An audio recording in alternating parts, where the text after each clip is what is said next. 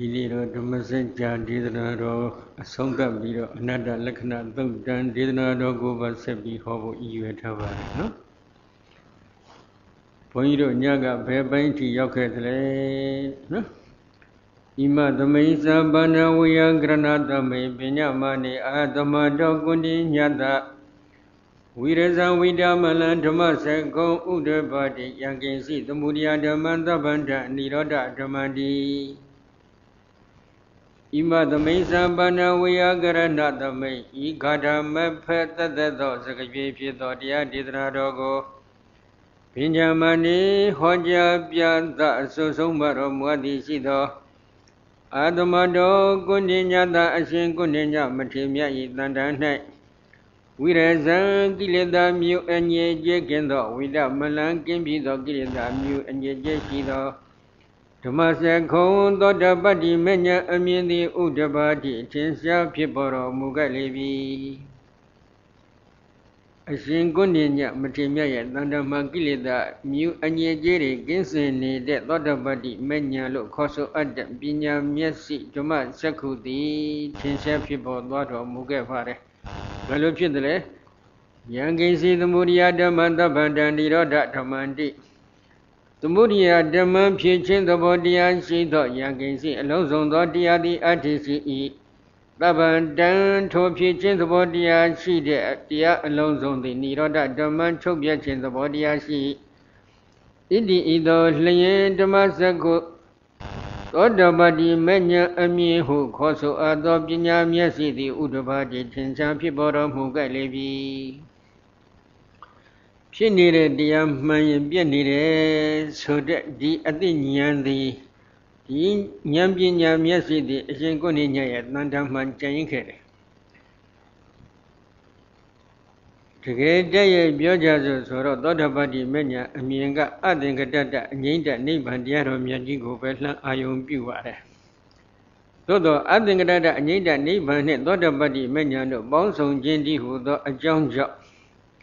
ထိုအရိယာမညာကသစ္စာလေးပါးကို မသိအောင်ဖုံးလွှမ်းထားတဲ့မောဟကိုအကျွမ်းမဲ့ပယ်ရှားပေးလိုက်ပါတယ်အကျွမ်းမဲ့ပယ်ရှားပေးခြင်းကြောင့်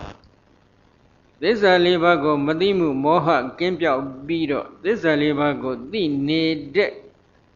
ဉာဏ်အမြင်တွေသည်ထင်ရှားစွာကြံ့ရစ်ခဲ့တယ်တဲ့အဲ့ဒီဉာဏ်အမြင်ထဲမှာ အချိန်မီ၍ပြန်ရှုလို့ရနိုင်တဲ့ဉာဏ်အမြင်က ဖြစ်နေတဲ့တရားမှန်ရင်ပြည့်နေတယ်ဆိုတဲ့ဒီအသိဉာဏ်ဖြစ်ပါတယ်ဖြစ်တဲ့တရားတွေကဘယ်တရားတွေလဲဒုက္ခသစ္စာတရားသမုဒိယသစ္စာတရားဒုက္ခသစ္စာတရားဆိုတာကခန္ဓာ၅ပါးယုတ်တရားနံတရားသမုဒိယသစ္စာတရားဆိုတာကကြောင်းကျိုးဆက်နွယ်မှုပရိစ္ဆသမုပ္ပါသဘောတရားတွေဖြစ်ကြပါတယ် ထိုတရားတွေသည်ဖြစ်နေတယ်ဖြစ်ပြီးရင်ပြည့်နေတယ်ဆိုတဲ့ဒီအသိဉာဏ်သည်အရှင်ကိုဏိညရဲ့တန်တာ၌စွဲပြီးကြံရစ်ခဲ့တယ်လို့ဆိုလိုပါတယ်နော်ဒါကသောတပန်ဖြစ်ခဲ့ရင်သောတပန်သာမှန်ပါစေသောတပန်ပုဂ္ဂိုလ်တိုင်းမှာတည်ရှိနေတဲ့အသိဉာဏ်ဖြစ်ပါတယ်ကဲနည်းနည်းတရားဒေသနာတော်ရှိဆက်ကြရအောင်ဘုဒ္ဓဒေသဗန္နဘဂဝတဓမ္မစက္ကေ ဘုမာဒေဝတတ္တမနုဿဝေသုံဧတံဘဂဝတပါရဏတိယံဣတိပတနေမိဂဒယေအနုတ္တရဓမ္မစက္ကံပုဒ္ဓိတံ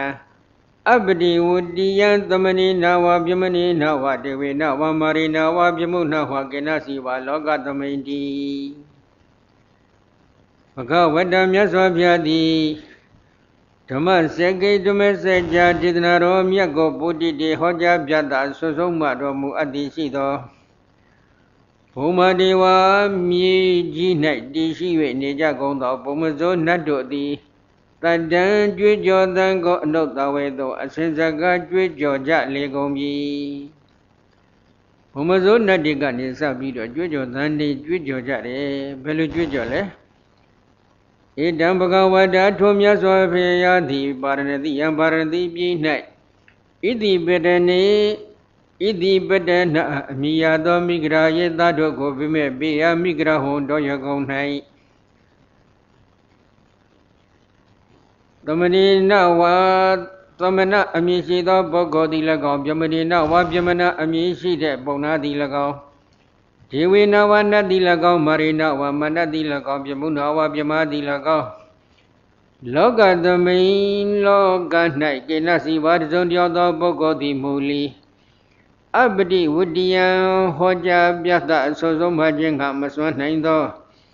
အနုတ္တရံအတုမရှိသောဓမ္မစက္ကဓမ္မစက္ကဒေသနာတော်ကိုပုတ္တိတံဟောကြားပြသအဆိုဆုံးမှတော်မူအပ်ခဲ့လေပြီ ဣတိဤသို့လျင်တတ္တံကြွေးကြောသံကိုဘုံမာဒီဝဘုံမဇောနတ်တို့သည်အနုတ္တဝေသုံးအစဉ်စကားကြွေးကြောကြလေကုန်မည်ဘုံမဇောနတ်ဒီကတင်စပြီးတော့ကြွေးကြောတယ်နော်ကြွေးကြောလိုက်တဲ့အချိန်ခါမှာမြတ်စွာဘုရားသည်ဣတိပတနာအမိရတဲ့သားတို့ဘိမေဘေယမိဂရာဝံတောယကုံအတွင်းမှာ ယဟန်ပုံနာဘယ်သူမဆိုနတ်မြမဘယ်သူမဆိုဘယ်လိုမှဟောကြားပြတ်တာဆုံးဆုံးမှခြင်းကမစွမ်းနိုင်တဲ့အတုမရှိတဲ့ဓမ္မစက်ကလို့ခေါ်ဆိုအပ်တဲ့ဓမ္မစက်ကြာဒေသနာတော်ကိုဟောကြားပြတ်တာဆုံးဆုံးမှတော့မူအပ်ပါတယ်ဆိုပြီးတော့ဒီလိုကြွေးကြော်ကြတယ်ဒီကြွေးကြော်တာနဲ့ပတ်သက်ပြီးတော့ဘုန်းကြီးတို့ဘုဒ္ဓတာလေးတစ်ခုပေါ့နော် ရှင်းရင်ခင်ကစတော်ကြီးများပေါ့အထူးသဖြင့်ဘုန်းကြီးတို့ကျေးဇူးတော်ရင်ဖြစ်တော်မူတဲ့လေရီတော်ဘုရားရဲ့ဆရာဖြစ်တော်မူတဲ့စံကြောင်းဆရာတော်တို့အစရှိတဲ့ထင်ရှားတော်မူတဲ့စတော်ကြီးတွေဘုံမစိုးနဲ့ဆုတောင်းကြတယ်။ဘာဖြစ်လို့လဲ။အကြောင်းနှစ်ချက်ရှိတယ်တစ်ချက်ကဘုံမစိုးနဲ့တွေကတတန်းသိရှည်တယ်သူတို့ရဲ့ကုသိုလ်ကံအရှင်ဝါတွေကသိအားကောင်းရင်အားကောင်းသလိုအသက်ရှည်ကြတယ် နောက်တစ်ချက်ကတော့ဘုရားပွင့်တဲ့အချိန်ခါမှာဘုံမစိုးနတ်တွေကစပြီးသိတယ်။ဒါကြောင့်ဘုရားရှင်နဲ့မလွဲချော်ခြင်းတဲ့အတွက်ဘုံမစိုးနတ်ဖြစ်ဖို့ရန်ရှိရှိစတော်ကြီးတွေဆူတောင်းကြတယ်ဆိုပြီးဒီလိုဘုန်းကြီးတို့အစဉ်အလာအဖြစ်ဆွဆုံးပါတဲ့စကားလေးတွေကြားခဲ့ရပါတယ်နော်။ခုလည်းဒီနေရာမှာဘုံမစိုးနတ်တွေကစပြီးတော့ကြွေးကြော်တန်ထွက်တယ်။ထွက်လိုက်တော့ဒီမှာဓမ္မစက်ကဓမ္မစက်ကဆိုတာကဘာလဲ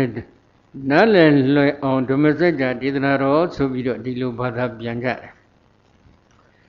ဒီနေရာမှာဓမ္မစက်ကဆိုတဲ့စကလုံးရဲ့အဓိပ္ပာယ်ကိုကြကြနက်နက်နားလည်အောင်ဘုန်းကြီးအထက်ကရာအဖွင့်လေးတွေကိုဖော်ပြပေးပါမယ်ဓမ္မစက္ကေတိပတိဝိဒညာနေစေဝဒေသနာညာနေစဓမ္မစက်ကဆိုတာကပတိဝိဒဉာဏ်တော်မြတ်နှင့်ဒေသနာတော်ဉာဏ်တော်မြတ်ကိုဓမ္မစက်ကလို့ခေါ်ပါတယ် ပရိဝေဒဉာဏ်တော်မြတ်ဆိုတာကဘာလဲထိုးထွင်းသိတော်မူတဲ့ဉာဏ်တော်ဖြစ်တယ်ဒေသနာဉာဏ်တော်ဆိုတာကဘာလဲဓမ္မစကြာဒေသနာတော်ကိုဟောကြားပြသတော်မူတဲ့ဘုရားရှင်ရဲ့တန်တံမှာဖြစ်ပေါ်တဲ့ဒေသနာ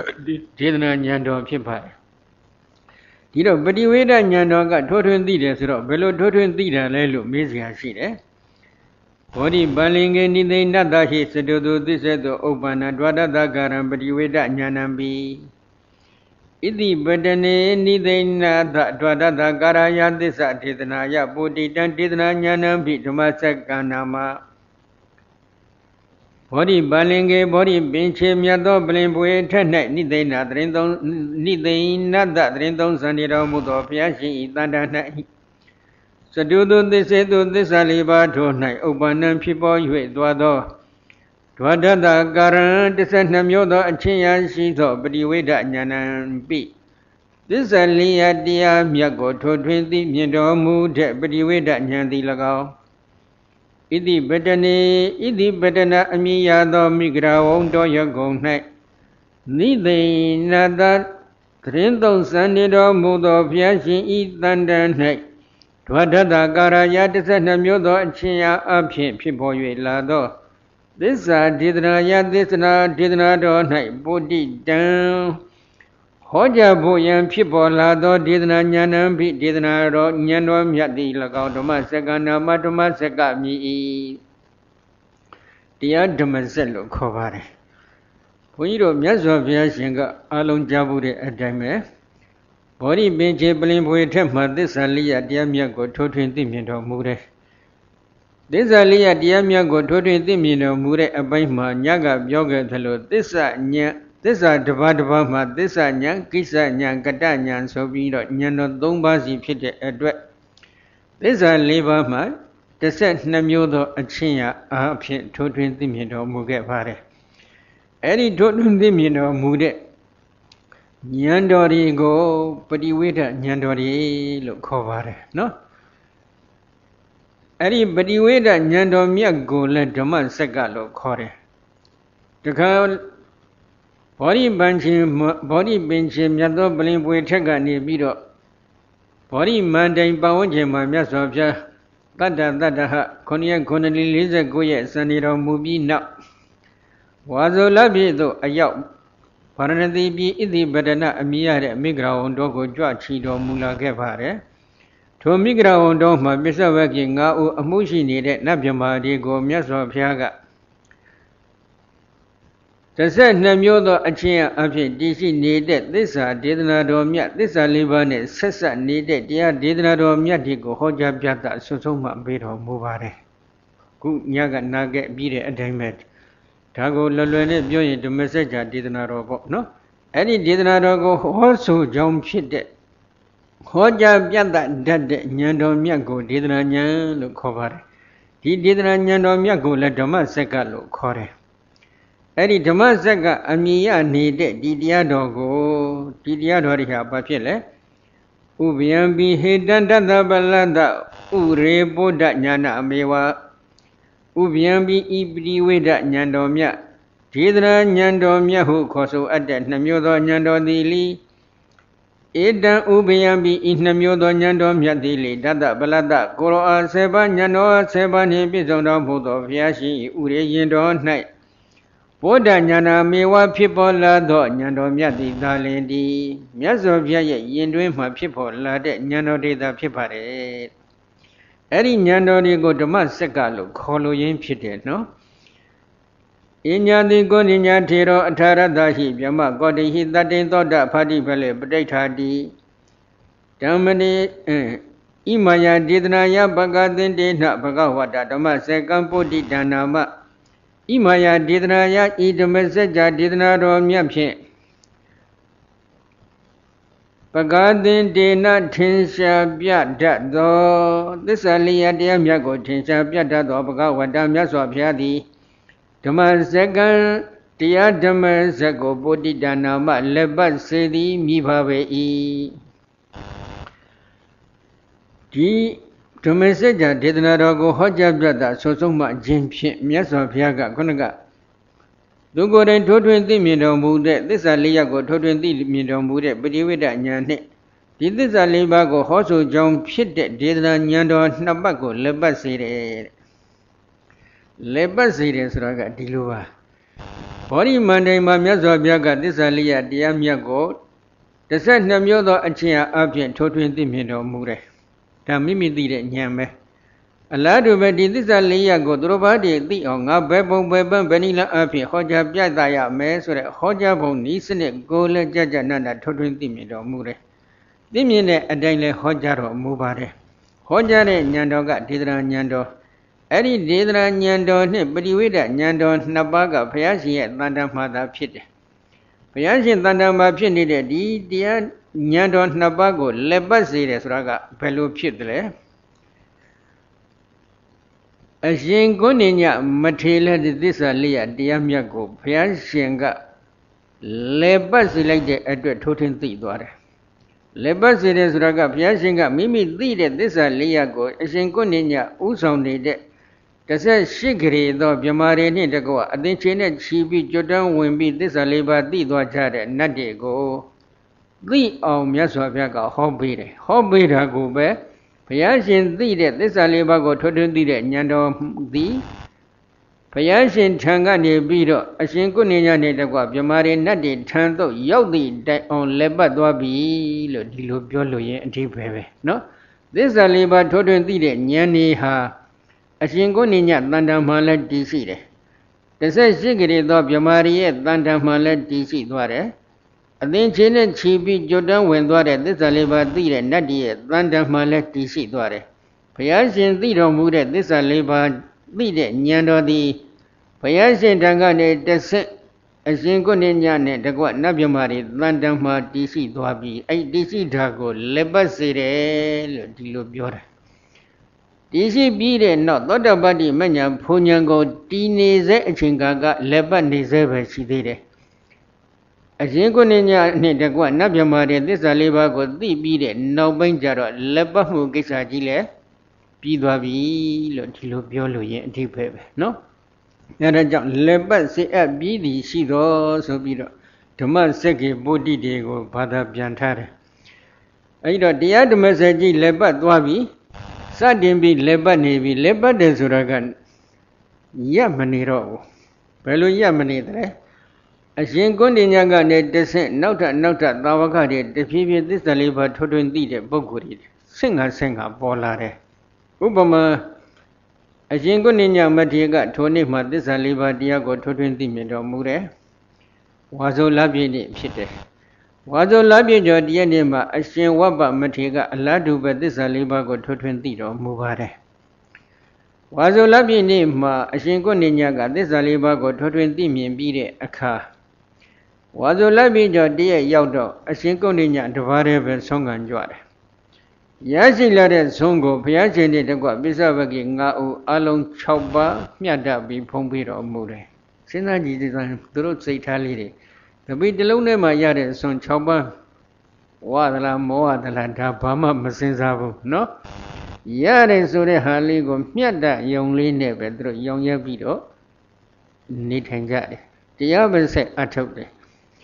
မြတ်စွာဘုရားကတော့ဘာဖြစ်လို့ဆုံးကမကြွတယ်လဲဆိုတော့ဝေဇောဥတပည့်တွေဖြစ်တယ်ကျက်မသည်ကျက်ဥကိုစောင့်ရှောက်သလိုမိမိတပည့်တွေသစ္စာလေးပါးကိုထိုးထွင်းသိရအတွက်အနက်ကပ်ပြီးတော့ဒီတရားကိုမကြံစည်နဲ့ဒီတရားကိုကြံစည်ပါဒီလိုမရှုနဲ့ဒီလိုရှုပါ ဒီလိုမစင်စားနဲ့ဒီလိုစဉ်းစားပါစသည်ဖြင့်လက်ပုလက်ကြကြကြနနသင်ပေးနေတယ်ဒုက္ခသစ္စာကိုမသိသေးတဲ့ပုဂ္ဂိုလ်ကိုဒုက္ခသစ္စာသိအောင်ဘယ်ကနေဘယ်လိုစရှုသမုဒိယသစ္စာမသိသေးတဲ့ပုဂ္ဂိုလ်သမုဒိယသစ္စာကိုသိအောင်ဘယ်ပုံဘယ်ပန်းဘယ်နည်းလားအဖြစ်ရှုပါဒီဒုက္ခသစ္စာတရားဒီသမုဒိယသစ္စာတရားတွေကိုထွန်းထွန်းသိနေတဲ့ပုဂ္ဂိုလ်ကိုလည်း ဘယ်ပုံဘယ်ဘက်ဘယ်နည်းလအဖြစ်ဝိပဿနာဉာဏ်နဲ့အစစ်စစ်တက်သွားအောင်ရှုပါစသည်ဖြင့်အနက်ကပ်ပြီးတော့ကိုစနစ်တကျသင်ပေးနေတယ်။အဲဒီလိုသင်ပေးလိုက်တဲ့အတွက်ဝါဇုလပိကျော်တည့်နေ့မှာအရှင်ဝဘမထေလဲသောတပတ္တိမဉ္ဇဉ်ဘုံဉဏ်စိုက်သွားတယ်သစ္စာလေးပါးကိုဟုတ်တိုင်းမှန်စွာထိုးထွင်းသိသွားတယ်။ဝါဇုလပိကျော်နှစ်ရက်နေ့ရောက်တော့အရှင်ဗတ္တိယမထေကသစ္စာလေးပါးကိုဟုတ်တိုင်းမှန်စွာသိတယ် အဲ့ဒီဝါဇုလပိကျော်နှစ်ရက်နေကြတော့အရှင်ကုဏ္ဏညနဲ့အရှင်ဝဘမထေနှစ်ပါးကဆုံးခံတယ်နှစ်ပါးဆုံးခံလို့ရရှိတဲ့ဆွမ်းကို6ပါးမြတ်တပြီးဖုံးပြီးတော်မူပါတယ်ဝါဇုလပိကျော်3ရက်နေ့ရောက်တော့အရှင်ဗတ္တိယမထေကသစ္စာလေးပါးကိုထိုးထွင်းသိမြင်တော်မူတယ်အဲ့ဒီနေ့မှာကတော့အရှင်ကုဏ္ဏညအရှင်ဝဘမထေနှစ်ပါးတို့ဆောင်းလာတဲ့ဆွမ်းကို 6ပတ်မြတ်ပြီးဖုံးတယ်ဝါဇုလက်ပြီးကျော်3ရက်နေ့ရောက်တော့အရှင်ကုဏ္ဏညအရှင်ဝဘ္ဘအရှင်ဗတ္တိယ3ပါးကဆုံးငံကြွပြီးတော့6ပတ်မြတ်ဖုံးပေးပါတယ်ရရှိတဲ့ဆုံးကိုဝါဇုလက်ပြီးကျော်4ရက်နေ့ရောက်တော့အရှင်ကုဏ္ဏညအရှင်ဝဘ္ဘအရှင်ဗတ္တိယအဲ3ရက်နေ့မှာအရှင်မဟာနံကကျွတ်တန်းဝင်တယ် သစ္စာလေးပါးကိုထိုးထွင်းသိတယ်သိလိုက်တဲ့အတွက်၃ရက်နေ့ကျတော့အရှင်ကုဏ္ဏညအရှင်ဝဘ္ဘအရှင်ဗတ္တိယသုံးပါးဆုံးခံကြွတယ်ကြွတာကို၆ပါးမြတ်ဖုံးပေးတယ်၄ရက်နေ့ဝါဇလပိကျော်၄ရက်နေ့ရောက်တော့အရှင်ကုဏ္ဏညအရှင်ဝဘ္ဘအရှင်ဗတ္တိယအရှင်မဟာနံ၄ပါးဆုံးခံကြွတယ်၄ပါးဆုံးခံကြွလို့ရရှိတဲ့ဆုံးကို၅ပါးမြတ်ပြီးဖုံးပေးတယ် အဲ့ဒီဝါဇုလက်ပြကျော်၄ရက်နေမှာတော့အငယ်ဆုံးဖြစ်တဲ့အရှင်အတ္တစီမထေကသောတပတ္တိမညာဘုံညာစိုက်ပါတယ်သစ္စာ၄ရတရားမြတ်ကိုထိုးထွင်းသိမြင်တော်မူပါတယ်ဝါဇုလက်ပြကျော်9ရက်ရောက်တော့ဘုရားရှင်တဲ့တကွပြစ္ဆဝကိ9ဦး6ပါးလုံးထိုနေ့မှာတော့ဆုံးခံကြွတော်မူကြပါတယ်နော်အဲ့ဒီနီးစနစ်ဖြင့်သူတို့ကသစ္စာလေးရတရားမြတ်ကိုထိုးထွင်းသိအောင်ကြိုးစားကြတယ်နောက်တစ်ခုဘုံမစွတ်တတ္တိရဲ့ဒီလိုကြွေးကြော်တဲ့အတန်ကိုကြားလိုက်တော့ သတုမာရဲ့နတ်တွေကလည်းတဆင့်တက်ပြီးတော့အလားတူပဲကြွေးကြော်ကြတယ်သတုမာရဲ့နတ်တွေရဲ့ကြွေးကြော်သံကိုကြားလိုက်တဲ့အတွက်ဒါဝရိန္ဒနတ်တွေယာမနတ်တွေနိမနရတိရနတ်တေပရနိမိတဝတဟောတိနတ်တေအစစ်စစ်ကြွေးဆောင်ကြတယ်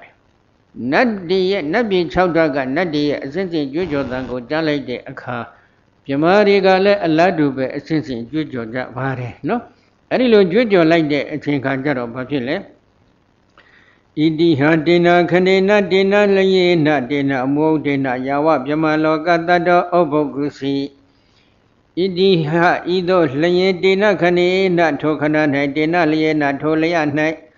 ဒေနမူဒေနထိုမူဩဒ၌ယဝပြမလောကပြမပြည်သို့တိုင်အောင်တတောအစဉ်စဉ်ကြွကြော်သံသည်အဘုတ်ကိစီမဆံဘဝဲပြန့်နှံ့၍တက်လေ၏ အစဉ်စဉ်ပြမပြည်တိုင်အောင်အတန်ကြွကြော်လိုက်တဲ့အတန်တရားချက်ချင်းတက်သွားတယ်နော်တက်သွားလိုက်တော့ဘာဖြစ်လဲ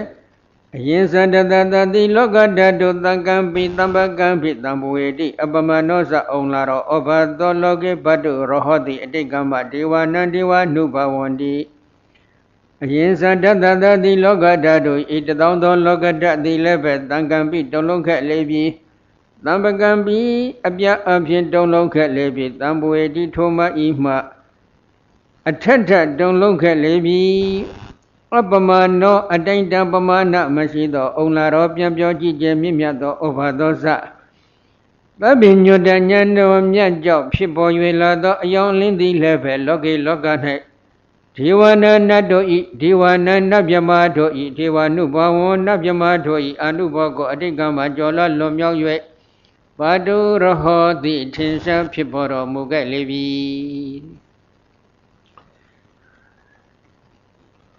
လောကဓာတ်ပေါင်းတိုက်တသောပေါ့ဓာတသဟတိလောကဓာတုလောကဓာတ်တစ်ခုတစ်ခုမှာစัจ java လောပေါင်းတစ်ထောင်လို့ရည်တွက်တဲ့နည်းလည်းရှိပါတယ်လောကဓာတ်တစ်ခုမှာစัจ java လောပေါင်းတိုက်တစ်ထောင်ဆိုရင် လောကဓာတ်ပေါင်းတစ်သောင်းဆိုတော့စัจ java လောဂရေတသိန်းနော် အဲ့ဒီဂရေတသိန်းအထိလောကကြီးကတုံ့လှုပ်သွားတယ်မြင်းကလေးနေအကြည့်ကျတုံ့လှုပ်တယ်ဒီလောက်တော့မြင်ကလေးလှုပ်မယ်ဆိုလို့ရှိရင်တော့တိုက်တယ်ပြိုကုန်မလားလို့တော့မစင်စားနဲ့နော်သူကဘုံကံကြောင့်ဖြစ်ပေါ်တဲ့လှုပ်ရှားမှုဆိုတာကတော့ဘာမှပျက်စီးမှုမရှိပါဘူးအဲ့ဒီမြင်လင်းကလေးနဲ့လှုပ်ရုံနဲ့လားဆိုတော့မဟုတ်သေးဘူးအပမနောဇအုံနာတော့ဩဘာသော အတိုင်းတာပမာဏမရှိတဲ့ပြန်ပြောကြည့်ကြမြင့်မြတ်နေတဲ့အယောင်အလင်းတွေလည်းထွက်ပေါ်လာတယ်အဲ့ဒီအယောင်လင်းကနတ်တွေမြမာတွေမှာသူတို့ရဲ့ဘုံကံကြောင့်တည်ရှိနေတဲ့အယောင်အလင်းတွေကိုကြော်လာလွန်မြောက်ပြီးတော့အလွန်ကြီးမားကျေပြန့်တဲ့အယောင်လင်းတွေဖြစ်ပေါ်လာတယ်အဲ့ဒီအယောင်လင်းဟာဘလို့ကြောင့်ဖြစ်ပေါ်တယ်လဲဆိုတာ ਨੇ ပတ်သက်လို့အထက်ကရာကတော့ ဩဘာသဟာသဗ္ဗညွတ်တဉာဏ်တော်မြတ်ကြောင့်ဖြစ်ပေါ်လာခြင်းဖြစ်ပါတယ်ဆိုပြီးတော့ဒီလိုရှင်းထားတယ်ဘုန်းကြီးတို့ဘုရားရှင်သဗ္ဗညွတ်တဉာဏ်တော်မြတ်ရှိပါတယ်ဒုသဗ္ဗညွတ်တဉာဏ်တော်မြတ်ကဘုရားရှင်ရဲ့နှလုံးအိမ်အတွင်းဟရိယဝုထုယုတ်ကိုမိတွယ်ပြီးဖြစ်ပေါ်သွားတဲ့ဉာဏ်တော်မြတ်ဖြစ်တယ်ထိုဉာဏ်တော်မြတ်ကြောင့်ဉာဏ်တော်နှင့်ရှင်တွဲနေတဲ့စိတ်က စိတ္တဇယုတ်ကလပေါင်းများစွာကိုဖြစ်စေပါတဲ့အလွန်ကြီးကျယ်မြင့်မြတ်တဲ့ယုတ်ကလတည်းလို့ဒီလိုစာပေကျမ်းဂန်ကဖော်ပြထားပါတယ်အဲ့ဒီယုတ်ကလတေကိုတခွဲကြည့်ရင်ကလတ်တခုတခုမှာပထဝီအဘောတေဇောဝါယောအစင်းနဲ့ရတာဩဇာဆိုပြီးသဘောတရား၈ခုတည်ရှိတယ်။အဲ့ဒီ၈ခုထဲမှာအစင်းလုံးခေါ်ဆိုအပ်တဲ့ဝဏ္ဏတယူပါယုံလေးကအလွန်တောက်ပါတယ်။ သို့တော့ဒီစိတ်ကြောင့်ဖြစ်တဲ့ယုတ်ကလတေမှာတည်ရှိတဲ့ဝဏ္ဏတယူပါယုံကတော့ဘုရားရှင်ရဲ့ခန္ဓာအိမ်အတွင်းမှာပဲပြန့်နှံ့ပြီးတည်ရှိပါတယ်။ခန္ဓာအိမ်ရဲ့ပြင်ဘက်ကိုမထွက်သွားဘူး။အဲ့ဒီစိတ္တယုတ်ကလတေမှာပါတဲ့ကလတ်တိုင်းမှာတည်ရှိတဲ့ဒေဇောဓာတ်တိုင်းကနောက်ထပ်ကလတ်ကလတ်အသစ်ကိုများစွာဖြစ်စေတယ်အဲ့ဒီဒေဇောဓာတ်ကိုဥတုလို့ခေါ်တယ်အဲ့ဒီဥတုဒေဇောဓာတ်ကြောင့် ဖြစ်ပေါ်သွားတဲ့ယုတ်ကလတိုင်းမှာလည်းဓာတ်ခွဲကြည့်ရင်ကလတ်တစ်ခုတစ်ခုမှာရှစ်ခုပဲရှိတော့အဲ့ဒီထက်မှလည်းအယောင်လင်းပါတယ်အဲ့ဒီအယောင်လင်းကလည်းဘာတုရရူပအလွန်တောက်ပါပါတယ်အဲ့ဒီအယောင်လင်းတွေကဘုရားရှင်ရဲ့ခန္ဓာအိမ်အတွင်းသာမကခန္ဓာအိမ်ပြင်ဘက်စัจ java လာဂရေတသိမ့်အထိလောကဓာတ်ပေါင်းတိုက်တသောအထိပြန့်နှံ့ပြီးတည်သွားတယ်ပြန့်နှံ့ပြီးတည်တာကသူတို့ကဘလောက်လင်းတယ်လို့မေးစရာရှိတယ်နတ်တို့ တန်တန်မှာမြမာတို့တန်တန်မှာမိမိတို့ရဲ့ဘုံကံကြောင့်ဖြစ်ပေါ်နေတဲ့အယောင်အလင်းတွေကိုကြော်လွှတ်ပြီးတော့သူတို့တဲ့အစာပေါင်းများစွာလင်းတဲ့အလင်းရောင်ကြီးဟာလောကတပေါင်းတိုက်တသောစัจ java လာပေါင်းဂရေတသိန်းအထိပြန့်နှံ့ပြီးတည်ရှိပါတယ်ဒီတည်ရှိခြင်းနဲ့ပတ်သက်လို့ဘုန်းကြီးတလောကသိပ္ပံဆရာတူရဲ့ဆွေးနွေးချက်ပေါ့လေဘုန်းကြီးထိုင်ဝမ်ရှိစဉ်ခါမှာသူက သူတို့သိပ္ပံပညာအယူဆရက energy ဆိုပြီးသူတို့သုံးတယ်အဲ့ဒီ energy ဒီပျက်စီးမှုမရှိဘူးသူတို့ကဒီလိုယူဆတယ်ဘုန်းကြီးတို့စာပေနယ်ကတော့တပ်ဖေသင်္ခါရအနိစ္စပဲအလုံးကတော့ဖြစ်ပြီးရင်ပြက်တယ်ဒါပေမဲ့သူတို့ကဖြစ်ပြီးပြက်တာမဟုတ်အင်နာသဘာဝတွေရုပ်တွေဟာပျက်စီးသွားတာမှန်တယ် energy သည် စွမ်းအင်သည်ပျက်စီးမသွားဘူးလို့သူတို့ကဒီလိုပြောခြင်းတယ်ဘာကိုသူတို့ဆိုလိုတယ်လဲဆိုရတဲ့ပတ်သက်လို့စွမ်းအင်ကိုဘုန်းကြီးကဘာလဲလို့သူတို့ကိုမေ့ကြည့်လိုက်တော့သူတို့ဘက်ကလည်းအတိအကျတော့မပြောနိုင်ပါဘူးသူတို့ပြောတာကတော့တရုတ်ဘာသာနဲ့ချီဆိုပြီးပြောတယ်ချီဆိုတာတရုတ်ဘာသာနဲ့ဘာလဲလို့သေချာမေးလိုက်တော့သူတို့ကတော့ဝါယောဓာတ်လို့ပြောလို့တဲ့အဓိပ္ပာယ်ပဲတကယ်တော့ဘုန်းကြီးတို့စာပေနယ်သုံးကတော့ဝါယောဓာတ်မဟုတ်ဘူးဒီဇောဓာတ်ဖြစ်ပါတယ် အပြင်ဗိဓာတ်မဲ့လောကမှာလွှမ်းမိုးနေတာကဒီဒီဇောဓာတ်ဖြစ်တယ်ဒီတေဇောဓာတ်ကြောင့်ဖြစ်ပေါ်သွားတဲ့ယုတ်ကလတေသာလင်အပြင်ဗိဓာသမဲ့လောကမှာတည်ရှိပါတယ်အဲဒီတော့ရွှေဆိုကြပါစို့အခုအတုံးအခဲဒါပြုတ်ကြတယ်ဆိုလို့ရှိရင်သိပ္ပံပညာနိယဓာတ်ဓာတ်တွေလို့သူတို့ပြောမယ်မပျက်စီးဘူးပေါ့ဘုန်းကြီးတို့အဘိဓမ္မာနိယကတော့ပျက်စီးပါတယ်ဒါပြင်းနဲ့ရွှေမှန်က ယုတ်ကလတ်တွေများစွာပေါင်းစုံနေတယ်အဲ့ဒီပေါင်းစုတဲ့အပေါင်းစုကလတ်တစ်ခုနဲ့တစ်ခုကြားမှာအာကာသဓာတ်ကနည်းနည်းလေးနဲတယ်သိသီးတယ်လို့ဆိုလိုတာပေါ့အာကာသဓာတ်နဲတဲ့အတွက်သူကအလေးချိန်လဲစီးတယ်အဲ့ဒီကလတ်တိုင်းမှာဒီဇောဓာတ်ပါတယ်အဲ့ဒီဒီဇောဓာတ်ကနောက်တာဆင်ငယ်ယုတ်ကလတ်အသစ်တစ်ကိုဖြစ်စေတယ်ဖြစ်စေတဲ့အတွက်ဒီဒီဇောဓာတ် energy စွမ်းအားသည်မပျက်စီးဘူးလို့သူတို့ကဒီလိုပြောခြင်းတယ် ဘုန်းကြီးတို့စာပေကတော့ပျက်စီးပါတယ်ဘယ်လိုပျက်စီးတယ်လဲလို့မင်းရင်တစ်ချိန်မှတော့စွန့်အင်းနေဟာကုန်ခန်းသွားမယ်တစ်ချိန်ဆိုတော့ဘလောက်ကြာမလဲဒါကတော့အတိအကျမပြောနိုင်ဘူးအတိအကျမပြောနိုင်မင်းနဲ့လို့ဘုန်းကြီးကဒီနေရာမှာပြောခြင်းတဲ့အကြောင်းအရာလေးတစ်ခုကတော့ဘုရားရှင်ရဲ့ဒီတပ်ပညွတ်တညံတော်မြတ်ကြောင့်ဖြစ်ပေါ်လာတဲ့အကြောင်းအလင်းအကြောင်းပါပဲဒီတပ်ပညွတ်တညံတော်တင်လားဆိုတော့မဟုတ်သေးဘူးဘုန်းကြီးတို့ ဒီဓမ္မစကြာဒေသနာတော်ကိုမဟောမီမှာဘုရားရှင်ကဘောဓိမန္တိုင်ပတ်ဝန်းကျင်မှာ9ရက်9လီသတင်းသုံးစံတီတော်မူခဲ့ပါတယ်ဒီ9ရက်9လီထဲမှာယရနာဂရစံအိမ်မှာဘုရားရှင်သည်9ရက်သတင်းသုံးစဉ်အခါအဘိဓမ္မာဒေသနာတော်တွေကိုညံတော်မြတ်ဖြင့်ဆင်ញင်တော်မူတယ်ပဋ္ဌာန်းဒေသနာတော်ကိုဆင်ញင်တော်မူလိုက်တဲ့အချိန်ခါမှာ ဘုရားရှင်ရဲ့ပဋ္ဌာန်းဒေသနာတော်ကိုဆင်ញင်တော်မူတဲ့ဉာဏ်တော်ရဲ့စွမ်းအားကြောင့်ဖြစ်ပေါ်လာတဲ့ဉာဏ်အယောင်အလင်းနေသည်ခုလိုပဲလောကဓာတ်ပေါင်းတိုက်တသောအထိပြန့်နှံ့ပြီးတည်တယ်စัจ java လာဂရေတသိန်းအထိပြန့်နှံ့တည်တယ်အဲ့ဒီအယောင်လင်းနေသည်ဒီနေ့အထိထင်ရှားရှိပါတယ်ဆိုပြီးစာပေကျမ်းဂန်မှာဖော်ပြထားတယ်ဒီတော့မြဲနေလို့လားလို့မေးစရာတော့ရှိတယ်မမြဲဘူးမမြဲဘူးဆိုတာကကလတ်တစ်ခုမှရှိတဲ့ဒေဇောကနောက်ထပ်ယုတ်ကလတ်အသစ်ကိုထပ်ထပ်ပြီးဖြစ်စေတယ် နောက်ကလမှာလည်းရှိတဲ့ဒီဇောကနောက်ထပ်ကလအသစ်တွေကိုထက်ခါထက်ခါဒီလိုပဲဖြစ်စီတော့ဖြစ်တော့အဲ့ဒီဖြစ်စေမှုစွမ်းအင်ကဇက်တိုက်ဖြစ်နေတဲ့အတွက်ဒီအနိစ္စသဘောတရားကိုသူတို့ကလည်းမမြင်တဲ့အတွက်ကြောင့်သူတို့ကအင်နာဂျီစွမ်းအားသည်မြဲနေတယ်လို့မပြည့်စည်ဘူးလို့သူတို့ယူဆခြင်းဖြစ်ပါတယ်သူတို့အနိစ္စသဘောကိုကြကြနနာမမြင်ဘူးမမြင်တာကဘာဖြစ်လို့လဲလို့မင်းရင်တော့ဓာခွဲကန်းထဲမှာသူတို့တွေ့နိုင်တာက ဓာခွဲတဲ့ကရိယာတွေရဲ့အကူအညီနဲ့သာတွေ့နိုင်တာဘုန်းကြီးတို့ပရမလောကယုတ်လောကဆိုတာကပကတိမျက်စိဖြင့်ဘယ်လိုဓာခွဲကနဲ့မှာကရိယာတွေနဲ့ကြည့်ကြည့်မြင်နိုင်တဲ့သဘောကမဟုတ်ဘူးပရမအစစ်ဓာတ်အနှစ်ဖြစ်တဲ့ယုတ်တရားတွေကဝိပဿနာဉာဏ်နဲ့ဒီပါဇက်ကိုအဘိညာဉ်ဉာဏ်တို့ရဲ့အရာသာဖြစ်တဲ့ပကတိမျက်စိရဲ့အရာမဟုတ်ဘူးမဟုတ်တဲ့အတွက်ဒီပရမနုမျိုးခန့်သိငယ်နေတဲ့ကလအမှုံကိုလည်းသူတို့မမြင်ဘူး ပရမနုမြုပ်ခတ်သိငယ်နေတဲ့ကလမှုံတစ်ခုအတွင်းမှာတည်ရှိနေတဲ့တိသောတတ်ကြောင့်ဖြစ်ပေါ်သွားတဲ့ယုံတရားတွေကိုလည်းသူတို့ကြကြနနာနားမလဲဘူးသူတို့နားလဲတာကတော့လျှက်စစ်ဖို့တတ်မတ်တတ်လျှက်စစ်ဖို့တက်မတ်တက်တွေပေါင်းစုံပြီးချက်ချင်းပြောက်သွားတယ်နောက်ထပ်ထပ်ပြီးပေါင်းစုံတယ်ချက်ချင်းပြောက်သွားတယ်ဒီသဘောအဆင့်လောက်အကျဉ်းစားပဲသူတို့နားလည်ကြပါတယ်နော်ဒါကြောင့်တခါကြီးတွေဒီမကြီးတွေဘုန်းကြီးပြောလို့တဲ့အတိပ္ပယ်က ဘုန်းကြီးတို့ဘုရားရှင်ရဲ့တရားတွေဟာအလွန်အံ့ဩဖွယ်ကောင်းပါတယ်နော်ဒီအံ့ဩဖွယ်ကောင်းတဲ့တရားတွေကိုဘုရားရှင်ကသူတည်ရဲ့အတွက်ဟောကြားသွားတာမဟုတ်ပါဘူးဘုံတော်ဘောဓိယငါကိုယ်တိုင်သစ္စာလေးပါးထွထွင်းသိမြင်ပြီးတဲ့အချိန်ခါတရားဝါတွေကိုလည်းဒီသစ္စာလေးပါးမြတ်တရားကိုထွထွင်းသိမြင်စေရမယ်ဆိုတဲ့ဥတည်ချက်ဖြင့်ပါရမီတွေကိုဖြည့်ကျင်ပြီးဘုရားဖြစ်သို့ရောက်အောင်ကြိုးစားတော်မူခဲ့ခြင်းဖြစ်ပါတယ်ဘုရားဖြစ်သို့ရောက်ပြီးတဲ့အချိန်ခါမှာခု တခါကြီးတွေနာကြပြီးတဲ့ဓမ္မစကြာဒေသနာတော်ကြည့်ပါဘုရားဘာဟောလဲဒီသစ္စာလေးပါးဟောနေတာပဲ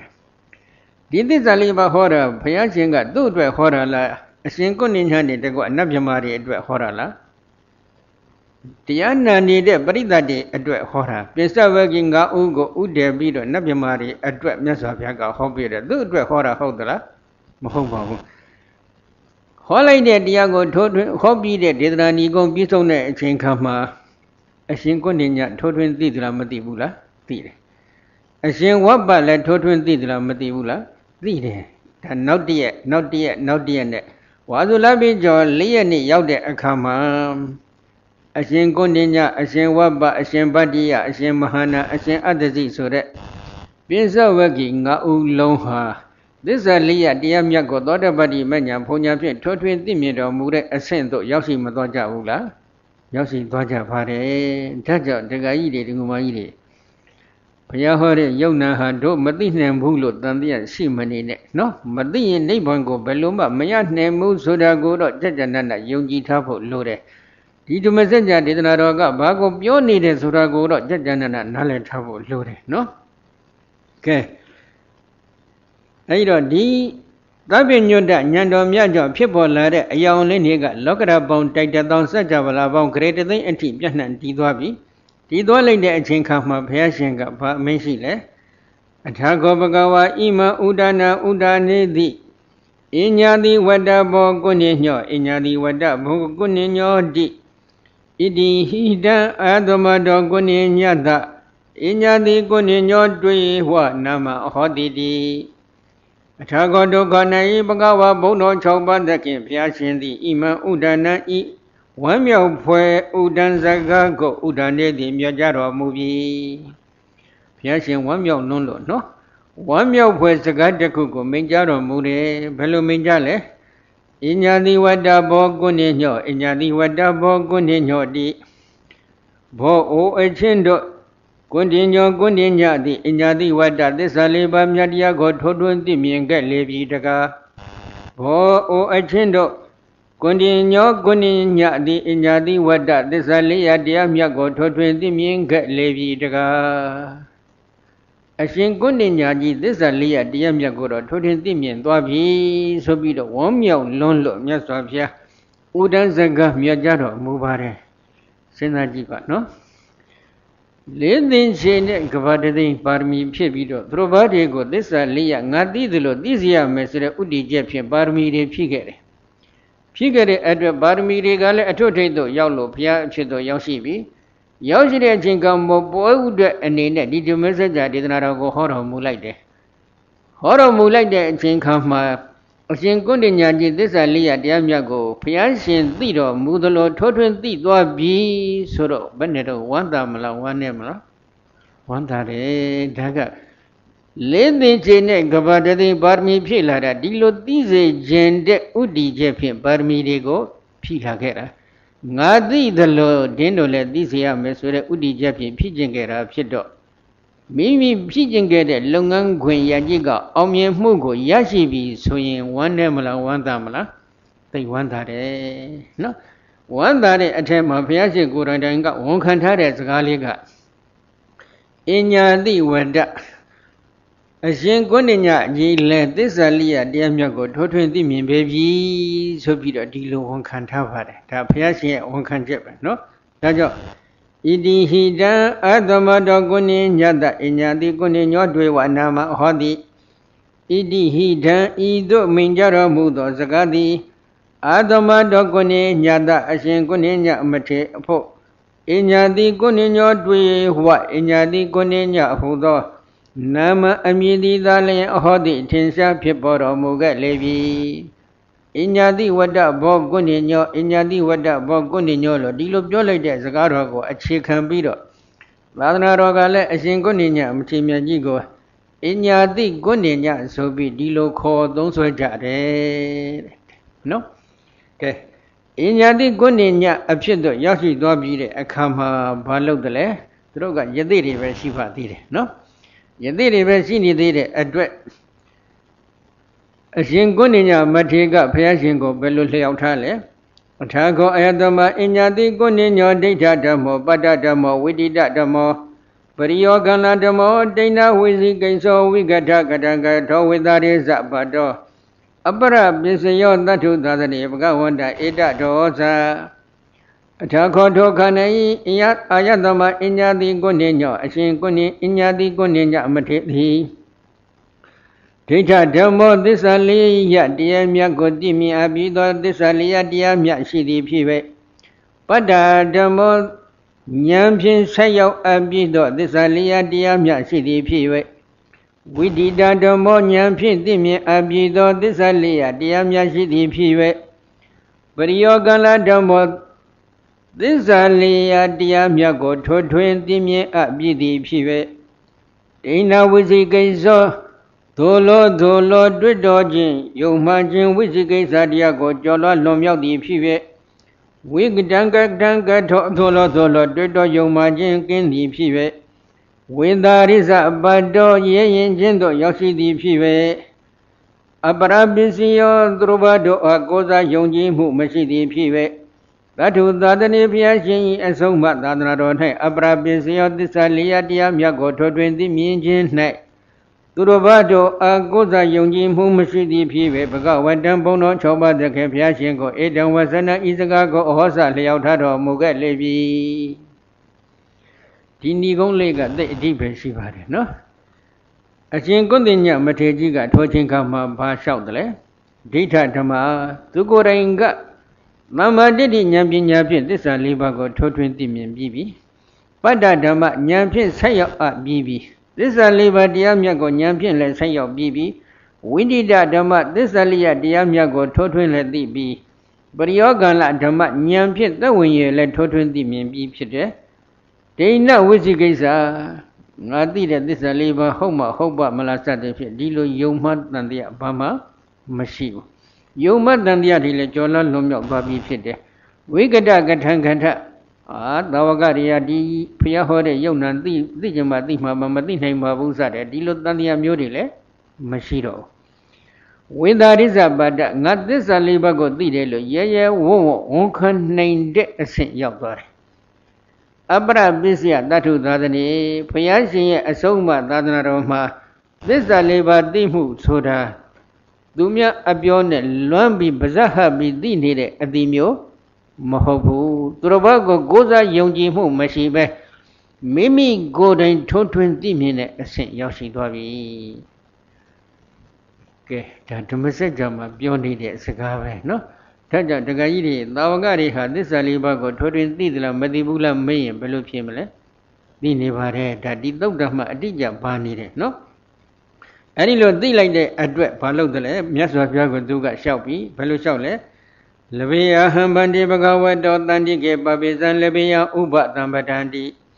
ဗန္တိဘုံတော်နေဝန်ထွန်းလင်းတောက်ပါတော်မူပါပေသောမြတ်စွာဘုရားဟံဖျားတပိတော်သည်ဘဂဝတောဘုံတော်၆ပါးသခင်ဘုရားရှင်ဤတန္တိကေထံတော်မောက်၌ပပိဇံရှင်အဖြစ်ကိုလဘေယံရလိုပါဤမြတ်စွာဘုရားဥပတံပတံယဟံပဇင်အဖြစ်ကိုလည်းပဲလဘေယံရလိုပါဤမြတ်စွာဘုရား မြတ်စွာဘုရားတပည့်တော်သည်ဘုရားရှင်ဤထံတော်ပေါင်း၌ရှင်သာမဏေအဖြစ်ကိုလည်းရလိုပါတယ်ယဟန်ပဇင်အဖြစ်ကိုလည်းရလိုပါတယ်မြတ်စွာဘုရားဆိုပြီးတော့လျှောက်ထားတယ်အဲ့ဒီလိုလျှောက်ထားတဲ့အချိန်ခါမှာအရှင်ကုဏိညကဘယ်အရွယ်လောက်ရောက်မလဲဘယ်နဲ့တော့တခါကြီးတွေဘယ်လိုသဘောပေါက်တယ်လူပြိုလေးလို့မြန်ပြောကြင်သလားသူကဘုရားအလောင်းမွေးဖွားတဲ့အချိန်ခါမှာခမန်းကြီးအဖြစ် သူကအသက်30ကျော်နေပြီဖြစ်ပါတယ်နော်35နှစ်ခန့်ရှိလိမ့်မယ်လို့ခန့်မှန်းရတယ်အဲ့ဒီဘုရားအလောင်းမွေးဖွားတဲ့အချိန်ကမှ35နှစ်ခန့်ရှိတော့ဘုရားအလောင်းမွေးဖွားပြီးတာနဲ့သူကတစ်ချစ်ချက်ဘုရားဖြစ်မယ်လို့ယုံကြည်ပြီးတော့တောထွက်သွားတယ်တောထဲမှာစောင့်နေလိုက်တာ29နှစ်ကြာပါတယ်29နှစ်ဘုရားအလောင်းသက်တော်ပြည့်တော်မှာဘုရားအလောင်းတောထွက်တော့တောထဲမှာသူတို့ဝကြီးဝင်ပြုတ်ပြီးတော့စောင့်ရှောက်နေလိုက်တာက 6နှစ်ဒီတော့ပေါင်းလိုက်မယ်ဆိုလို့ချင်း35နှစ်လီဆိုတော့သက်တော်ဘယ်လောက်လောက်ရှိမလဲ80လောက်ရှိပြီနော်80လောက်ရှိတဲ့အချိန်ခါကြတော့မှရှင်သမဏေပြုလုပ်ပြစေယဟန်ပြုပြစေဆိုပြီးတော့ခွင့်တောင်းတယ်ခုတခါကြီးတွေအသက်ဘယ်လောက်လောက်ရှိကြပါဒီကမာကြီးတွေရောဘယ်လောက်လောက်ရှိကြပါလဲနော်ဒါအတူယူဖို့အကြဖို့ဘယ်လောက်ကောင်းသလဲနော် ခုတတိမခွဲနိုင်သေးဘူးဆိုတော့တခါကြီးတွေမဆက်ဘူးလားနော်ကဲအရှင်ကိုနိညာကြီးကရှင်ဖြစ်ရန်ဖြစ်ကိုတောင်းလိုက်တော့ဘုရားရှင်ကဘာမရှိလဲဣဘိက္ခုတိပကဝဩဇာသွက်ခတောဓမ္မောစရပြမစရိယံတမ္မာဒုက္ခတအန္တကိရိယာယာတိဘိက္ခုจิตယဟံအေဟိလာဘေရော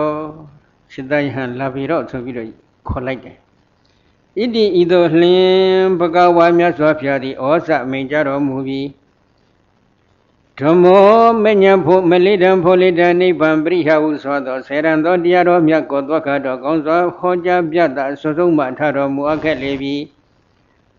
ပြမစရိယံသာသနာတော်၌ကျင့်သင်ကျင့်တိုက်ကျင့်သင်ကြည်တိုက်သည့်သာသနာပြမစရိယမက်ကပြမစရိယကိုသမ္မကောင်းဖို့မှန်ကန်စွာဒုက္ခတသန္တရာဝဆရာဒုက္ခဤအန္တကရိယာယအဆုံးပိုင်းချက်ကိုပြုခြင်းငါစရအကျဉ်းချမ်းကျုပ်ကိုပွားများအထောက်ပါ ဣတိဤသို့လျင်ပကဝါမြတ်စွာဘုရားသည်ဩဇာမင်ကြတော်မူလိုက်လေပြီမေလေးပါဖို့လေးပါနိဗ္ဗာန်ပရိယလို့ခေါ်ဆိုအပ်တဲ့ဆရံတော်တရားတော်မြတ်ကိုငါဖျားအစလည်းအစုံသုံးပါအစုံကောင်းခြင်းကုန်နှင့်ပြီးပြီးစုံစုံကြကြနတ်နဟောကြားပြတာဆွဆုံးမှထတော်မူပါတယ်ဒါကြောင့်သန္တရာဝဆင်းရဲဒုက္ခရဲ့အဆုံးအပိုင်ချက်ကိုပြုလို့နိုင်ဖို့ရန်အတွက် ကောင်းမွန်စွာဒီသာသနာပြမစရိယမက်ကပြမစရိယခေါ်တဲ့ကျင့်စဉ်တွေကိုသင်္ချေသစနစ်တကျအကျင့်ကြံကြုတ်ကိုပွားများအထောက်ပါလို့ဒီလိုဘုရားရှင်အမိန့်ရှိလိုက်ပါတယ်အဲ့တော့ဒီနေရာမှာသာသနာပြမစရိယနဲ့မက်ကပြမစရိယအကြောင်းလေးဘုန်းကြီးနည်းနည်းပြောမယ်နော်ဘုန်းကြီးတို့အရှင်ကုဏ္ဏညမထေကသစ္စာလေးပါးကိုထွထွင်းသိတယ်ဒါကတော့ခုတရားနာပြီးလို့တခါကြီးတွေလည်းသဘောပေါက်လောက်ပါပြီသစ္စာလေးပါးထွထွင်းသိမြင်အတွက် ရှေးဥစွာယောဂဝဆရပုဂ္ဂိုလ်ဒီကဘာလို့ရသလဲဆိုတော့မဂ္ဂင်ရှင်ပါကျင့်စဉ်တရားကိုကျင့်ရပါတယ်နော်မဂ္ဂင်ရှင်ပါကျင့်စဉ်တရားကိုကျင့်တဲ့အပိုင်းမှာမဂ္ဂင်ရှင်ပါကသိက္ခာ300အနေနဲ့ခေါ်တန်းချလိုက်တော့သီလကျင့်စဉ်သမာဓိကျင့်စဉ်ပညာကျင့်စဉ်ဆိုပြီးကျင့်စဉ်ဘယ်နှခုရှိလဲ3ခုအဲ့ဒီကျင့်စဉ်3ခုကဘုန်းကြီးပြောခဲ့တဲ့အတိုင်းပဲသမထဘိုင်းမှာလည်း မဂ်ခင်၈ပါးဝိပဿနာဘိုင်းမှာလည်းမဂ်ခင်၈ပါးအရိယာဘုံညာစိုက်တဲ့အချိန်ခါမှာလည်းအရိယာမညာဘုံညာစိုက်တဲ့အချိန်ခါမှာလည်းမဂ်ခင်၈ပါးဆိုပြီး၃ဆင့်ရှိတယ်အဲ့ဒီမှာသမထဘိုင်းမဂ်ခင်၈ပါးဝိပဿနာဘိုင်းမဂ်ခင်၈ပါးကိုသာသနာပြမစရိယာလို့ခေါ်ပါတယ်အရိယာမညာအခိုက်ဖြစ်ပေါ်သွားတဲ့မဂ်ခင်၈ပါးကိုတော့မဂ္ဂပြမစရိယာလို့ခေါ်တယ် အရိယာမဉ္ဇဉ်အခိုက်ဖြစ်ပေါ်သွားတဲ့မက္ကဗြဟ္မစရိယကလောကုတ္တရာတရားဖြစ်တယ်လောကုတ္တရာသစ္စာဖြစ်ပါတယ်လောကုတ္တရာအရိယာမတရားတို့ရဲ့ဓမ္မတာကတစ်ကြိမ်ပဲဖြစ်တယ်သောတပတ္တိမဉ္ဇဉ်ဆိုတစ်ကြိမ်ပဲဖြစ်တယ်နောက်ထပ်ထပ်မဖြစ်ဘူးသကာရဂမိမဉ္ဇဉ်ကလည်းတစ်ကြိမ်ပဲဖြစ်တယ်နောက်ထပ်ထပ်မဖြစ်ဘူးအနာဂမိမဉ္ဇဉ်ကလည်းတစ်ကြိမ်ပဲဖြစ်တယ်နောက်ထပ်ထပ်မဖြစ်ဘူးအရဟတမဉ္ဇဉ်ကလည်းတစ်ကြိမ်ပဲဖြစ်တယ်နောက်ထပ်ထပ်မဖြစ်ဘူး တစ်ချိန်ဖြစ်ရင်သူ့လုပ်ငန်းကိစ္စပြီးစီးသွားတယ်ဒါကြောင့်တစ်ချိန်ပဲဖြစ်တယ်ဒီတော့တစ်ချိန်နဲ့ဖြစ်တဲ့တရားကိုပွားလို့ရမလားမရဘူးပွားတယ်ဆိုတာကများအောင်လုပ်တာပဲများအောင်လုပ်တာပဲမက်ကင်ကိုများအောင်လုပ်ရမလားဆိုတော့သမထပိုင်းမက်ကင်၈ပါးနဲ့ဝိပဿနာပိုင်းမက်ကင်၈ပါးအဲ့ဒီမက်ကင်နှမျိုးကိုတော့သာသနာပြမစရိယာလို့ခေါ်ပါတယ်သာသနာပြမစရိယာခေါ်တဲ့ဒီမက်ကင်၈ပါးကျင့်စဉ်တရားတွေကို မေဃဗြဟ္မစရိယလို့ခေါ်ဆိုအပ်တဲ့လောကုတ္တရာအရိယာမညာရရှိရေးအတွက်မင်းစေတကြည်ကြံချက်ကိုပွားများအထုတ်ပါပွားများအထုတ်ခဲ့ရင်ဒီမက်ကသာသနာဗြဟ္မစရိယမက်ကဗြဟ္မစရိယဆိုတဲ့ဒီကျင့်စဉ်တွေကသမ္မာဒုက္ခတအန္တကိရိယာယသံဃာဝဆင်းဒုက္ခရဲ့အဆုံးအပိုင်းချက်ကိုကောင်းမွန်စွာပြုလုပ်ပေးနိုင်တဲ့စွမ်းအားရှိပါတယ်အဲ့ဒီစွမ်းအားရှိနေတဲ့ အာရဏမြမစရိယမက်ကမြမစရိယအကျင့်စဉ်တွေကိုသင်္ချေတာကြည်ကြံကြုတ်ကိုပွားများအထုတ်ပါဆိုပြီးတော့ဘုရားရှင်ကဒီလိုအမိန့်ရှိလိုက်တယ်အဲ့ဒီလိုအမိန့်ရှိလိုက်သည်နဲ့တပြိုင်တည်းထဲဘာဖြစ်လဲသာဝတ္တအသမတောဥပတံပတအဟောတိသာဝထိုစကားတော်သည်ပင်လျင်တတ္တအာယသမတော်တို့အရှင်ကုဏိညမထေအဖို့ဥပတံပဒာယဟံပစင်အဖြစ်သည်ဟောသည်ထင်ရှားဖြစ်ပေါ်တော်မူခဲ့လေပြီဘုရားရှင်ဒီလိုမိန့်ကြားတော်မူလိုက်သည်နှင့်ဒီပြိုင်တည်းထဲ ပရိက္ခရာရှင်ပတ်ဆင်မြန်းထပ်ပြီးတဲ့ဝါ60ရာပြီးဖြစ်တဲ့မထေကြီးကဲ့သို့ယဟန်အဖြစ်သို့ချက်ချင်းရောက်ရှိသွားတော်မူပါတယ်နော်ဒုတိယနေ့မှာအရှင်ဝဘ္ပမထေဝါဇုလပိကျော်တရက်ဝါဇုလပိကျော်2ရက်မှာအရှင်ဗန္ဓိယမထေဝါဇုလပိကျော်3ရက်မှာအရှင်မဟာနာမမထေဝါဇုလပိကျော်4ရက်မှာအရှင်အတ္တစီမထေတို့လည်းအတိအတိယဟန်အဖြစ်သို့ အဲ့ဒီဘေကုယဟန်အဖြစ်လို့ခေါ်ပါတယ်အဲ့ဒီဘေကုယဟန်အဖြစ်သို့ရောက်ရှိသွားတော်မူကြပါတယ်နော်အဲ့ဒီလိုရောက်ရှိသွားပြီးတော့ဝါဇုလပိကျော်9ရက်နေ့သို့ရောက်လာပြီရောက်လာတော့သူတို့ရဲ့ဝိပဿနာကျင့်နေတဲ့ရက်ကိုပြန်ရည်တွက်ကြည့်လိုက်တော့ဘယ်နည်းရှိသွားလဲ9ရက်ဖြစ်သွားပြီနော်ဝါဇုလပြည့်ကြီးကနိုင်စပြီးတော့ဝါဇုလပြည့်ကျော်9ရက်နေ့အထိဝိပဿနာဘာဝနာကမ္မထန်တွေကိုစနစ်တကျကြည်ကြံကြုတ်ကိုပွားများအထုတ်နေပါတယ် အထုတ်နေလိုက်တော့ထုံပုဂ္ဂိုလ်တို့ရဲ့ဉာဏ်ကိုမြတ်စွာဘုရားကလှမ်းမြော်ကြည့်လိုက်တော့ဒီနေ့တော့ငါဘုရားရှင်သည်အနတ္တလက္ခဏာသုတ်တံဒေသနာတော်ကိုဟောကြားပြတာအစိုးဆုံးမှပေးမယ်ဆိုရင်ဒီပိစ္ဆဝေကြီးငါ့ကိုအမှုရှိနေတဲ့နတ်မြမာတွေဟာအချို့အချို့ပိစ္ဆဝဂင်၅ဦးကတော့အရတ္တဖို့စိုက်တော်မယ်ဆိုတာမြတ်စွာဘုရားသိမြင်တော်မူပါတယ်နော် အဲ့ဒီလိုသိမြင်တော်မူတဲ့အတွက်ဝါဇုလပြည့်ကျော်9ရက်နေ့ညနေပိုင်းရောက်တော့မြတ်စွာဘုရားပိစ္ဆဝဂင်၅ဦးအမှုရှိတဲ့နတ်မြမာတွေကိုအနတ္တလက္ခဏာသုတ်တံဒေသနာတော်ကိုဟောကြားပြီးတော်မူပါတယ်နော်ဒါကြောင့်ဒီအနတ္တလက္ခဏာသုတ်တံကိုစတင်ပြီးနာကြားကြည့်ကြရအောင်ဧကံသမယဘဂဝါဗာရဏတိယံဝိဟရတိဣတိပတနေမိဂရာယေဧကံသမယအခါတပတ်နှင့်ဘဂဝါဘုန်းတော်၆ပါးသခင်ဘုရားရှင်သည် ဗာရဏတိယဗာရဏတိမြို့၏အနိ၌ဣတိပတနေရှိကကေဟောင်းရတဲ့သူတော်ကောင်းတို့ကောင်းကင်မှသက်စင်ရာကောင်းကင်သို့ပြန်တက်ရာဖြစ်ခြင်းကြောင့်ဣတိပတနာအမိယာသောမိဂရာယေသားတို့ကိုပြိမဲ့မိယာမိဂရာဝုံတော်ရကုန်း၌ဝိဟရတိသရင်သုံးစံတေတော်မူစေဖြစ်ပေ၏ရာဇဝင်ဆရာကြီးရဲ့ပြောပြချက်ကတော့နော်ဓမ္မစကြာဒေသနာတော်ဟောကြားတော်မူတဲ့နေရာနှင့် အနတ္တလက္ခဏာသုတ်တံဒေသနာတော်ဟောကြားတော်မူတဲ့နေရာနည်းနည်းလေးကွဲပြားတဲ့သဘောတော်ရှိပါတယ်တခါရာဇဝင်ဆိုတာကလည်းအတိအကျမပြောနိုင်လေတော့ဓမ္မစကြာဟောတဲ့နေရာကိုလည်းတချို့ကနှစ်နေရာခွဲပြီးပြောနေတယ်အခုလက်ရှိဇေဒီတော်လေးတစုဓမ္မစကြာဟောကြတော်မူတဲ့နေရာဆိုပြီးအများကအတိမှပြုပြီးတော့ဒီဇေဒီတော်တစုတော့တည်ထားပါတယ်ထိုနေရာမှာပဲအနတ္တလက္ခဏာသုတ်တံကိုလည်းဟောကြားတော်မူတယ်ဆိုတဲ့အဆိုရှိတယ် တချို့ကတော့ခုခုခေတ်ဗမာဘုန်းကြီးကျောင်းတည်ရှိနေတဲ့နေရာကဓမ္မစကြာတရားဒေသနာတော်ဟောကြားတော်မူတဲ့နေရာဇေဒီတော်တည်ထားတဲ့နေရာကအနတ္တလက္ခဏာသုတ်တံဟောကြားတော်မူတဲ့နေရာဆိုပြီးတော့မိဂရာဝံတော်မှာဒီလိုနှစ်နေရာတော့ခွဲပြီးပြောနေကြတယ်။ဘာပဲဖြစ်ဖြစ်ပေါ့။ဒီမိဂရာဝံတော်ရကုံအတွင်းမှာမြတ်စွာဘုရားညနေကျအခါမှာအနတ္တလက္ခဏာသုတ်တံကိုပိဿဝဂ္ဂိငါးဦးအမှုရှိနေတဲ့ ယဟန်တော်တွေနဲ့တကွနတ်မြမပရိသတ်တွေကိုဟောတော်မူတော့မယ်။ဒီတရားနာနေတဲ့ပရိသတ်ကိုလှမ်းကြည့်လိုက်မယ်ဆိုလို့ရှိရင်ဘယ်နှဦးရှိလဲလူသားတွေက၅ဦးပဲ။ခုဒီမှာတရားနာပရိသတ်တွေ၅ဦးတော့မကပါဘူးเนาะဒီတော့အားငယ်စရာသိတော့မရှိပါဘူးဟုတ်တယ်မဟုတ်လားအဲ့ဒီ၅ဦးတဲ့ကနေပြီးတော့မြတ်စွာဘုရား၅ဦးကိုအမှုထားပြီးတော့ဘာအမိန့်ရှိလဲတတရာခောဘဂဝါပိစဝဂိယေဘိက္ခုအမန္တေတိဘိခောတိ တတရာခောထောကနေဘဂဝါဘုံတော်၆ပါးတခင်ဘုရားရှင်သည်ပိစဝဂိယေဘိက္ခုပိစဝဂိယဟန်တော်တို့ကိုဘိခောတိယဟန်တော်တို့ဟု၍အမန္တေတိခေါ်တော်မူလေပြီတရားဟောခြင်းနဲ့အတွက်တရားဟောခံဒီတရားတော်သို့အာယုံစိုက်လာစေရန်ရည်ရွယ်ပြီးတော့ယဟန်တော်ဆိုပြီးတော့ဒီလိုမြတ်စွာဘုရားခေါ်တော်မူလိုက်ပါတယ်အဲ့ဒီခါမှာမစ္ဆဝဂိငါးဦးတို့ကဘာလျှောက်ထားလဲဝတ္တန္တိတိတေဘေခုဘဂဝတောပစ္စအသောတော တေဘေကုသောပစ္စဝဂိယံတော်တို့ကဗဒ္ဒံတေတိအရှင်ဖျားဟု၍ဘဂဝတ္တောဘုံတော်၆ပါးတခင်ဖျားရှင်အပိစ္ဆာသောသုံးတဖန်ပြန်လီ၍ရိုသေးစွာလျှောက်ထားကြလေကုန်ပြီအရှင်ဖျားဆိုပြီးတော့ပြန်ပြီးတော့ထူးတယ်ဆိုပါတော့နော်အဲ့ဒီလိုပြန်ပြီးလျှောက်ထားလိုက်တဲ့အချိန်ခါကျတော့မှဘုရားရှင်ကဘဂဝါဧတတောဇဘဂဝါဘုံတော်၆ပါးတခင်ဘုရားရှင်သည် ဧတံဤအနတ္တလက္ခဏာသုတ်တံတရားဒေသနာတော်မြတ်ကိုဟောစဟောကြားတော်မူခဲ့လေပြီအနတ္တလက္ခဏာသုတ်တံကိုစဟောပြီဘယ်လိုဟောလဲရူပံဘိခဝေအနတ္တဘိခဝေစေတယံတို့ရူပံယုတ်တရားသည်အနတ္တအနတ္တတရားသည်စေတယံတို့ယုတ်တရားသည်အနတ္တဖြစ်တယ်ရူပင်ဇဟိတံဘိခဝေအတ္တအဘဝိဒနိဒံရူပံအဘာဒာယတံဝတေယ ဘိခဝေစေတယံတို့ဣဒံရူပင်ဇဤယုတ်တရားသည်လည်းပဲ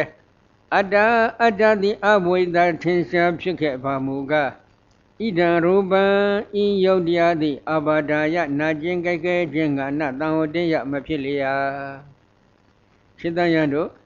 ဒီယုတ်တရားသည်အနတ္တမှန်တယ်အကယ်၍မြတ်ဒီယုတ်တရားကအတ္တဖြစ်ခဲ့မယ်ဆိုရင်ဒီယုတ်တရားသည်နာကျင်ကြိုက်ခဲဖို့ရန်အတွက်ဘယ်လိုမှ မဖြစ်နိုင်ဘူးဘယ်လိုကြောင့်လဲလဗေဒဇရူပေအေယမေရူပံဟောတုအေယမေရူပံမအဟောတိတိမေငါတရားဤရူပံယုတ်တရားသည်အေယဟောတုဤသို့ဖြစ်ပါစေမေငါဤရူပံယုတ်တရားသည်အေယမအဟောတိဤသို့မဖြစ်ပါစေလင့်ဣတိဤသို့လျင်ရူပေယုတ်တရားအပေါ်၌လဗေဒစာတောင်းတသည့်အတန်ရလျာ၏ယုတ်တရားကအတ္တဖြစ်ခဲ့မယ်ဆိုရင် ဒီယုတ်တရားသည်ဤသို့ဖြစ်ပါစေဒီယုတ်တရားသည်ဤသို့မဖြစ်ပါစေနဲ့လို့ဒီလိုတောင်းတခဲ့မယ်ဆိုရင်တောင်းတသည့်အတိုင်းဖြစ်နိုင်ရပါတယ်အတ္တသာမှန်ခဲ့ရင်နော်ယသမသကောဘိခဝေရူပံအနတ္တတသမရူပံအဘာဒာယသဝတ္တိနသလဘတိရူပေဧဝမေရူပံဟောတုဧဝမေရူပံမဟောတိတိဘိခဝေခြေတယံတို့ ယတမသခောအကျင့်အကြောင်းကြောင့်ခရူပံယုတ်တရားသည်အနတ္တအနတ္တတရားသာသည်တတမထို့ကြောင့်ရူပံယုတ်တရားသည်အဘာဒာယနာကျင်ကြိုက်ခဲခြင်းငှသောတတိထင်ရှားဖြစ်ပေါ်၍နေပေ၏ရူပေယုတ်တရားအပေါ်၌မင်းကဤရူပံယုတ်တရားသည်အေဝဟောတုဤသို့သာဖြစ်ပါစေမင်းကဤရူပံယုတ်တရားသည်အေဝမအဟောတိဤသို့မဖြစ်ပါစေလင့်ဣတိဤသို့လျင် နာဇာလဘတိတောင်းတသည့်အတိုင်းယာလိမြနိုင်လျာရှင်သာယတို့ယုတ်တရားသည်အနတ္တမှန်တယ်အကဲ၍ယုတ်တရားအတ္တတာဖြစ်ခဲ့မယ်ဆိုရင်ဤယုတ်တရားသည်ဤသို့ဖြစ်ပါစေဤယုတ်တရားကဤသို့မဖြစ်ပါစေနဲ့လို့တောင်းတမယ်ဆိုရင်တောင်းတသည့်အတိုင်းဖြစ်နိုင်ရတဲ့သဘောရှိတယ်ယခုတော့ကြည့်လိုက်မယ်ဆိုရင်ယုတ်တရားကအနတ္တမှန်နေတယ်ဒါကြောင့်အနတ္တမှန်နေတဲ့အတွက်ကြောင့်ငါရဲ့ယုတ်တရားကဒီလိုဖြစ်ပါစေ ငါရဲ့ယုတ်တရားကဒီလိုမဖြစ်ပါစေနဲ့လို့တောင်းတရင်တောင်းတသည့်အတိုင်းဖြစ်သလားမဖြစ်နိုင်ဘူးဒီချက်ကတော့ဒီလိုကမာကြီးတွေဒကာကြီးတွေသဘောပေါက်အောင်ဘုန်းကြီးလည်းနာဘုထမအနေနဲ့ထပ်တော့ပြောပါမယ်ပြင်းစဝဂီ၅ဦးတို့ကထိုးချင်းခံမှသူတို့ယုတ်တရားကိုသိပြီလားမသိသေးဘူးလားမေးရင်ဘယ်လိုဖြစ်မလဲသိနေပြီပြီသစ္စာလေးပါးကိုသူတို့ကသိခဲ့ပြီးပြီ ဒုက္ခသစ္စာစင်းတဲ့မှာဘာတွေပါနေလဲယုတ်ဝေဒနာတင်ညာသင်္ခါရဝိညာဉ်ခေါ်ဆိုပြီးခန္ဓာ၅ပါးပါနေတယ်ဒီခန္ဓာ၅ပါးကိုသူတို့ကစနစ်တကျထုတ်ထွင်းသိထားပြီးဖြစ်တယ်အဲ့တော့ဒီယုံတရားကိုသိအောင်ဘယ်ဘုံဘယ်ဘက်ဘယ်နည်းလဲအဖြစ်အထုတ်ရမလဲအထုတ်စင်တွေကိုလည်းဘုရားရှင်ကငါရဲ့တိုင်တိုင်လက်ဘူးလက်ကြသင်ပေးနေတဲ့အတွက်သူတို့စနစ်တကျသိနေပြီးပြီနော်အဲ့လိုသိနေပြီးတော့ယုံတရားရှုခွနဲ့ပတ်သက်လို့ဘုရားရှင်ကဘယ်နည်းဟောတယ်လဲဓကမထံအကျဉ်းဤ ဓကမထံအကျဉ်းဤဆိုပြီးနှစ်နည်းပဲဟောထားပါတယ်ဓကမထံအကျဉ်းဤကြရင်လည်းအကျဉ်းဤနဲ့စတင်ရှုနိုင်ပါတယ်အကျဉ်းဤကြရင်လည်းအကျဉ်းဤနဲ့စတင်ရှုနိုင်ပါတယ်သို့တော့ဂိဉ္တုကောပမသုတ်တံမှာတော့ယန္တာမထေမြတ်ကြီးတစ်ပါးကဓကမထံကိုအကျဉ်းဤအကျဉ်းဤနှစ်နည်းလုံးနဲ့ရှုပတ်သုတ်တော်မူတဲ့ထုံးဟောင်းတစ်ခုလည်းထင်ရှားမြတ်စွာဘုရားဟောထားတာရှိပါတယ်နော်ဒါကြောင့် ဓကမထံအကျဉ်းဤနဲ့ပဲဖြစ်ဖြစ်အကျဉ်းဤနဲ့ပဲဖြစ်ဖြစ်နှစ်နည်းလုံးနဲ့ပဲဖြစ်ဖြစ်ဒါဓကမထံကိုစရှုရမယ်ဓာကြီးလေးပါရှိတယ်ပထဝီဓာတ်အဘောဓာတ်ဒီဇောဓာတ်ဝါယောဓာတ်ပထဝီဓာတ်ကမာကျန်လေးပြောချောဖို့သဘောတရားလက္ခဏာ6ခုအဘောဓကယိုစီဖွဲ့စည်းနှစ်ခုတေဇောဓကပူဝေးနှစ်ခုဝါယောဓကထောက်တွန်းနှစ်ခုဆိုပြီးသဘောတရား12ခုရှိတယ် အဲ့ဒီ12ခုကိုကြည်ဆုံးကောင်းဆုံးမြင်အောင်ရှုနိုင်တဲ့ယောဂီပုဂ္ဂိုလ်ကဒီဓာတ်လေးပါးဖြင့်တမာတိကိုဆက်လက်ထထောင်လိုက်တဲ့အခါခန္ဓာအိမ်ကြီးကတလောကဘုန်းကြီးပြောခဲ့သလိုအကြည်တုံးအကြည်ခဲကြီးရေခဲတုံးဖန်တုံးမှန်တုံးလို့ကြည်နေတဲ့အတုံးခဲကြီးအဖြစ်တွေ့ပါအဲ့ဒီအတုံးခဲကြီးမှာအာကာသဓာတ်ကိုမြင်အောင်ရှုနိုင်ခဲ့ရင်ကလအမှုန်လေးတွေသွားတွေ့တယ်ကလတကုတ်တကုတ်ကိုဓာတ်ခွဲလိုက်ရင်ပထဝီဘောတိသောဝါယောအစင်းနာယတာဩဇာစသည်ဖြင့်သဘောတရားတချို့ကလတ်တွေမှာ၈ခုတချို့ကလတ်တွေမှာဇဝိတပါလင် သက်ဆောင်ဓာတ်ကလေးပါလင်၉ခုတချို့ဓာတ်တွေမှာအကြည်ဓာတ်တို့ဟရိယယုတ်တို့ဘာဝယုတ်တို့ပါခဲ့မယ်ဆိုရင်10ခုအထိရှိပါတယ်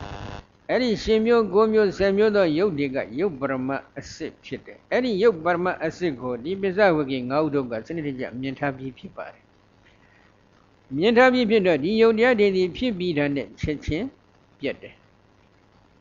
ဖြစ်ချင်းပြန်ချင်းဖြင့်ဓာန်ချက်ဖြင့်လည်းအမျက်မပြတ်ညှဉ်းပန်းနှိမ့်ဆက်ခံရရတယ်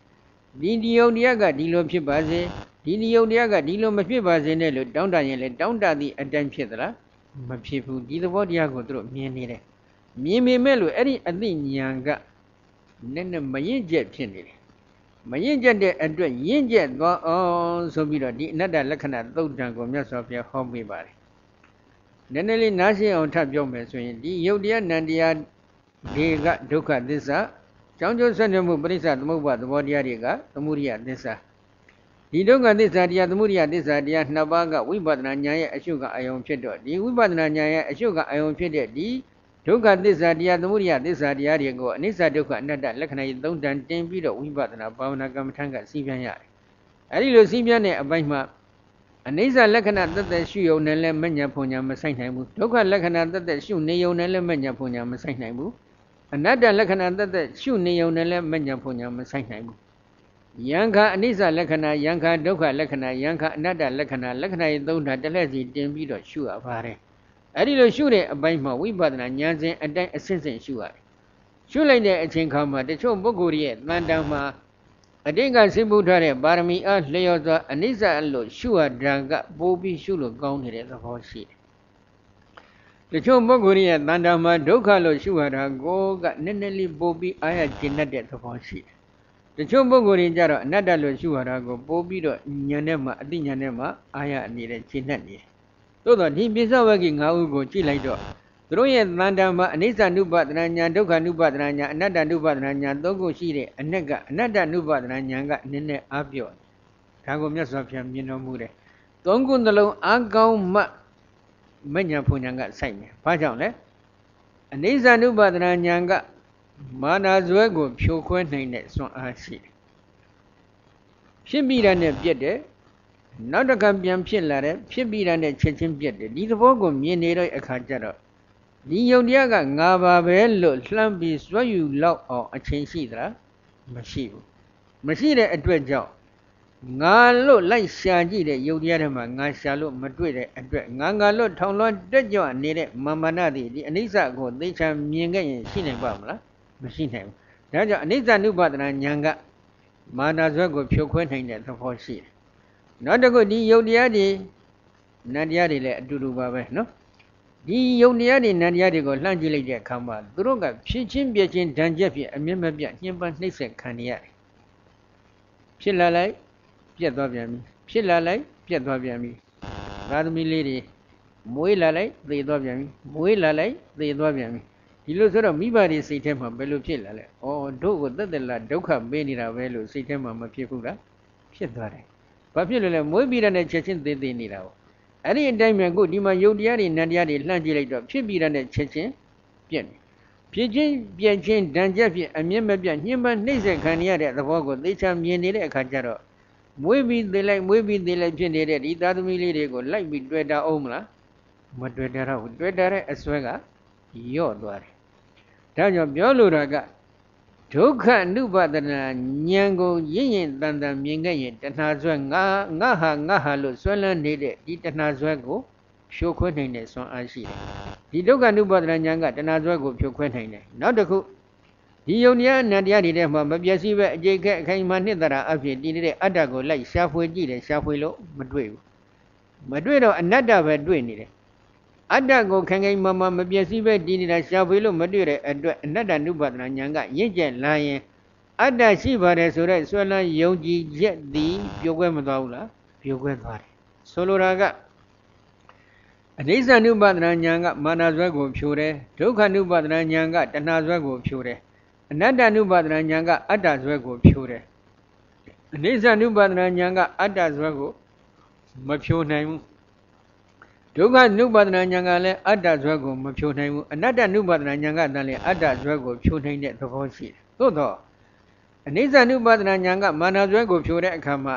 ဒုက္ခ ानु ပဒနာဉာဏ်အနတ္တ ानु ပဒနာဉာဏ်တို့ရဲ့အပိထောက်ပံ့မှုအကူအညီကလိုအပ်တယ်သူတူးတဲ့နဲ့ဖြိုနိုင်တဲ့ဆွမ်းအားမရှိဘူး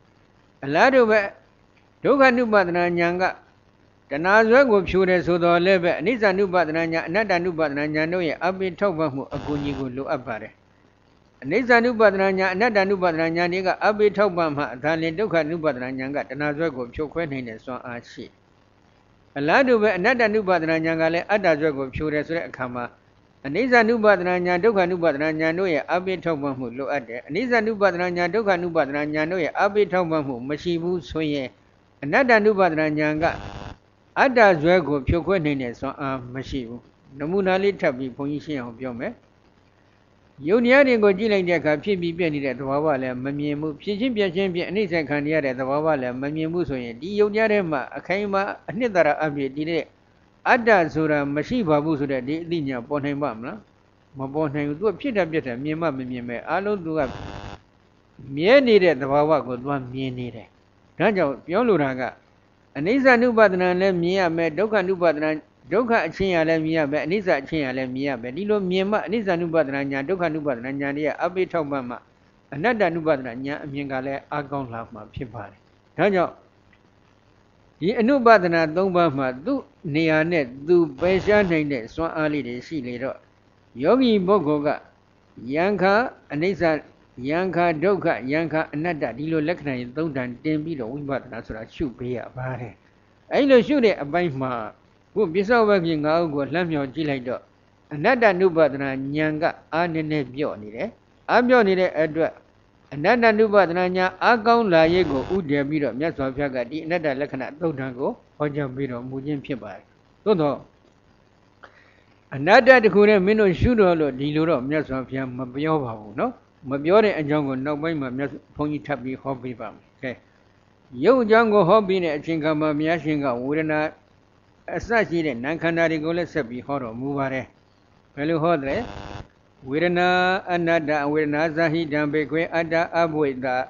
နေတံဝေဒနာအဘာဒယတံဝတိယလဗေဒဇာဝေဒနာယအေဟမေဝေဒနာဟောတုအေဟမေဝေဒနာမဟောတိတိ ဘိခဝေရှင်သာယံတို့ဝေဒနာခံစားမှုဝေဒနာတရားတွေကအနတ္တအနတ္တတရားတွေဣဒံဝေဒနာဤဝေဒနာတရားတွေကအတ္တအတ္တသည်အဘိဓထင်ရှားဖြစ်ခဲ့ပါမူကားဝေဤဣဒံဝေဒနာဤဝေဒနာတရားသည်အာဘာဒယနာကျင်ကြိတ်ခဲခြင်းငါနသတံဝတိယမဖြစ်လျာ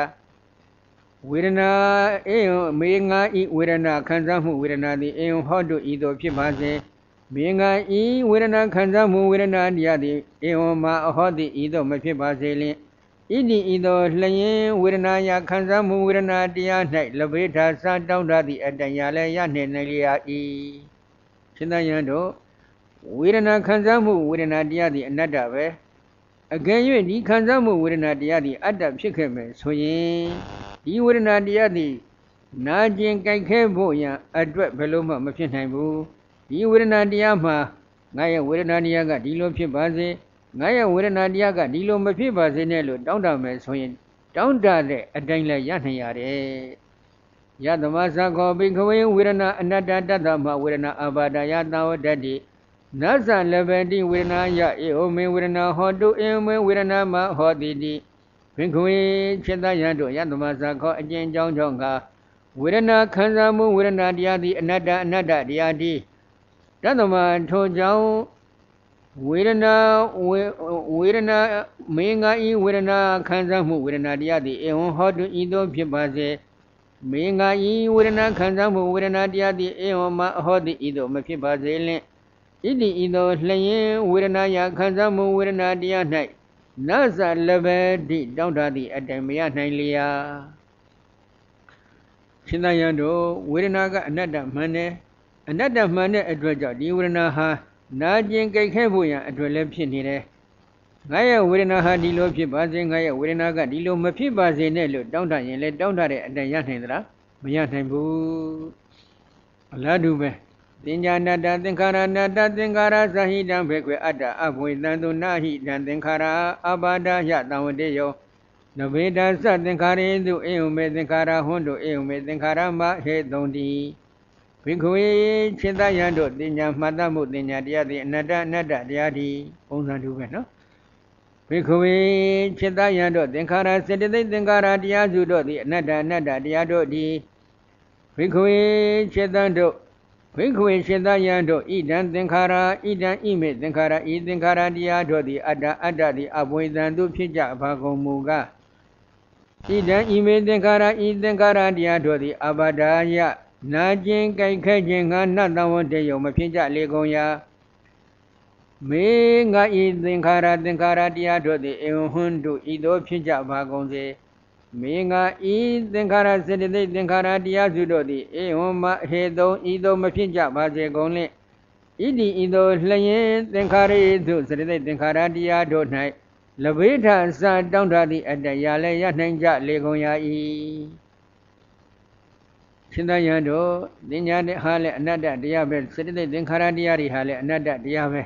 အကယ်၍ဒီသင်ညာတရားဒီစေတသိက်သင်္ခါရတရားတွေဟာအတ္တတာဖြစ်ခဲ့မယ်ဆိုရင် ငါရဲ့ဒီသင်္ခါရတရားတွေဟာနာကျင်ကြိုက်ခဲဖို့ရန်အတွက်ဘယ်လို့မှမဖြစ်နိုင်ဘူးဒီသင်္ခါရတရားတွေဒီသင်ညာတရားတွေဟာဒီလိုဖြစ်ကြပါစေဒီသင်ညာတရားတွေဒီသင်္ခါရတရားတွေကဒီလိုမဖြစ်ကြပါစေနဲ့လို့တောင်းတမယ်ဆိုရင်လေတောင်းတသည့်အတိတ်ဖြစ်နေရတဲ့သဘောရှိပါတယ်ဒါပေမဲ့လို့ယသမသကောဘိခဝေသင်္ခါရအနတ္တတသမသင်္ခါရယအဘာထယတံဝတ္တ န္တိနသလဘတိသင်္ခါရေတုအေဝမေသင်္ခါရဟွန်တုအေဝမေသင်္ခါရမဟေတုံတိဘိခဝေခြေတယံတို့ယသမသခောအကျဉ်းကြောင်းကြောင့်ငါ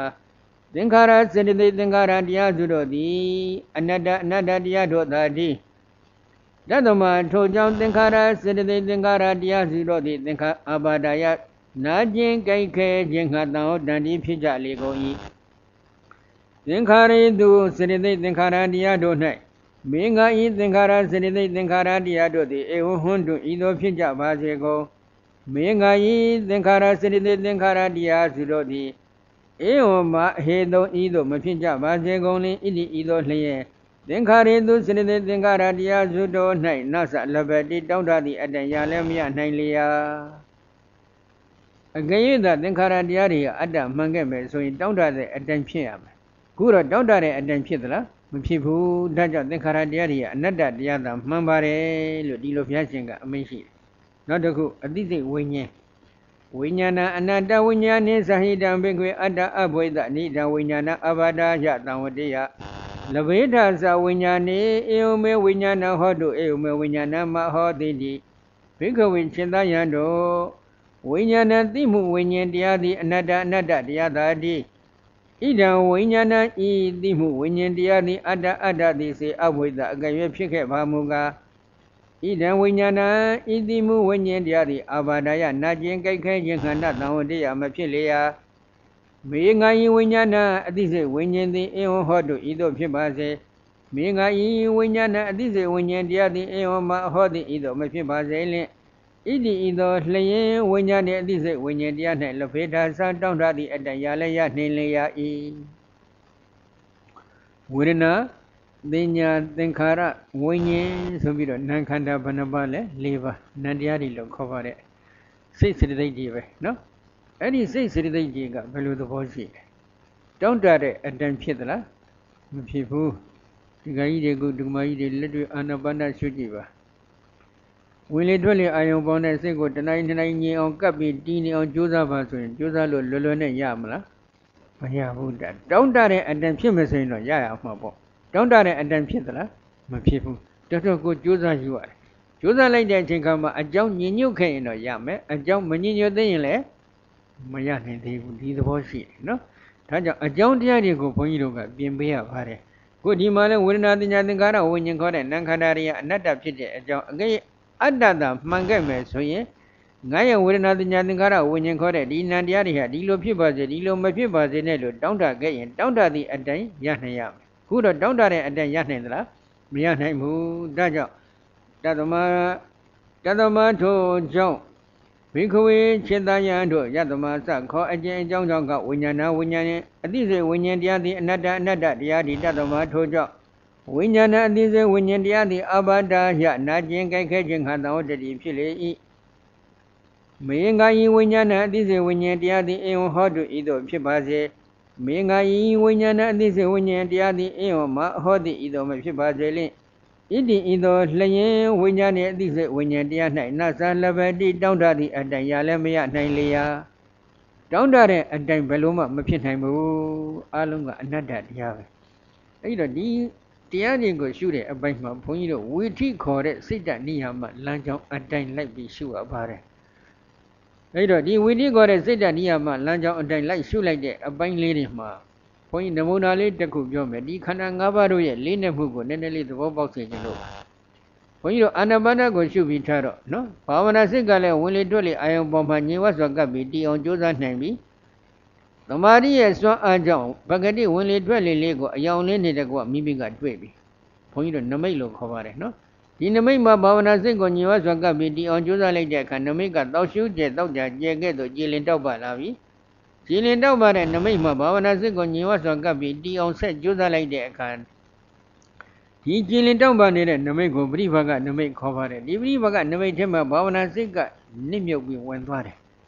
နစ်မြုပ်ပြီးတော့ညင်ဝတ်စွာတဏှာနေနာယစသည်ဖြင့်တည်နေပြီဆိုရင်အဲ့ဒီလိုညင်ဝတ်စွာကတည်နေတဲ့သမာဓိကိုဇန်သမာဓိလို့ခေါ်ပါတယ်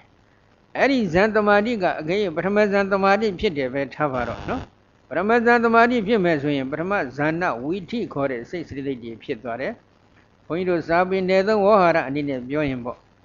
မနောဒရဝဇန်လို့ခေါ်ဆိုအပ်တဲ့အာလပါဏပရိဘကနမိတ်ကိုလှမ်းအာယုယုဆင်ကျင်နေတဲ့စိတ်စရိတ်က7နှလုံးရှိတယ်။ အဲ့ဒီနောက်ကနေပြီးတော့ပရိကံလို့ခေါ်ဆိုအပ်တဲ့ကြည်လင်တောက်ပန်နေတဲ့အာနာပါဏပရိဘကနမိတ်ကိုလှမ်းပြီးတော့သုံးသနေတဲ့ပြုပြင်ပေးနေတဲ့ခိုင်မြဲအောင်စိတ်ငြိမ်ဝအောင်ပြုပြင်ပေးနေတဲ့ပရိကမ္မသမာဓိဇောကတခုဇာနကနေတဲ့ဥပ္ပစရသမာဓိဇောကတခုဇန်နဲ့လျော်ညီတဲ့ရှေ့ဇန်နဲ့ရှေ့ကာမဝဆရဇောဒီနဲ့နောက်ဇန်နဲ့လျော်ညီအောင်ပြုပြင်ပေးနေတဲ့သမာဓိဇောလေးကတခု ဂုတ္တရဘုံလို့ခေါ်ဆိုအပ်တဲ့ဒီကာမအနွယ်ကိုဖြတ်တော့ပေးလိုက်တဲ့နောက်ဆုံးဖြစ်ပေါ်သွားတဲ့ကာမဝဆရဇောစိတ်ကတခုနောက်ဇန်ဇောဆိုပြီးကြသွားတယ်အဲ့ဒီစိတ်တဲ့ခန္ဓာအတိုင်းမှာခန္ဓာ၅ပါးရှိပါတယ်ဒါပြောချင်တာခန္ဓာ၅ပါးရဲ့အဓိပ္ပာယ်ကဘာဖြစ်လဲဆိုတော့ဒီမနောဒနာဝဇ္ဇခေါ်တဲ့စိတ်ကလေးကလည်းဘုန်းကြီးတို့ဟရိယဟုတုကိုမှီဖြစ်တယ်ဟရိယဟုတုဟာဘာလဲဘုန်းကြီးတို့ဓကမထံကိုစနစ်ကြရှုတတ်တဲ့ပုဂ္ဂိုလ်က ဓကမထံအကျဉ်းကြီးရောက်ရင်နှလုံးအိမ်ကိုလှမ်းပြီးတလေးပါစိုက်ကြည့်ပါနှလုံးအိမ်မတွေ့တော့ဘူးကလပ်အပေါင်းလေးတွေရဲ့အပေါင်းစုဖြစ်နေသွားတွေ့တယ်သွားတွေ့လိုက်တဲ့အခါဒီကလတ်ဒီဓာတ်ခွဲရန်ချလိုက်တဲ့အချိန်ကမှနှလုံးအိမ်အတွင်းမှာယုတ်ကလတ်အမျိုးအစားပေါင်း6မျိုးယုတ်အမျိုးအစားပေါင်း54မျိုးအထိရှိပါတယ်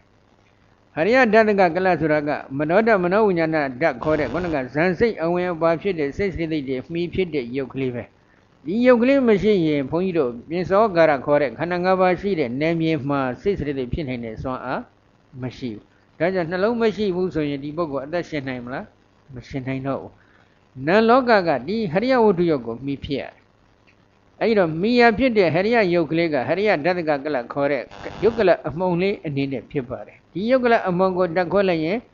ပထဝီယဘောတိဇောဝါယောအစိဏယတာဩဇာဇီဝိတဟရိယယုတ်ဆိုပြီး10ခုရှိတယ် နှလုံးအင်ကိုလက်ကလေးနဲ့သွားထိကြည့်ပါတခုခုနဲ့ထိကြည့်ထိတာကိုသိနိုင်တဲ့စိတ်ကာယဝิญဉ်စိတ်လည်းမှီဖြစ်တယ်ထိတာကိုသိနိုင်တဲ့စိတ်ကကာယအကြည်ဓာတ်ကိုမှီဖြစ်တယ်နှလုံးအိမ်မှာကာယအကြည်ဓာတ်လည်းရှိတယ်သို့တော့ကာယအကြည်ဓာတ်တို့ရဲ့သဘောကတခုတည်းမဖြစ်ဘူးသူလည်းကလတ်အနေနဲ့ဖြစ်တော့အဲ့ဒီယုတ်ကလတ်ကိုကာယအကြည်ဓာတ်ပါဝင်နေတဲ့ယုတ်ကလတ်ကလေးကိုတက်ခွဲကြည့်လိုက်ရင်ပထဝီယဘောတိဇောဝါယောအစိဏယတာဩဇာဇီဝိတကာယအကြည်ဓာတ်ဆိုပြီးသဘောတရား10ခုပဲရှိတယ် တခါဒီနှလုံးအိမ်ကဒါယောက်ျားနှလုံးအိမ်ဒါကမိန်းမနှလုံးအိမ်ပဲအမျိုးသမီးနှလုံးအိမ်အမျိုးသားနှလုံးအိမ်လို့ခွဲခြားသိလောက်တဲ့ဘာဝယုတ်ကလည်းရှိတယ်အဲ့ဒီဘာဝယုတ်ကလည်းဘာဝယုတ်တစ်ခုတည်းမဖြစ်ဘူးသူလည်းယုတ်ကလအနေနဲ့ဖြစ်တော့အဲ့ဒီယုတ်ကလဓာတ်ခွဲရင်လည်းသဘောတရား10ခုပဲအလားတူပဲနှလုံးအိမ်အတွင်းမှာစိတ်ကြောင့်ဖြစ်နေတဲ့စိရိစယုတ်ကလတွေကလည်းပြန့်တယ်အဲ့ဒီကလတွေဓာတ်ခွဲရင်ကလတစ်ခုတစ်ခုမှာပရမီယာဘောဒီဇောဝါယောအစိဏယတာဩဇာဆိုပြီးသဘောတရား10ခုရှိတယ်တခါဒီ ကံကြောင့်ဖြစ်သွားခုနကဟရိယတတကကလကာယတတကကလဘာဝတတကကလတွေကအတိတ်ကကံကြောင့်ဖြစ်တယ်အဲ့ဒီအတိတ်ကကံကြောင့်ဖြစ်တဲ့ယုတ်ကလတိုင်းမှလည်းဒီဇောတတ်ပါတယ်အဲ့ဒီဒီဇောတတ်တိုင်းကလည်းနောက်ထပ်ကလအတိတ်တိထပ်ဖြစ်စေတယ်အဲ့ဒီကလအတိတ်တိတွေကဒီဇောတတ်ကြောင့်ဖြစ်လို့သူကိုဒီဇောတတ်ကိုဥတုလို့လည်းခေါ်တယ်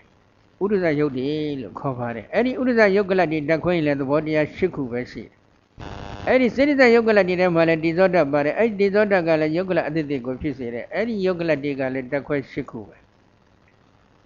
နောက်တစ်ခုဘုန်းကြီးတို့စားလိုက်တဲ့အစာအာဟာရကိုအခြေခံတယ်စားလိုက်တဲ့အစာအာဟာရဆိုတာပကံနဲ့ရှိစဉ်အခါမှာလည်းထမင်းဆိုပေမဲ့လို့တကယ်တော့ထမင်းမဟုတ်ဘူးယုတ်ကလတ်တည်းရဲ့အပေါင်းစုပဲဟင်းဆိုပေမဲ့လို့ဟင်းမဟုတ်ဘူးယုတ်ကလတ်တည်းရဲ့အပေါင်းအစုပဲအဲ့ဒီယုတ်ကလတ်တည်းရဲ့အပေါင်းစုဖြစ်တယ်ဆိုတာကိုတကယ်လက်တွေ့သိကျင်တဲ့ပုဂ္ဂိုလ်ကအဲ့ဒီ အစာအာဟာရလို့ခေါ်ဆိုအပ်တဲ့ထမင်းတို့ဟင်းတို့မှာတည်ရှိတဲ့ဓာလေးဘက်ကိုစတင်သိသိပါသိသိနိုင်တာနဲ့တမာတိကလည်းရှိထားပြီးဖြစ်တဲ့အတွက်ထမင်းဆိုတာမရှိဘူးဟင်းဆိုတာမရှိဘူးရှိတာကယုတ်ကလတ်တည်းရဲ့အပေါင်းစုပဲဆိုတာတွေ့အဲ့ဒီကလတ်တွေတက်ခွက်ခြင်းကလတ်တကုတကုမှာပထဝီယဝတိသောဝါယောအစင်းနာယတာဩဇာဆိုပြီးသဘောတရားလေးတွေရှိခုစီပဲရှိတယ်အဲ့ဒီကလတ်တိုင်းမှာတည်သောတတ်ပေါ်တော့အဲ့ဒီတည်သောတတ်ကနောက်ထပ်ယုတ်ကလတ်အသစ်တွေကိုထပ်ဖြစ်စေတယ် အဲ့လိုဖြစ်စေတဲ့အပိုင်းမှာသူတို့ကတတ်မဲ့လောကဖြစ်တော့တတ်မဲ့လောကမှာ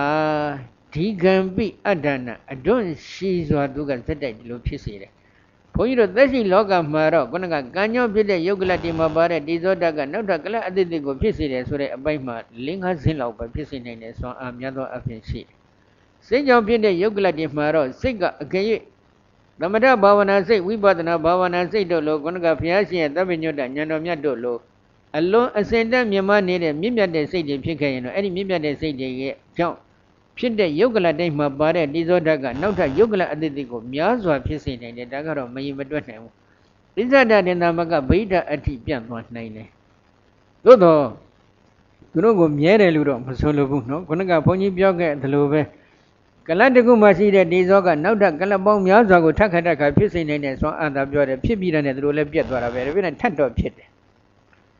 အဲ့ဒီလိုထပ်ထပ်ဖြစ်နေတဲ့ဖြစ်စဉ်ကိုဘုန်းကြီးတို့စာပေနယ်သုံးဝဟာရကရှေ့ရှေ့စတော်ကြီးများကဘယ်လိုအမိန့်ရှိလဲဘုံဆက်ဆက်ရိုက်ခတ်ပြီးဖြစ်သွားတယ်ဆိုပြီးဒီလိုအမိန့်ရှိတာပဲအဲ့ဒီတော့ဒီနေရာမှာဘုန်းကြီးပြောချင်တာကစားလိုက်တဲ့အစာသည်ပကံထဲမှာရှိစဉ်ခါလဲဥဒ္ဒဇယုတ်တို့ရဲ့ယုတ်ကလတ်တရဲ့အပေါင်းစုပဲ တစ်ချိန်တည်းမှာဒီအစာကိုဘလူးမှစားလို့မရပါဘူးနေရာရွှေ့လို့မရဘူးပရမတ်တွေကဖြစ်တဲ့နေရာမှာပြတ်သွားတာနောက်ထပ်ကလပ်အသစ်သစ်တွေဖြစ်တယ်လက်ထက်ရောက်လာတဲ့ထမင်းနဲ့ပကံနဲ့ရောက်ပကံနဲ့ရှိတဲ့ထမင်းမတူဘူးပါဇတ်တဲ့ရောက်သွားတဲ့ထမင်းနဲ့မျိုးချလိုက်လို့အစာကြီးနဲ့ရောက်သွားတဲ့ထမင်းမတူကြပါဘူးကလပ်အသစ်သစ်တွေပဲအဲ့ဒီရုပ်အစာကြီးနဲ့ရောက်သွားတော့တဲ့ဒီရုပ်ကလပ်အသစ်တွေပဲဒါပြင်နဲ့အစာကြီးနဲ့ရောက်သွားရင်ထူးခြားချက်ကအစာအိမ်နဲ့ပတ်ဝန်းကျင်သုံးဖို့ဒီကုလုံးမှာဘုန်းကြီးတို့ ဇိဝိတနဝကကလတ်လို့ခေါ်ဆိုအပ်တဲ့သက်ဆောင်ဓာတ်ပါဝင်နေတဲ့ယုတ်ကလတ်တွေရှိပါတယ်အဲ့ဒီယုတ်ကလတ်တိုင်းမှာတေဇောဓာတ်ပါတော့အဲ့ဒီတေဇောဓာတ်ကိုဘုန်းကြီးတို့ဘာစကဝမ်းမီလို့တချို့ကလတ်တွေမှာပါတဲ့တေဇောဓာတ်ကိုအသုံးပြုပါတယ်အဲ့ဒီပါစကဝမ်းမီကအစာအိမ်ပဝန်းကျင်မှာရောဒီကုလုံးမှာရောအနှံပြရှိပါတယ်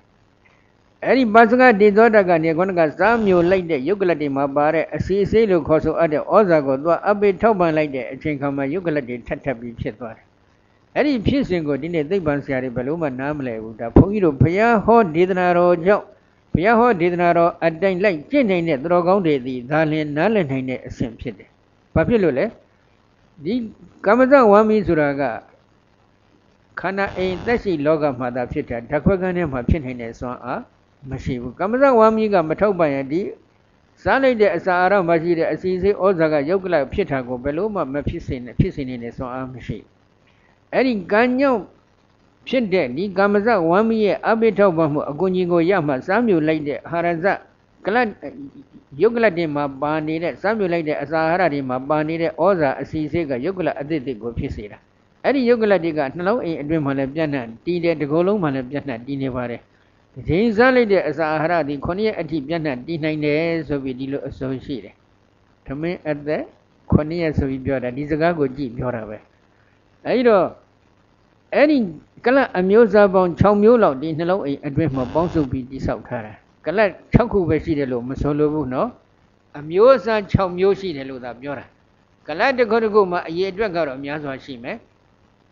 အဲ့ဒီကလတ်တွေက ဓာတ်ခွက်လိုက်တော့ယုတ်သဘောပရမတရားတွေတွေ့မယ်အဲ့ဒီပရမတရားတွေကရူပခန္ဓာခုနကဇာဏံတရားတွေကဝိရိဇင်အတိုင်းဖြစ်ပေါ်သွားတဲ့ဇာဏံတရားတွေကနံတရားတွေအဲ့နံတရားတွေမှာစိတ်တဲ့ခဏတိုင်းမှာဝေဒနာပါတော့ဝေဒနာကဝေဒနာခန္ဓာကြံတဲ့တင်ညာကတင်ညာခန္ဓာကြံစရသိတ်တွေကသင်္ခါရခန္ဓာအသိစိတ်ကဝိညာဉ်နဲ့ခန္ဓာဆိုပြီးစိတ်တဲ့ခဏတိုင်းမှာနံခန္ဓာက၄ပါး မိယဝတ္ထုယုတ်ဟရိယယုတ်ဥဆောင်နေတဲ့ယုတ်တရားတွေကရူပခန္ဓာပေါင်းလိုက်တော့စိတ်တဲ့ခဏတိုင်းမှာခန္ဓာဘယ်နှပါးရှိလဲ၅ပါးပဲယောဂီပုဂ္ဂိုလ်ကအဲ့ဒီလိုခန္ဓာ၅ပါးကိုမြင်နိုင်မှဒီခန္ဓာ၅ပါးတွေဟာအမြဲတမ်းအနိစ္စဖြစ်ပြီးပြည့်နေတယ်ဆိုတာကိုသဘောပေါက်တယ်ခုပိဿဝဂီ၅ခုတော့ကအဲ့ဒီအဆင့်မှာသူတို့ကတမ္မန်သူသိငါသိသူနားလဲငါနားလဲတဲ့စာပေနယ်သုံးအရာနားလဲနေတဲ့ခန္ဓာ၅ပါးသိတဲ့အသိဉာဏ်မျိုးမဟုတ်ပါဘူးသူတို့ကလက်တွေ့သိနေတယ် အဲ့ဒီခန္ဓာ၅ပါးတည်းသိအနိစ္စဖြစ်ပြီးပြည့်နေတဲ့အနိစ္စတရားဆိုတာလည်းသိတယ်ဖြစ်ချင်းပြည့်ချင်းဖြင့်အနိစ္စခံရတဲ့ဒုက္ခတရားတွေဆိုတာလည်းသိတယ်မပြည့်စည်ပဲအကျေအခက်အခိုင်မှာနှစ်သာရအဖြစ်တည်နေတဲ့အတ္တမဟုတ်တဲ့အနတ္တတရားတွေဆိုတာလည်းသူတို့ကသိပြီနော်သိလိုက်တဲ့အချိန်ခါမှာဘုရားရှင်ကသူတို့ကိုဆက်ပြီးမေးခွန်းလေးတွေမေးပါတယ်နော်ဘယ်လိုမေးလဲတံကိမင်းညထဘိခဝေရူပနိစ္စံဝါအနိစ္စံဝါတိဟောဘိခဝေจิตယံတို့ တန်ထိုငါဖျားမေးမဲ့မေကွန်းကိုဒုံမေသင်္ချေသားတို့သည်ကိမင်းညထအတုအောက်မေးမှတ်တင်ယူဆကြပါကုန်သနည်းจิตယံတို့သင်္ချေသားတို့ကိုငါဖျားမေကွန်းတစ်ခုမေးမယ်ငါပြန်မေးမဲ့မေးခွန်းနဲ့ပတ်သက်လို့သင်္ချေသားတို့ဘယ်လိုထင်မြင်ယူဆကြသလဲသင်္ချေသားတို့ယူဆသည့်အတိုင်းဖြစ်ဆိုနိုင်ပါတယ်လို့ဒီလိုခွင့်ပေးတဲ့သဘောပါနော် ရူပံယုတ်တရားသည်နေသံဝနေသလေလောအနိသံဝအနိသလေလောဣတိဤသို့မေတော်မူ၏စိတ္တယံတို့ယုတ်တရားသည်နေသလားအနိသလားဆိုပြီးတော့ဘုရားရှင်ကမေးတယ်အဲ့ဒီခါမှာပိဿဝဂ္ဂိငါးဦးကဘာပြန်ဖြစ်လဲအနိဇံဗန္တိဗန္တိဘုံတော်နေဝန်ထွန်းလင်းတောက်ပါတော်မူပါပေတော်မြတ်စွာဘုရားအနိဇံအနိစ္စတရားပါဗျာယုတ်တရားသည်အနိစ္စပါပဲဆိုပြီးတော့ပြန်ဖြေတယ်ပရမဥဒိထားတာက အနတ္တကိုဥဒိထားတယ် အနတ္တဥဒိထားတဲ့အခါမှာအနတ္တဉာဏ်အမြင်ကသူတို့ရဲ့တန်တမ်းမှရင့်တန်လာပြီဆိုတော့ဘုရားရှင်သိတော့အနတ္တဉာဏ်တစ်ခုတည်းဆက်ပြီးဝိပဿနာရှုနေုံနဲ့မညာဘုံညာမဆိုင်နိုင်ဘူးဆိုတာသိတော်မူတဲ့အတွက်အနိစ္စနုပဒနာညာဒုက္ခနုပဒနာညာတွေကိုလည်းအနတ္တနုပဒနာညာနဲ့အတူတကွပေါင်းစုပြီးရှုစေခြင်းတဲ့ဥတည်ချက်ဖြင့်မြတ်စွာဘုရားကဒီမေကုကိုမင်းနေခြင်းဖြစ်တယ်နော်ဒါတစ်ချက်နောက်တစ်ခု မေးတဲ့မေကွန်းကယုံတရားတိနေဆာလားအနိစ္စလားလို့မေးတယ်ပစ္စဝဂ္ဂိငါးအုပ်ကဘယ်လိုပြန်ဖြေလဲအနိစ္စပါဘုရားလို့ပြန်ဖြေတယ်ဒီတော့သူတို့ဟာယုတ်တရားကိုသိတယ်မသိဘူးလားမေးရင်ဒီကကြီးတွေဒီမကြီးတွေဘယ်လိုဖြေမလဲသိနေပါတယ်နော်ဘာဖြစ်လို့လဲဒီချိန်ခါဒီလောက်အဆင့်ရောက်နေတဲ့ပုဂ္ဂိုလ်တွေကမှုသားပြောပါမလားစဉ်းစားနော်ဒါတကကြီးတွေဒီမကြီးတွေ ဘုရားဟောတဲ့ယုတ်ဒီဘုရားသာသိတယ်တာဝကတွေမသိနိုင်ပါဘူးဆိုပြီးဒီလိုမျက်လုံးပိတ်နေလို့ဘုန်းကြီးကအမုန်းခံပြီးဟောနေရတာပါအတိုက်ခံလောက်တာမဟုတ်ဘူးဒါဘုရားဟောဒေသနာတော်မှာကထင်ရှားရှိတယ်ထင်ရှားရှိတဲ့တရားတွေကပျောက်ကွယ်နေပျောက်ကွယ်နေတဲ့တရားကိုဘုန်းကြီးတို့ဘက်ကပြန်ပြီးမထုတ်ဖော်ဘူးဆိုရင်ဒီတရားဟာပျောက်မြဲပဲပျောက်နေတော့ဘယ်လို့မှပြန်မပေါ်နိုင်တော့ဘူးဒီတော့ဘုရားဟောတဲ့ယုတ်ကဘုရားသာသိတယ်တာဝကတွေမသိနိုင်ဘူးဆိုရင် ခုပိဿဝဂ္ဂင်၅ဥကိုဘုရားကဘာဖြစ်လို့ဒီမေခွန်းနေမေးပြီးအဖြေခိုင်းနေလဲစဉ်းစားကြည့်နော်ဒါကြောင့်ယုတ်တရားသိနေသလားအနိစ္စလားလို့မေးတော့သူတို့ကအနိစ္စလို့ဖြေတယ်အနိစ္စလို့ဖြေတဲ့ပုဂ္ဂိုလ်ရဲ့အသိဉာဏ်မှယုတ်ကိုလည်းသိတယ်ယုတ်တရားဒီဖြစ်ပြီးပြည့်နေတဲ့အနိစ္စတရားပဲဆိုတာလည်းသူတို့မသိဘူးလားသိနေပြီဘယ်ချင်းခါတဲ့ကသိလဲဟိုဘက်ကသောတာပန်မဖြစ်ခင်သောတာပန်ဒီမညာဘုံညာရရှိအတွက်ကျင့်နေစဉ်အချိန်ခါမှာတဲ့ကသူတို့က ခန္ဓာ၅ပါးကိုသိခဲ့ပြီးပြီဒုက္ခသစ္စာကိုသိခဲ့ပြီးပြီသမုဒိယသစ္စာကိုလည်းသိခဲ့ပြီးပြီဒုက္ခသစ္စာသမုဒိယသစ္စာတို့ရဲ့အနိစ္စအချက်ဒုက္ခအချက်အနတ္တအချက်ကိုလည်းသောတာပတိမညာဘုံညာစိုက်နိုင်လောက်သည့်အစဉ်အတန်းအထိသူတို့ကသိခဲ့ပြီးတဲ့ပုဂ္ဂိုလ်တွေဖြစ်တယ်အဲ့ဒီပုဂ္ဂိုလ်တွေကိုခုဘုရားရှင်ကတဖန်ပြန်ပြီးတော့ဒီမေကုန်းကိုမင်းနေခြင်းဖြစ်ပါတယ်နော်နောက်တစ်ခုယံပနာအိသဒုက္ခဝါတံဒုက္ခဝါတိဒုက္ခဗန္တိ ယံအကျဉ်ယုံတရားသည်အနိစ္စံဖြစ်ပြီးပြည့်နေတဲ့အနိစ္စတရားသာတည်းတန်ထိုဖြစ်ဖြစ်ပြီးပြည့်နေတဲ့ယုတ်တရားသည်ဒုက္ခဝဒုက္ခလေလောဒုက္ခဝဒုက္ခလေလောဣတိဤသို့မေတော်မူ၏ကောင်းပြီဖြစ်တဲ့ရန်တို့ယုတ်တရားသည်ဖြစ်ပြီးပြည့်နေတဲ့အနိစ္စတရားမှန်တယ်အနိစ္စတရားမှန်နေတဲ့ဒီယုတ်တရားသည်ဒုက္ခလားဒုက္ခလားလို့မေးကြည့်အဲ့ဒီခါမှလည်းပစ္စဝဂေငါဟုတို့က ဒုက္ခံဗန္တိဗန္တိဘုံတော်နေဝန်ထွန်းလင်းတောက်ပါတော်မူပါပေသောမြတ်စွာဘုရားဒုက္ခံဒုက္ခတရားပါဖျားဖြစ်ပြနှစ်တန်နှိမ့်ဆက်ဒံကြောင့်တရားမဆက်လွန်ဆင်းရဲဤဆိုပြီးတော့တိပိဋကဆိုတော်ကြီးခဏခဏဆုံးမနေပါတယ်နော်ဖြစ်ချင်းပြည့်ချင်းဒံကြက်ဖြင့်အမျက်မပြတ်ညှဉ်းပန်းနှိမ့်ဆက်ခံရတဲ့သဘာဝကြောင့်တို့ဟာဒုက္ခလားဒုက္ခလားဒုက္ခပါဆိုပြီးတော့ပြန်ဖြေတယ် ယံပနာနိစ္စဒုက္ခဝိပရိနာမဓမ္မကလံနုတံသမနုပတိတောဧတံမမဧသောဟမတမေဧသောမေအတ္တတိနောဟေတံဗန္တိယံအကျဉ်ယုံတရားသည်အနိစ္စံဖြစ်ပြီးပြည့်နေတဲ့အနိစ္စတရားသာတိဒုက္ခဖြစ်ခြင်းပြည့်ခြင်းဒဏ်ချက်ဖြင့်အမြဲမပြတ်ညှဉ်းပန်းနှိမ့်ဆက်ခံရတဲ့ဒုက္ခတရားသာတိဝိပရိနာမဓမ္မဖောက်ပြန်ပြည့်စည်တတ်တဲ့ဝိပရိနာမဓမ္မသာတိ တန်ထောအနိစ္စဒုက္ခဝိပရိနာမဓမ္မဖြစ်နေတဲ့ယုတ်တရားကိုဧတံဤယုတ်တရားဒီကမမငါရဲ့ယုတ်တရားဒီဝိသောဤယုတ်တရားဒီကအဟမတ္တမိငါဖြစ်၏ဧသောဤယုတ်တရားဒီကမေငါဤအတ္တဒီအတ္တဟူ၍ဧဝံဤသောလျင်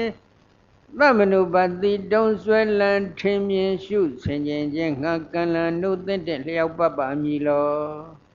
စေတယံတို့ ဒီယုတ်တရားသည်ဖြစ်ပြီးပြည့်နေတဲ့အိသတရားမှန်တယ်ဖြစ်ခြင်းပြည့်ခြင်းဖြင့်အိသခံရတဲ့ဒုက္ခတရားလည်းမှန်တယ်ဖောက်ပြန်ပြည့်စည်တတ်တဲ့ဝိပရိနာမဓမ္မတရားလည်းမှန်တယ်ဖောက်ပြန်ပြည့်စည်တယ်ဆိုတော့ကတော့ဖြစ်ပြီးရင်ဖြစ်တဲ့အတိုင်းနေပါလားဘာဖြစ်လို့သွားပြည့်ရဖြစ်ပြီးတော့သွားပြည့်တယ်ဆိုတော့ तू ကဖောက်ပြန်သွားတယ်လို့မပြောနိုင်ဘူးလားပြောနိုင်ပြောင်းလဲသွားတာနော်အဲ့ဒီလိုပြောင်းလဲနေတဲ့တရားကိုဒီယုတ်တရားတွေငါဟာပဲ ဒီယုတ်တရားကငါပဲဒီယုတ်တရားကငါရဲ့အတ္တပဲလို့ဒီလိုဆွဲလန်းထင်မြင်ရှုဆင်ခြင်ဖို့ရန်အတွက်တင့်တယ်ပါမလားဆိုပြီးတော့မြတ်စွာဘုရားကမေးတော်မူတယ်အဲ့ဒီအချိန်ခါမှာမြစ္ဆဝဂိငါ့တော်ကနောဟိတံဗန္တိဗန္တိဘုံတော်နေဝန်ထုံးလင်းတောက်ပါတော်မူပါပေတော်မြတ်စွာဘုရားဧတံဤကသို့ဆွဲလန်းထင်မြင်ရှုစင်ခြင်းခြင်းကနောဟိမသိမှာမြတ်စွာဘုရားမသိမှာဘူးမြတ်စွာဘုရားဆိုပြီးတော့ပြန်ဖြေတယ် ရုပ်တရားလေးတွေကိုကြည့်လိုက်ပါ ဖြစ်ပြီးတဲ့နဲ့ချက်ချင်းပြက်တယ်မျက်စိတမိတ်လျှက်တပြက်လို့ခေါ်ဆိုအပ်တဲ့လက်ဖြစ်တရက်လို့ခေါ်ဆိုအပ်တဲ့အချိန်ကာလအတွင်းမှာနံတရားတွေကဂရေတသိမကဖြစ်ပြီးပြက်တယ်လို့ဒါစာပေကျမ်းဂန်များမှာဖော်ပြထားတယ်အဲ့ဒါအတိအကျရေတွက်တဲ့စနစ်တော့မဟုတ်ပါဘူးများပြားတယ်ဆိုတာကိုအလွန်လှလင်းမြင်မြန်ကြီးဖြစ်ပြနေတယ်ဆိုတာကိုသဘောပေါက်အောင်ပြောတဲ့စကားသာဖြစ်ပါတယ်ဆိုပြီးတော့ ကျမ်းဂန်များကရှင်းလင်းတင်ပြထားပါတယ်ကဲရှိစေတော့ယုတ်တရားတို့ကနတ်တရားစိတ်တခဏ18ချက်အသက်ရှည်ပါတယ်ဒါကအတိအကျအစမှန်သတ်မှတ်ထားတယ်မျက်စိတမေလျှရပြတစ်စက္ကန့်လက်ဖြစ်တဲ့အတွက်လို့ခေါ်ဆိုအပ်တဲ့အချိန်ကာလအတွင်းမှာနတ်တရားတွေကဂရေတသိန်းဖြစ်တယ်ဆိုရင်ဂရေတသိန်းကို18နဲ့စလိုက်တော့ဂရေ9000ကျော်လောက်ထွက်လာတယ် မျက်စိတမိတ်လျှက်တစ်ပြက်လို့ခေါ်ဆိုအပ်တဲ့အချိန်ကာလလေးကိုဂရေ9000ကျော်ကဖုံးရင်ပုံမဲ့ဆိုရင်ယုတ်တရားတွေဒီတပုံလောက်ပဲတက်တန်ရှိပါတယ်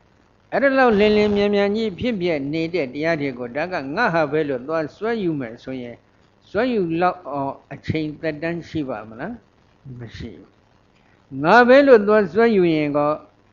စွဲယူလောက်အောင်အချိန်တက်တန်းရှိမလားမရှိတော့ဘူး ငါရဲ့အတ္တလေးပါပဲလို့သွားစွဲယူမယ်ဆိုရင်လည်းစွဲယူလောက်အောင်အချိန်သက်တမ်းရှိမလားမရှိတော့ဘူးအဲ့ဒီသဘာဝကိုမြင်အောင်ဘုရားရှင်ကရှုစေခြင်းပါတယ်နော်ဝိပဿနာရှုတယ်ဆိုတာကအဲ့ဒီလိုအဆင့်အထိရောက်အောင်ရှုရမှာဖြစ်တယ်အဲ့ဒီငါဟာလို့စွဲနေတဲ့အစွဲကိုတဏှာစွဲလို့ခေါ်ပါတယ်ငါလို့စွဲနေတဲ့အစွဲကိုမာနစွဲလို့ခေါ်တယ်ငါရဲ့အတ္တပဲလို့စွဲနေတဲ့အစွဲကိုတော့အတ္တစွဲလို့ခေါ်ပါတယ်တဏှာစွဲ မာနာဇွဲအတ္တဇွဲဒိဋ္ဌိဇွဲဆိုပြီးဒီလိုလဲခေါ်တယ်အတူတူပဲနော်အဲ့တဏှာဇွဲမာနာဇွဲဒိဋ္ဌိဇွဲဒီအစွဲသုံးခုပြုတ်ရေးအတွက်တဏှာဇွဲပြုတ်အောင်ဘာလုပ်ရသလဲဒုက္ခနုပါဒနာကိုတွင်တွင်ရှုပြရတယ်မာနာဇွဲပြုတ်အောင်အနိစ္စနုပါဒနာကိုတွင်တွင်ရှုပြရတယ်အတ္တဇွဲပြုတ်အောင်အနတ္တနုပါဒနာကိုချိန်ဖန်များစွာထက်ခါထက်ခါရှုပြရပါတယ် ဒီချိန်တကရှုအောင်လုပ်နေသူတို့ကသိမတုံ့လှုပ်ဘူးထက်ခါထက်ခါပုတ်ပေးမှမှ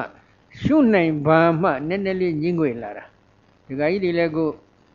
ခန္ဓာငါးပါးအနိစ္စဖြစ်တယ်ဆိုတာနာကြဘူးတာတွေအကျင့်ဘယ်လောက်များမလဲ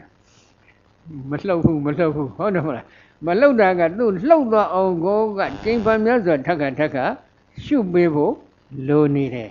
ဒီအချက်ကိုမြတ်စွာဘုရားကသိမြင်တော်မူတယ်ခုပစ္စဝဂေငါးဥတို့ကတော့လှုပ်နေပြီ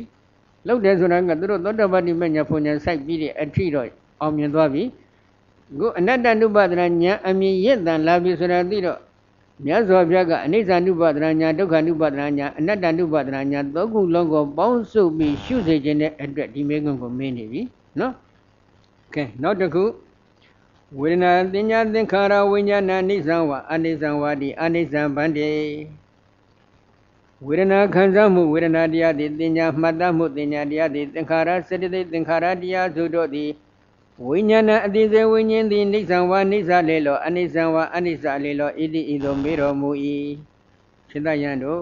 ခံစားမှုဝေဒနာတရားမှတ်သားမှုသင်ညာတရားစေတသိက်သင်္ခါရတရားအတိစိတ်ဝိညာဉ်တရားအဲ့ဒီတရားတွေသည်မြဲနေတဲ့အိဋ္ဌတရားလားမမြဲတဲ့အနိစ္စတရားလားလို့ဒီလိုမေးတော်မူတယ်အဲ့ဒီအချိန်ခါမှာလဲ အနိစ္စံဗန္တိဗန္တိဘုံတော်နေဝထုံးနေတောက်ပါတော်မူပါပေသောမြတ်စွာဘုရားအနိစ္စံဖြစ်ပြီးပြည့်နေတဲ့အနိစ္စတရားသာဖြစ်ပါပေ၏မြတ်စွာဘုရားအနိစ္စတရားပါပဲမြတ်စွာဘုရားဆိုပြီးတော့ပြန်လျှောက်ထားတယ်လျှောက်ထားတဲ့ဒီစကားတွေကိုကြည့်လိုက်တော့သူတို့ကဝေဒနာတင်ညာသင်္ခါရဝิญဉ်ခေါ်တဲ့ဒီနံတရားတွေကိုသိပြီးလားမသိဘူးလားသိနေတယ်အဲ့ဒီနံတရားတွေဒီဖြစ်ပြီးပြည့်နေတဲ့အနိစ္စတရားပဲဆိုတာလဲသူတို့သိတယ်မသိဘူးလား သိနေတယ်မျက်စိတမိတ်လျှားရပြည့်အတွင်းမှာအကျဉ်ဂရေတသိမ့်မကဖြစ်ပြီးပြည့်နေတဲ့ဒီနံတရားတွေကိုဘယ်လိုရှုမလဲဆိုပြီးတော့ဂရေတသိမ့်နဲ့ကင်ပေါက်လိုက်တော့ဘုရားဟောတဲ့နံတရားတွေကဒီနေ့ဝိပဿနာလောကမှာမျက်နှာသာမရဘူး။ချောင်းမှာပုတ်ပြီးကတ်နေရ။အဲ့ဒီချောင်းပုတ်ကတ်နေရတဲ့ဒီနံတရားတွေကိုဘုန်းကြီးကအမုန်းခံပြီးတော့ဆွဲထုတ်ပြီးပြနေရတာပါဟုတ်တယ်မလားဒီထက်ဘုန်းကြီးမုန်းတဲ့ပုံကိုယ်တွေလည်းတော်တော်များများပါကြံပါပါလိမ့်မယ်နော် ဒီတော့ဆိုလိုတာကဘုရားဟောတဲ့တရားတွေကပျောက်ကွယ်နေတာဖြစ်တော့ဒီပျောက်ကွယ်တဲ့တရားတွေကိုဘုန်းကြီးတို့ကခုလုံးမှပြန်ထုတ်ဖော်ပြီးမပေးဘူးဆိုရင်ပျောက်ကွယ်တဲ့တရားတွေပျောက်မြဲပဲပျောက်မနေဘူးလားပျောက်နေသူဘာသူမျက်စိတမေလျှက်ပြည့်အတွင်းမှာအကျဉ်ဂရေသိမ့်မကလို့အကျဉ်ဂရေ10သိမ့်ပဲဖြစ်ဖြစ်ကိုယ်နဲ့ဘာဆိုင်လဲကိုရှုရမှာကဒီတရားတွေသိအောင်ရှုရဒီဝေဒနာတင်ညာသင်္ခါရဝิญဉ်ခေါ်တဲ့နတ်တရားကိုသိအောင်ရှုရမယ်ဒါဘုရားကလည်းအတိအကျဟောတယ်မသိရင်လည်းနိဗ္ဗာန်ကိုမရဘူးဆိုတာအတိအကျဟောထားပါတယ် နောက်ထပ်ခိုင်မအောင်ဘုန်းကြီးသုတ်တံလေးတစ်ခုထပ်ပြောမယ်နော်သဗ္ဗံဘိခဝေအနာပိဇာနာအပရိဇာနာအဝိရာဇယအပဇဟံအဘဘောဒုက္ခခရာယဒီဒေသနာတော်ကတော့ဘုန်းကြီးတို့သလရဏဝက်ကတန်ရုပ်ပါဠိတော်စံမျက်နှာ249 250မှာလာရှိတဲ့အပရိဇာနနသုတ်တံလို့ခေါ်ဆိုအပ်တဲ့သုတ်တံမှာဘုရားရှင်ကိုတော်ရင်ဟောကြားတော်မူတဲ့တရားဒေသနာတော်ဖြစ်ပါတယ်နော်။ ဘာအဓိပ္ပာယ်လဲဘိခဝေจิตရတ္တောတပ္ပံအလုံးစုံသောခန္ဓာ၅ပါးယုတ်တရားနံတရားကိုအနာဘိဇာနာအနာဘိဇာနံတောညာတပရိညာပညာဖြင့်ထိုးထွင်း၍မတိကတိရှိသောအပရိအပရိဇာနာအပရိဇာနံတောတိရဏပရိညာပညာဖြင့်ပိုင်ပိုင်ခြားခြားမတိကတိရှိသောအဝိရာဇယံအဝိရာဇယံတော့ဗဟာနာပရိညာပညာဖြင့် ထိုခန္ဓာ၅ပါးယုတ်တရားနန္တရားတို့အပေါ်၌တွေ့တာမေမောနေတဲ့တဏှာတရားကိုကင်းပြယုတ်သိခြုံငိမ့်အောင်မကျင့်နိုင်ခဲ့သည်ရှိသောအပဇဟံအပဇဟံတော့ထိုခန္ဓာ၅ပါးယုတ်တရားနန္တရားတို့အပေါ်၌တွေ့တာမေမောနေတဲ့တဏှာတရားကိုမပယ်စွန့်နိုင်ခဲ့သည်ရှိသောဒုက္ခခရာယသန္တရာဝဇ္ဇရဲ့ဒုက္ခကုန်ခန်းခြင်းငှဝါသန္တရာဝဇ္ဇရဲ့ဒုက္ခကုန်ရဖြစ်တဲ့နိဗ္ဗာန်ကိုမျက်မှောက်ပြုခြင်းငှအဘဘောမထိုက်တံပေ စိတ္တယတို့အလုံးစုံသောခန္ဓာ၅ပါးယုတ်တရားနံတရားတို့အပေါ်၌ညာတပရိညာခေါ်တဲ့ပရိညာပညာဖြင့်ထိုးထွင်းမသိဘူးတိရဏပရိညာခေါ်တဲ့ပရိညာပညာဖြင့်လည်းပိုင်ပိုင်ခြားခြားမသိဘူးပဟာနပရိညာခေါ်တဲ့ပရိညာပညာဖြင့်လည်းပိုင်ပိုင်ခြားခြားသိပြီးတော့တွေ့တမေမောနေတဲ့တဏှာတရားကိုမပယ်စွန့်နိုင်ဘူးကင့်ပြယုံသိမ်းချုပ်ငိမ့်အောင်မကျင့်နိုင်ဘူးဆိုရင်သန္တရာဝစီရဲ့ဒုက္ခကုံရဖြစ်တဲ့နိဗ္ဗာန်ကိုမျက်မှောက်ပြုခြင်းကဘယ်လိုမှ မထိုက်တန်ပါဘူးဆိုပြီးတော့ဒီလိုမြတ်စွာဘုရားကဟောထားတယ်။နောက်ပြောင်းပြန်လှမ်းပြီးတော့မြတ်စွာဘုရားဟောတယ်သဗ္ဗေသံခောဘိခဝေအဘိဇာနာပရိဇာနာဝိရာဇယပဇဟံဘဘောဒုက္ခခယာယဘိခဝေစိတယံတို့သဗ္ဗံသံခောအလုံးစုံသောခန္ဓာ၅ပါးယုတ်တရားနန္တရားကိုအဘိဇာနာအဘိဇာနံတောညာတပရိညာပညာဖြင့်ထိုထွင်းသိမြင်ခဲ့သည်ရှိသော ပရိဇာနံပရိဇာနံတောတိရဏပရိညာပညာဖြင့်ပိုင်ပိုင်ခြားခြားသိမြင်ခဲ့သည်ရှိသောဝိရာဇယံဝိရာဇယံတော်ထိုအလုံးစုံသောခန္ဓာ၅ပါးယုတ်တရားနန္တရားတို့အပေါ်၌တွေ့တမေမောနေသည့်တဏှာတရားကိုကိမြယုံသိခြုံငိအောင်ကျင့်ထိုင်ခဲ့သည်ရှိသောပဇဟံပဇဟံတော်ထိုအလုံးစုံသောခန္ဓာ၅ပါးယုတ်တရားနန္တရားတို့အပေါ်၌တွေ့တမေမောနေသည့်တဏှာတရားကိုပယ်စွန့်နိုင်ခဲ့သည်ရှိသော ဒုက္ခခေယာယသန္တရာဝစီယဒုက္ခကုန်ခြင်းဟာဘဘောထိုက်တံပါပေ၏အလုံးစုံသောခန္ဓာ၅ပါးယုတ်တရားနံတရားတွေအပေါ်၌ညာတပရိညာတိရဏပရိညာပဟနာပရိညာခေါ်တဲ့ပရိညာပညာ၃မျိုးဖြင့်ပိုင်ပိုင်ခြားခြားသိခဲ့မယ်တွေ့တမေမောနေတဲ့တဏှာတရားကိုလည်းပယ်စွတ်နိုင်ခဲ့မယ်ဆိုရင်တော့သန္တရာဝဆင်းဒုက္ခကောရဖြစ်တဲ့နိဗ္ဗာန်ကိုမျက်မှောက်ပြုခြင်းကထိုက်တံပါတယ်မျက်မှောက်ပြုနိုင်ပါတယ်ဆိုပြီးဒီလိုဟောထားတယ် ဒီသုတ်တံကိုကိုးကားပြီးတော့အထက်ကရာတိကာကြီးများကအလုံးစုံသောခန္ဓာ၅ပါးယုတ်တရားနံတရားတွေကိုပရိညာပညာသုံးချက်ဖြင့်ပိုင်ပိုင်ခြားခြားမသိခဲ့ရင်သန္တရာဝစီဒုက္ခမှဘယ်လိုမှကြော်လွှတ်လွတ်မြောက်ခြင်းကမစွန့်နိုင်ပါဘူးဆိုပြီးဒီလိုအတိအကျဖွင့်ဆိုထားပါတယ်နော်ဒီတော့ပရိညာပညာသုံးမျိုးမှာဘုန်းကြီးတို့ညာတပရိညာဆိုတာကတော့ယုတ်နံကိုဟုတ်တိုင်းမှန်စွာသိတဲ့နာနပိုင်းခြားသိတဲ့နာမရူပပြိစိတညာဒါဒုက္ခသစ္စာကိုသိတဲ့ညာ အကြောင်းတရားလို့ခေါ်ဆိုအပ်တဲ့အကြောင်းကျိုးဆက်နွယ်မှုပြိစ္ဆသမုပ္ပါဒ်သဘောတရားတွေကိုဟုတ်တိုင်းမှန်စွာသိတဲ့ညာဒါပြစ္ဆပရိကညာလို့ခေါ်ပါတယ်ထိုညာညာအဲ့ဒီနမရူပပြိစေဒညာနဲ့ပစ္စယဘိကညာနှစ်ပါးကိုဝိပဿနာညာဖြင့်ထိုးထွင်းသိသိသိတိုက်တဲ့တရားတွေကိုထိုးထွင်းသိတတ်တဲ့ညာဖြစ်လို့ညာတပရိညာလို့ဒီလိုခေါ်တယ်။အဲ့ဒီညာတပရိညာဖြင့်ထိုးထွင်းသိထားအပ်တဲ့ဒီဒုက္ခသစ္စာသမုဒယသစ္စာခေါ်တဲ့ သင်္ခါရတရားတွေကိုဖြစ်ပြီးပြည့်နေတဲ့သဘောဝါကိုညာနဲ့မြင်အောင်ကြည့်ပြီးအနိစ္စလို့ရှုရတယ်။ဖြစ်ချင်းပြင်းချင်းဖြင့်အနိစ္စခံရတဲ့သဘောကိုညာနဲ့မြင်အောင်ကြည့်ပြီးဒုက္ခလို့ရှုရတယ်မပျက်စီးပဲအကျိတ်ခက်အခိုင်အမာနှစ်သာရအဖြစ်တည်တဲ့အတ္တမဟုတ်တဲ့သဘောတရားကိုဉာဏ်နဲ့မြင်အောင်ကြည့်ပြီးအနတ္တလို့ရှုရတယ်ဒီလိုအနိစ္စဒုက္ခအနတ္တလက္ခဏာရေးသုံးတတ်တင်ပြီးတွင်တွင်ကြီးရှုတဲ့အပိုင်းကိုတော့သမ္မတနာဉာဏ်နဲ့ဥရိယပြဉာဏ်လို့ခေါ်ပါတယ်အဲ့ဒီဉာဏ်နှစ်ပါးကဖြစ်ချင်းနဲ့ပြည့်ချင်းကိုပိုင်းပိုင်းခြားခြားသိတယ် အဲ့ဒီလိုသိရကနေပြီးတော့ယောဂီပုဂ္ဂိုလ်ကဖြစ်တာကိုမကြည့်တော့ဘဲနဲ့အပြတ်တက်တက်ကိုဉာဏ်နဲ့မြင်အောင်ကြည့်ရတယ်အဲ့ဒီလိုကြည့်လိုက်တဲ့အချိန်ခါမှာတစ်ဖက်သက်အပြက်ကိုပဲကြည့်သွားတဲ့အတွက်နောက်ပိုင်းဖြစ်မှုကိုမမြင်တော့ဘဲနဲ့ဒီသင်္ခါရတရားတွေရဲ့အပြက်သက်သက်ကိုပဲမြင်တယ်အဲ့ဒီအပြက်သက်သက်ကိုမြင်တဲ့ဉာဏ်တွေကဘင်ကဉာဏ်ကနေစပြီးအထက်ပိုင်းဝိပဿနာဉာဏ်အလုံးပါပဲအဲ့ဒီဝိပဿနာဉာဏ်တွေကိုအစဉ်စဉ်ရင့်ကျက်အောင်ကြိုးစားရတယ်အဲ့ဒီဉာဏ်တွေက သင်္ခါရတရားတွေအပေါ်၌တွေ့တာမေမောနေတဲ့တဏှာဥဆောင်နေတဲ့ကိလေသာတွေကိုတရင်ကအဖြစ်ပယ်စွန့်ပေးပါတယ်ဘာဖြစ်လို့လဲအပြတ်တက်ပဲမြင်နေပြီဆိုရင်တော့ထိုချင်းကံမှာညင်းခွင့်မှုတော့ယွန်ရှားမှုတော့ဆက်ဆုပ်မှုတော့အလုံးပေါ်လာပါတယ်တွေ့တာမှုတွေဟာတရင်ကအဖြစ်ခြုံငိမ့်သွားတယ်အဲ့ဒီဝိပဿနာဉာဏ်ကိုရင့်ကျက်အောင်လက်ကျက်လိုက်ပါမှဝိပဿနာဉာဏ်တို့ရဲ့အဆုံးနဲ့အရိယာမေညာဘုံဉာဏ်ပေါ်လာမယ်ထိုအရိယာမေညာဘုံဉာဏ်တွေကအတ္တကရတအညိတနိဗ္ဗာန်ကိုလှမ်းအာယုံယူကြမှာဖြစ်တယ်ဒါကြောင့် အဲ့ဒီလိုဘာဟာဒီအပြတ်တက်တဲ့ကိုထိုးထွင်းသိနေတဲ့ဉာဏ်ကိုဉာဏ်နဲ့ဝိပဿနာဉာဏ်အလုံးကိုတော့ဘာဟနာပရိညာလို့ခေါ်ပါတယ်ဒီလိုညာဏပရိညာတိရဏပရိညာပဟနာပရိညာခေါ်တဲ့ဒီပရိညာပညာ၃ချက်ဖြင့်အလုံးစုံသောသင်္ခါရတရားလို့ခေါ်ဆိုအပ်တဲ့ယုတ်တရားနံတရားတွေကိုဟုတ်တိုင်းမှန်စွာမသိခဲ့ဘူးပရိစ္ဆသမုပ္ပါသဘောတရားတွေကိုဟုတ်တိုင်းမှန်စွာမသိခဲ့ဘူးဆိုရင် သန္တရာဝဆင်းရဲ့ဒုက္ခကောင်းရာဖြစ်တဲ့နိဗ္ဗာန်ကိုဘယ်လိုမှမျက်မှောက်မပြုတ်နိုင်ဘူးဆိုပြီးတော့ဘုရားရှင်ကဒီလိုအတိအကျဟောနေပါတယ်နော်ဒါကြောင့်ဒီနေ့တရားနာပရိသတ်အပေါ်တော်ကောင်းတို့လည်းဘုရားဟောဒေသနာတော်အပေါ်နဲ့ယုံကြည်ချက်တရားတရားအပြည့်အဝရှိကြတယ်ဆိုရင်တို့သိအောင်ကျင့်ရမယ်တရားတွေဟာဒီသစ္စာလေးပါးတရားဖြစ်တယ်ဒီခန္ဓာ၅ပါးယုတ်တရားနံတရားတွေဟာတို့ဝိပဿနာရှုပွားသုံးသပ်မယ်တရားတွေဖြစ်တယ်ဒီကြောင့်ကျိုးဆက်နွယ်မှုပရိစ္ဆသမုပ္ပါသဘောတရားတွေဟာတို့ဝိပဿနာဘာဝနာကမ္မထံ စီးပြင်းရမယ်တရားဖြစ်တယ်ဆိုတာသဘောပေါက်ဖို့လိုပါတယ်နော်ကဲဒီလိုအမေးဖြစ်ပြုလုပ်ပြီးတဲ့အချိန်ခါကြတော့မှမြတ်စွာဘုရားကဝိပဿနာရှုွက်ကိုသင်ပေးတော်မူပါတယ်နော်ဘယ်လိုသင်ပေးလဲတသမတိယဘိခဝေယံကိစီရူပအတိတာနဂတပိစုပ္ပနာဣဇတံဝဗိတံဝဩလာရိကံဝဒုက္ခမဝဟိနဝပဏိတဝယန္တုရေတံဒီကေဝ သဗ္ဗရူပံနေတမမနေသောဟမတ္တမေနမေသောအတ္တတိဧဝမေတံယထာဘုတ္တံသမ္မာပညာယတတဗံဘိကဝေจิตယတို့တတ္တမထိုကဲ့သို့ခန္ဓာ၅ပါးတို့ဤအနိစ္စဒုက္ခအနတ္တသာဖြစ်ပေါ်၍နေခြင်းကြောင့်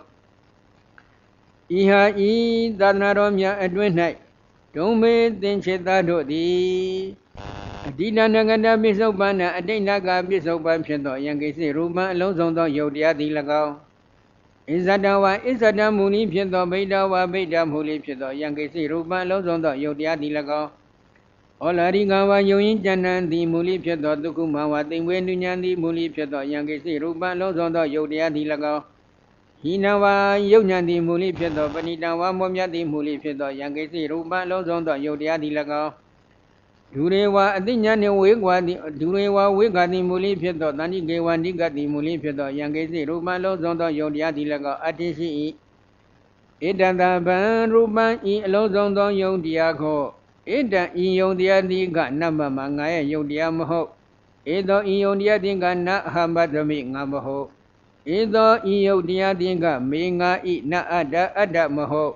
ဣတိဧဝံဤသောလျင်ဧတံဤယုတ်တရားကို ယထာမုတံဘဘောမပြဟုတ်တိုင်းမှန်စွာသမ္မပညာယယုတ်တုံးယုတ်ခဲနန္တုံးနံကဲဖြုံခွဲဖောက်ထွင်ဝိပဿနာဉာဏ်အလင်းဖြင့်တတပံရှုပွားသုံးသပ်ပါဘုရားရှင်ကဝိပဿနာရှုဖို့သင်ပေးပြီသင်ပေးလိုက်တဲ့အပိုင်းမှာဝိပဿနာဉာဏ်ဖြင့်ရှုပွားသုံးသပ်ရမယ့်တရားတွေကိုဘုရားရှင်ကဒီမှာစည်ရင်ထုတ်ပြတယ်အတိဒါနဂတပိစုပန္နအတိတ်ယုတ်တရားပိစုပန်ယုတ်တရား အနာဂတ်ယုတ်တရားဘယ်နဲ့တော့အတိတ်ဒီဖြစ်ဖြစ်ဖြစ်မရှိဘူးမရှိတာဘယ်လိုလုပ်ရှုမလဲတဲ့ခစ်ကခစ်ကအနာဂတ်ကမဖြစ်သေးဘူးမဖြစ်သေးတာဘယ်လိုလုပ်ရှုမလဲတဲ့ဒီတော့ပစ္စုပန်သာရှုရမယ်တဲ့ခုဘုရားကအတိတ်နာကပစ္စုပန်အတိတ်ယုတ်တရားလည်းရှုပါပစ္စုပန်ယုတ်တရားလည်းရှုပါအနာဂတ်ယုတ်တရားလည်းရှုပါဟောတယ်ဘုရားကပဲမှားသလားခစ်ကပဲမှားသလား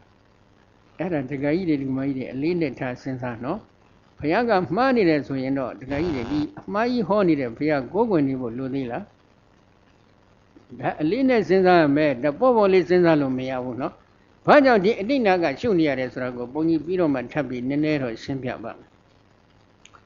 နောက်တစ်ခုအစ္ဆဒယုတ်တရားဗိဒယုတ်တရားအဲ့ဒါကိုဘယ်လောက်ရှုရမလဲပြီးတော့ယံကိစိရူပအကုန်လုံးရှုပါ ဟောလာရိကခေါ်တဲ့ယုံရင်ကျမ်းတဲ့ယုတ်တရားဒုက္ခမခေါ်တဲ့သိမ္မေနုညာတဲ့ယုတ်တရားအကုန်လုံးရှုပါဟိနခေါ်တဲ့ယုတ်ညာတဲ့ယုတ်တရားပဏိတခေါ်တဲ့မုံမြတ်တဲ့ယုတ်တရားအကုန်လုံးသာရှု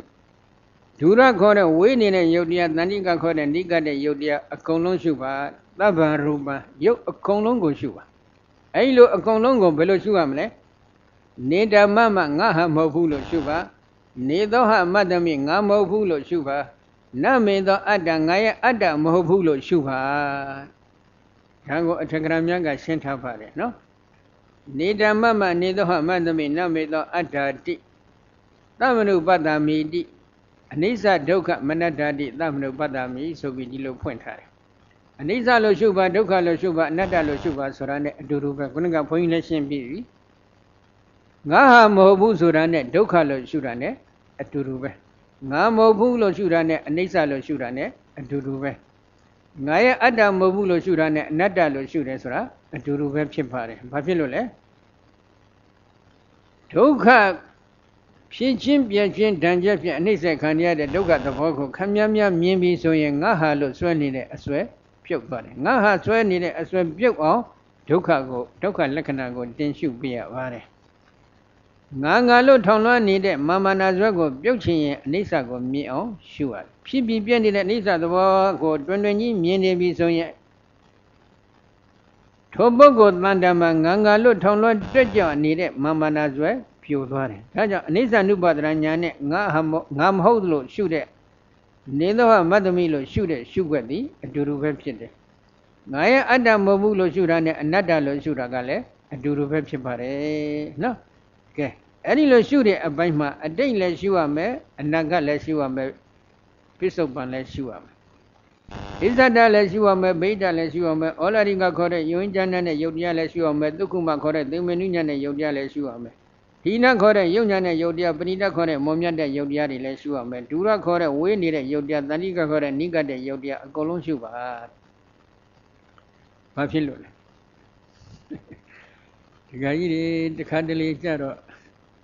ရှင်ပြူတော့ကရွှေရီဆောင်းမှုတာလေးကိုပြန်ပြန်ပြီးလွမ်းနေတာလည်းမရှိဘူးလားရှိကြပါတယ်နော်ဒီကွာပစ္စုပန်ကတော့အချိန်နဲ့မဟန်တာတော့မှန်တယ်အတိတ်တော့ကငါဘယ်လိုပုဂ္ဂိုလ်ပါဆိုပြီးအတိတ်ကိုပြန်လွမ်းတာလည်းမရှိဘူးလားရှိတယ်အနာဂတ်ကိုလှမ်းပြီးမျောနေတာကမရှိဘူးလားရှိကြပါတယ်ဆိုလိုတာကအတိတ်အပေါ်မှာစွဲနေတဲ့အစွဲကိုပြုတ်ချင်ရင်အတိတ်ခန္ဓာ၅ပါးကိုပြန်ပြီးတော့ဝိပဿနာရှုရတယ် အနာဂတ်ပေါ်မှာဆွဲလန်းနေတဲ့အစွဲတွေကိုပြုတ်ချင်တယ်ဆိုရင်တဏှာဆွဲမာနဆွဲဒိဋ္ဌိဆွဲပေါ့ဒီအစွဲတွေပြုတ်ချင်အနာဂတ်ကိုလည်းလှမ်းမြောက်ပြီးဝိပဿနာရှုပေးရတယ်ဝိပဿနာဉာဏ်တို့ရဲ့စွမ်းအားကအတိတ်ကိုဝိပဿနာအနိစ္စဒုက္ခအတ္တလက္ခဏာရေးသုံးတန်တင်ပြီးဝိပဿနာရှုရင်အတိတ်ခန္ဓာ၅ပါးပေါ်မှာဆွဲနေတဲ့အစွဲပဲပြုတ်တယ်ပစ္စုပန်ခန္ဓာ၅ပါးပေါ်မှာဆွဲတဲ့အစွဲမပြုတ်နိုင်ဘူးအနာဂတ်ခန္ဓာ၅ပါးအပေါ်ဆွဲတဲ့အစွဲလည်းမပြုတ်နိုင်ဘူးအလားတူပဲအနာဂတ်ကိုလှမ်းပြီး ဝိပဿနာရှုမယ်ဆိုရင်အနာဂတ်ခန္ဓာ၅ပါးအပေါ်ဆွဲနေတဲ့အစွဲတော့ပြုတ်တယ်ပစ္စုပန်အပေါ်မှာဆွဲတဲ့အစွဲပစ္စုပန်ခန္ဓာ၅ပါးအပေါ်ဆွဲတဲ့အစွဲအတိတ်ခန္ဓာ၅ပါးအပေါ်ဆွဲတဲ့အစွဲမပြုတ်နိုင်ဘူးပိစုပန်ခန္ဓာ၅ပါးတက်တဲ့ကိုဝိပဿနာရှုမယ်ဆိုရင်လည်းပိစုပန်ခန္ဓာ၅ပါးအပေါ်မှာစွဲနေတဲ့တဏှာစွဲမာနစွဲဒိဋ္ဌိစွဲဒီစွဲသုံးခုကတော့ပြုတ်သွားနိုင်တယ်ဒါပေမဲ့ အတိတ်ခန္ဓာ၅ပါးအပေါ်မှာစွဲနေတဲ့အစွဲအနန္တခန္ဓာ၅ပါးအပေါ်မှာစွဲနေတဲ့အစွဲမပြုတ်နိုင်ဘူးဒါကဝိပဿနာရဲ့စွမ်းအားဒီလောက်ပဲရှိတယ်သို့တော့အရိယာမဉ္ဇဉ်ဘုံညာဆက်ပြီးဆိုရင်တော့အရိယာမဉ္ဇဉ်ဘုံညာတို့ရဲ့စွမ်းအားကအတိတ်နကပိစုပန်ဣဇဒဗိဒ္ဓစတဲ့တစ်မျိုးသောအချင်းအဖြစ်တည်နေတဲ့ခန္ဓာ၅ပါးအပေါ်မှာစွဲနေတဲ့အစွဲအလုံးကိုဖြိုခွဲဖြစ်စီနိုင်တဲ့စွမ်းအားရှိတယ်သို့တော့အရိယာမေညာဆိုတာကဝိပဿနာဉာဏ်တွေကအစဉ်စဉ် အာကြည်သောမိယာဥပနိတ္တပစ္စယတတ္တိဖြင့်ကျေစုပြုပေးမှဖြစ်ပေါ်လာနိုင်တဲ့တရားဖြစ်တယ်။အောက်ကဝိပဿနာဉာဏ်တွေမရှိဘဲနဲ့အရိယာမေညာတက်တဲ့ဖြစ်နိုင်တဲ့စွမ်းအားမရှိပြန်ဘူး။ဒါကြောင့်ဝိပဿနာဘိုင်းမှာရှုွက်ကိုဂုံစင်အောင်ရှုစေခြင်းနဲ့အတွက်မြတ်စွာဘုရားကအတိဒါနာကတပစ္စုပ္ပန္နစသည်ဖြင့်ဟောကြားတော်မူခြင်းဖြစ်ပါတယ်နော်။ကဲဒါရင်လားဆိုတော့မကသေးဘူးပုံကြီးပြီးတော့မှခန္ဓာ၅ပါးစုံကြီးမှထပ်ပြီးတစ်ခါပြောဦးမယ်နော် ယုတ်တရားကိုဟောတော်မူပြီးတဲ့နောက်မြတ်စွာဘုရားကဝေဒနာတင်ညာသင်္ခါရဝိညာဉ်တွေကိုလည်းပုံစံတူပဲဆက်ဟောတော်မူပါတယ်ဘယ်လိုဟောလဲယာဂစီတင်ညာယာဂစီဝေဒနာယေကိစီသင်္ခါရအတိဒါနကတပိစုပ္ပန္နဣဇတဝဗိတဝဩဒရိကဝဒုက္ခမမယေတုရေတန္တိကေဝသဗ္ဗေသင်္ခါရနေတမမအနိသောဟမတမေနမေသောအတ္တတိဧဝမေတံယထာဘုဒ္ဓသမ္မပညာယအတ္တဗံ ဝေဒနာနော်ဝေဒနာတရားတင်ညာတရားစရိတိသင်္ခါရတရားအတိတ်အနာကပစ္စုပန်ဖြစ်တဲ့ဝေဒနာတင်ညာသင်္ခါရအစ္ဆဒဖြစ်တဲ့ဝေဒနာတင်ညာသင်္ခါရဗိဒ္ဓဖြစ်တဲ့ဝေဒနာတင်ညာသင်္ခါရဩလာရိကခေါ်တဲ့ယုံရင်ကြမ်းတဲ့ဝေဒနာတင်ညာသင်္ခါရဒုက္ခမခေါ်တဲ့သင်္ဝေနုညနေတဲ့ဝေဒနာတင်ညာသင်္ခါရဟိနခေါ်တဲ့ယုံညာနဲ့ဝေဒနာတင်ညာသင်္ခါရပဏိတခေါ်တဲ့မွန်မြတ်တဲ့ဝေဒနာတင်ညာသင်္ခါရ ဒူရခေါ်တဲ့အသိဉာဏ်နဲ့ဝေကွာနေတဲ့ဒူရခေါ်တဲ့ဝေကွာတဲ့ဝေဒနာတင်ညာသင်္ခါရမန္တိကခေါ်တဲ့နိကတဲ့ဝေဒနာတင်ညာသင်္ခါရပေါင်းလိုက်တော့12မျိုး12မျိုးသောအချင်းအပြည့်ဒီနေတဲ့ဝေဒနာတင်ညာသင်္ခါရဝิญဉ်တွေကိုလည်းနေတမမနေသောဟမတ္တမိနမေသောအတ္တငါဟာမဟုတ်ငါမဟုတ်ငါရဲ့အတ္တမဟုတ်လို့ရှုပါအနိစ္စလို့ရှုပါဒုက္ခလို့ရှုပါအနတ္တလို့ရှုပါဆိုပြီးဒီလိုမြတ်စွာဘုရားကဝိပဿနာရှုခွင့်ကိုသင်ပေးတယ် နောက်တစ်ခုဝိညာဉ်ယံကိစီဝိညာဏအတိတနာဂတပိစုပ္ပန္နဣဇတံဝဗိတံဝဩလာရိကံဝသုကုမံဝဟိနဝပဏိတံဝယန္တုရေတန္တိကေဝတပ္ပံဝိညာဏိတံမမနေသောဟမတမိနမေသောအတ္တတိဧဝမေတံယထဘုဒ္ဓသမ္မပညာယတတ္တဗံအတိတနဂတာပိစုပ္ပန္နာအတိနာကပိစုပ္ပန်ဖြစ်သောယကိစီဝိညာဏအလုံးစုံသောအတိစိတ်ဝိညာဉ်သည်၎င်းဣဇတံဝဣဇတမူလိဖြစ်သောဗိဒဝဗိဒမူလိဖြစ်သော ယံကိစီဝိညာဏအလုံးစုံသောအတိစိတ်ဝိညာဉ်သည်၎င်း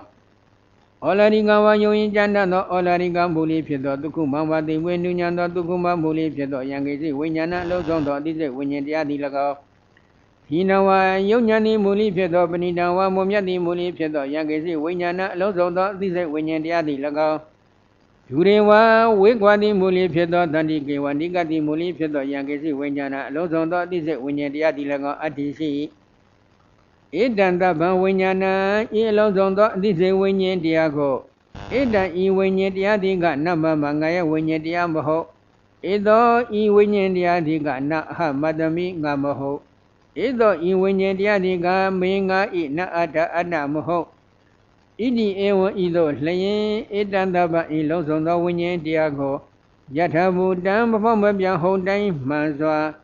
သမ္မာပညာယယုတ်တုံယုတ်ခဲနတ်တုံနှံကဲအဖြုတ်ခွဲဖောင်ထွင်ဝိပဿနာညာအလင်းတပ်ဖြင့်တတပံရှုပွားသုံးသပ်ပါ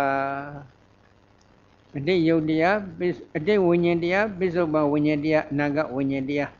ဣဇဒဝိညာဉ်တရားဗိဒဝိညာဉ်တရားဟောလာရိကခေါ်တဲ့ယုံရင်ကျန်တဲ့ဝိညာဉ်တရားဒုက္ခမခေါ်တဲ့သင်္ဝေနုညနဲ့ဝိညာဉ်တရားဟိနခေါ်တဲ့ယုံညာနဲ့အသိစိတ်ဝိညာဉ်တရားပဏိဒခေါ်တဲ့မောမြတ်တဲ့အသိစိတ်ဝိညာဉ်တရားဒုရခေါ်တဲ့ဝေကွာတဲ့ အသိစိတ်ဝိညာဉ်တရားတဏိကခေါ်တဲ့နိကတဲ့အသိစိတ်ဝိညာဉ်တရားပေါင်းလိုက်တော့32မျိုး32မျိုးသောတည်နေတဲ့ဝိညာဉ်တရားကိုဘယ်လောက်ရှုရမလဲလို့မေးတော့သဗ္ဗံဝိညာဏအကုန်လုံးရှုပါအဲ့ဒီအကုန်လုံးကိုဘယ်လိုရှုရမလဲနေတံမမငါဟာမဟုတ်နေသောဟမတမိငါမဟုတ်နမေသောအတ္တငါရဲ့အတ္တမဟုတ်လို့ရှုပါအနိစ္စလို့ရှုပါဒုက္ခလို့ရှုပါအနတ္တလို့ရှုပါဆိုပြီးတော့ ဒီလိုမြတ်စွာဘုရားကခန္ဓာ၅ပါးကိုဝိပဿနာရှုွက်သင်ပေးတော်မူပါတယ်နော်အဲဒီတော့သင်ပေးလိုက်တဲ့အထက်မှာအတိတ်ခန္ဓာ၅ပါးပိစုပန်ခန္ဓာ၅ပါးအနန္တခန္ဓာ၅ပါးမိမိအစ္ဆတမှာတည်ရှိတဲ့ခန္ဓာ၅ပါးဗိဓမှာတည်ရှိတဲ့ခန္ဓာ၅ပါးဩလရိကခေါ်တဲ့ယုံရင်ဉာဏ်နဲ့ခန္ဓာ၅ပါးဒုက္ခမခေါ်တဲ့သင်္ဝေနုဉာဏ်နဲ့ခန္ဓာ၅ပါး ဒီနခေါ်တဲ့ယုံညာနဲ့ခန္ဓာ၅ပါးပဏိတခေါ်တဲ့မောမြတ်တဲ့ခန္ဓာ၅ပါးဒုရခေါ်တဲ့ဝေးကွာတဲ့ခန္ဓာ၅ပါးတဏိကခေါ်တဲ့နိကတဲ့ခန္ဓာ၅ပါးပေါင်းလိုက်တော့ဘယ်နှပါးရှိလဲ17မျိုး17မျိုးသောအချင်းအပြည့်ဒီနေတဲ့ဒီခန္ဓာ၅ပါးတွေကိုအနိစ္စဒုက္ခအနတ္တလက္ခဏာသုံးဓာတ်တင်ပြီးရှုပါဆိုပြီးတော့ဒီလိုမြတ်စွာဘုရားကဝိပဿနာရှုွက်ကိုသင်ပေးတော်မူပါတယ်ဒီရှုွက်ကိုကြည့်လိုက်တော့ဒီ17မျိုးသောအချင်းအပြည့်ဒီနေတဲ့ဒီခန္ဓာ၅ပါးကသစ္စာဒေသနာတော်နိယဘာသစ္စာလဲဒုက္ခသစ္စာ ဒီလိုဆိုရင်သမုဒိယသစ္စာရှုွက်ကိုမြတ်စွာဘုရားသင်မပေးတော့ဘူးလားလို့မေးเสียရှိတယ်သမုဒိယသစ္စာရှုွက်ကိုလည်းဓမ္မစကြာဒေသနာတော်ဟောစဉ်အခါဟောပြီးတဲ့နောက်ပိုင်းအနတ္တလက္ခဏာသုတ်တံမဟောမိစัจ जा ကာလမှာမြတ်စွာဘုရားကကြင်ဖန်များစွာထက္ခတက္ကရှုပါသုံးသဖို့ရန်အတွက်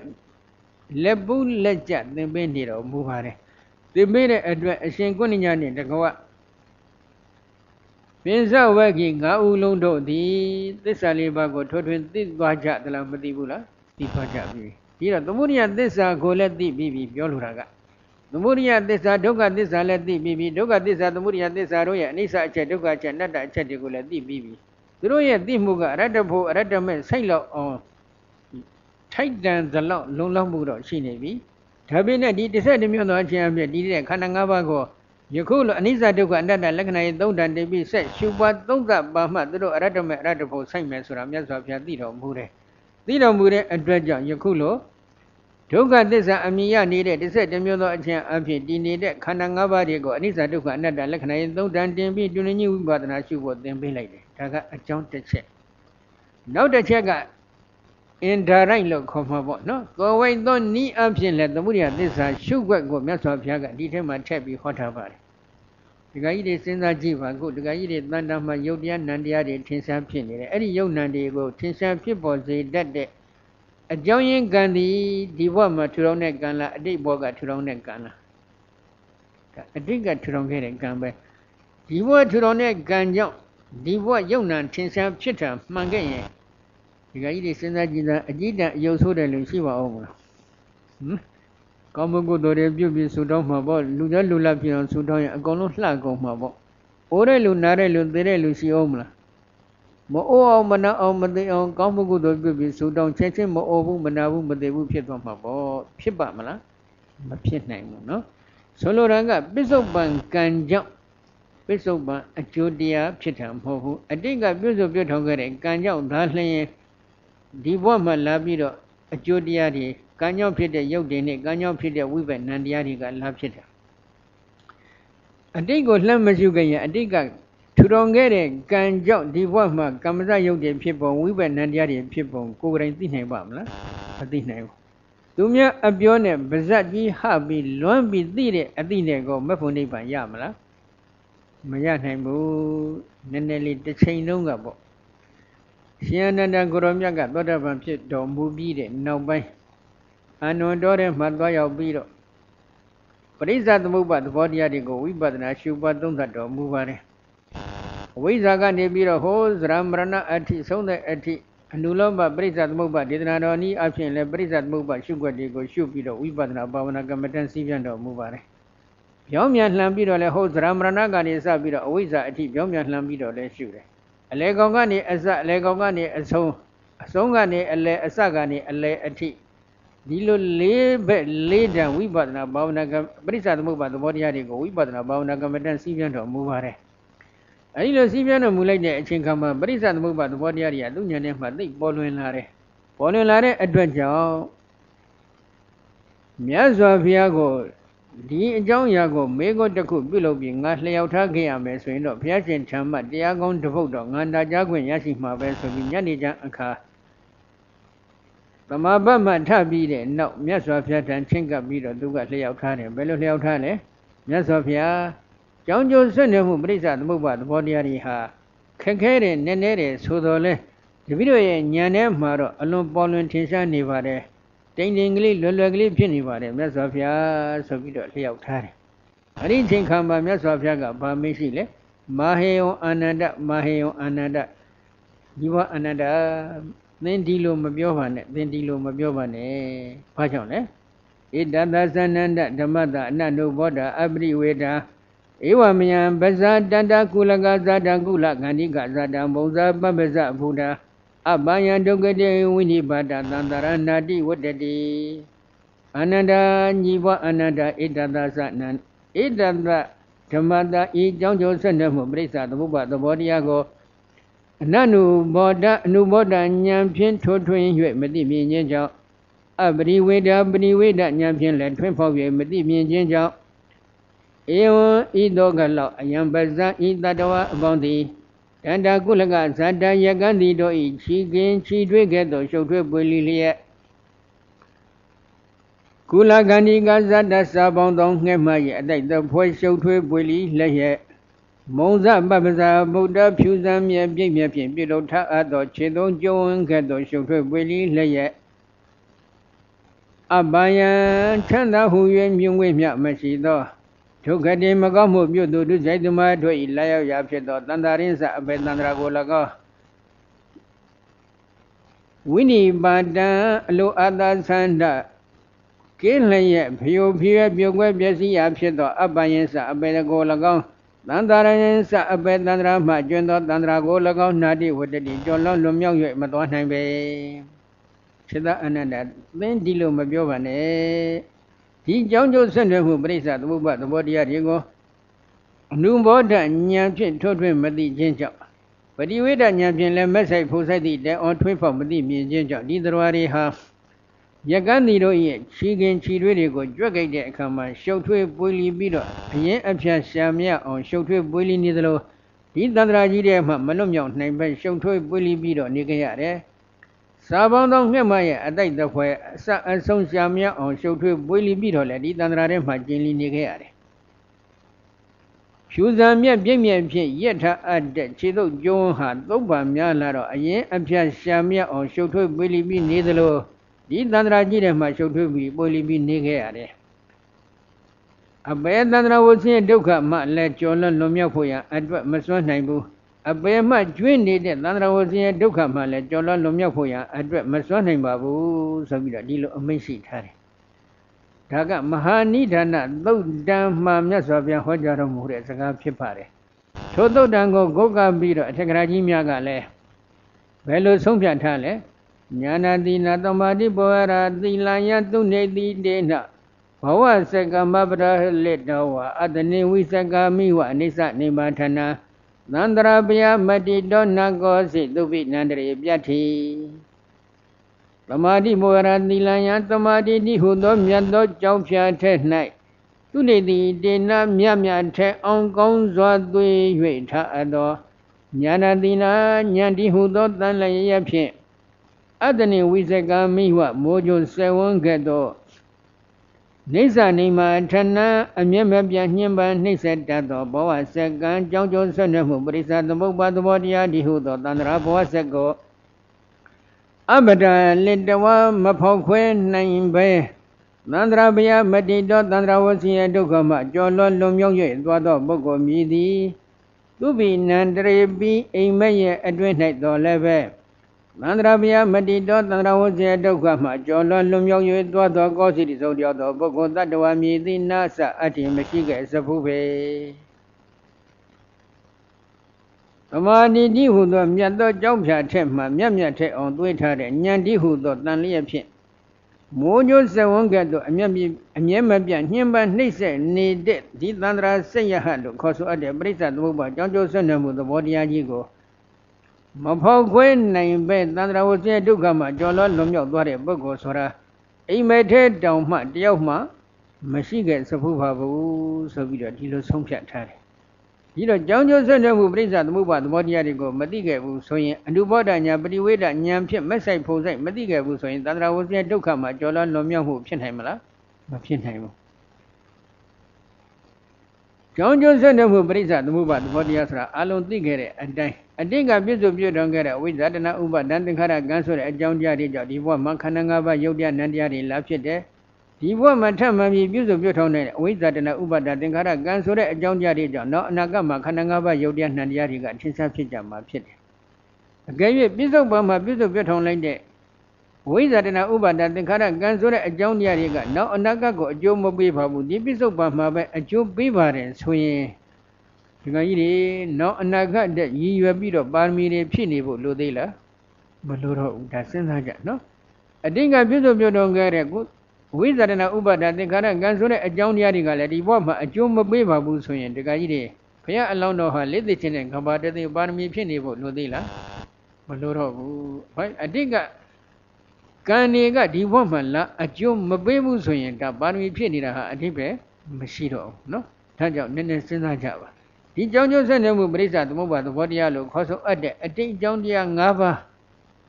ပရိစ္ဆသမုပ္ပါသဘောတရားထဲမှာအကျုံးဝင်နေတဲ့အတိတ်ကြောင့်တရား၅ပါးဆိုတာကအတိတ်ကခန္ဓာ၅ပါးကိုအစွဲအမိပြုပြီးဖြစ်ခဲ့ရတယ်။ခုနမူနာလေးတစ်ခုပြောမယ်တခါကြီးတွေအာနာပါနဖြင့်တမာတိထီထောင်နေထားပါတော့ဇန္နတရားတွေပရမဇန်သမာဓိဒုတိယဇန်သမာဓိတတိယဇန်သမာဓိသရုပ်ဇန်သမာဓိဒီစိုက်တဲ့ထားဒီသမာဓိရဲ့စွမ်းအားကြောင့်တခါကြီးတွေက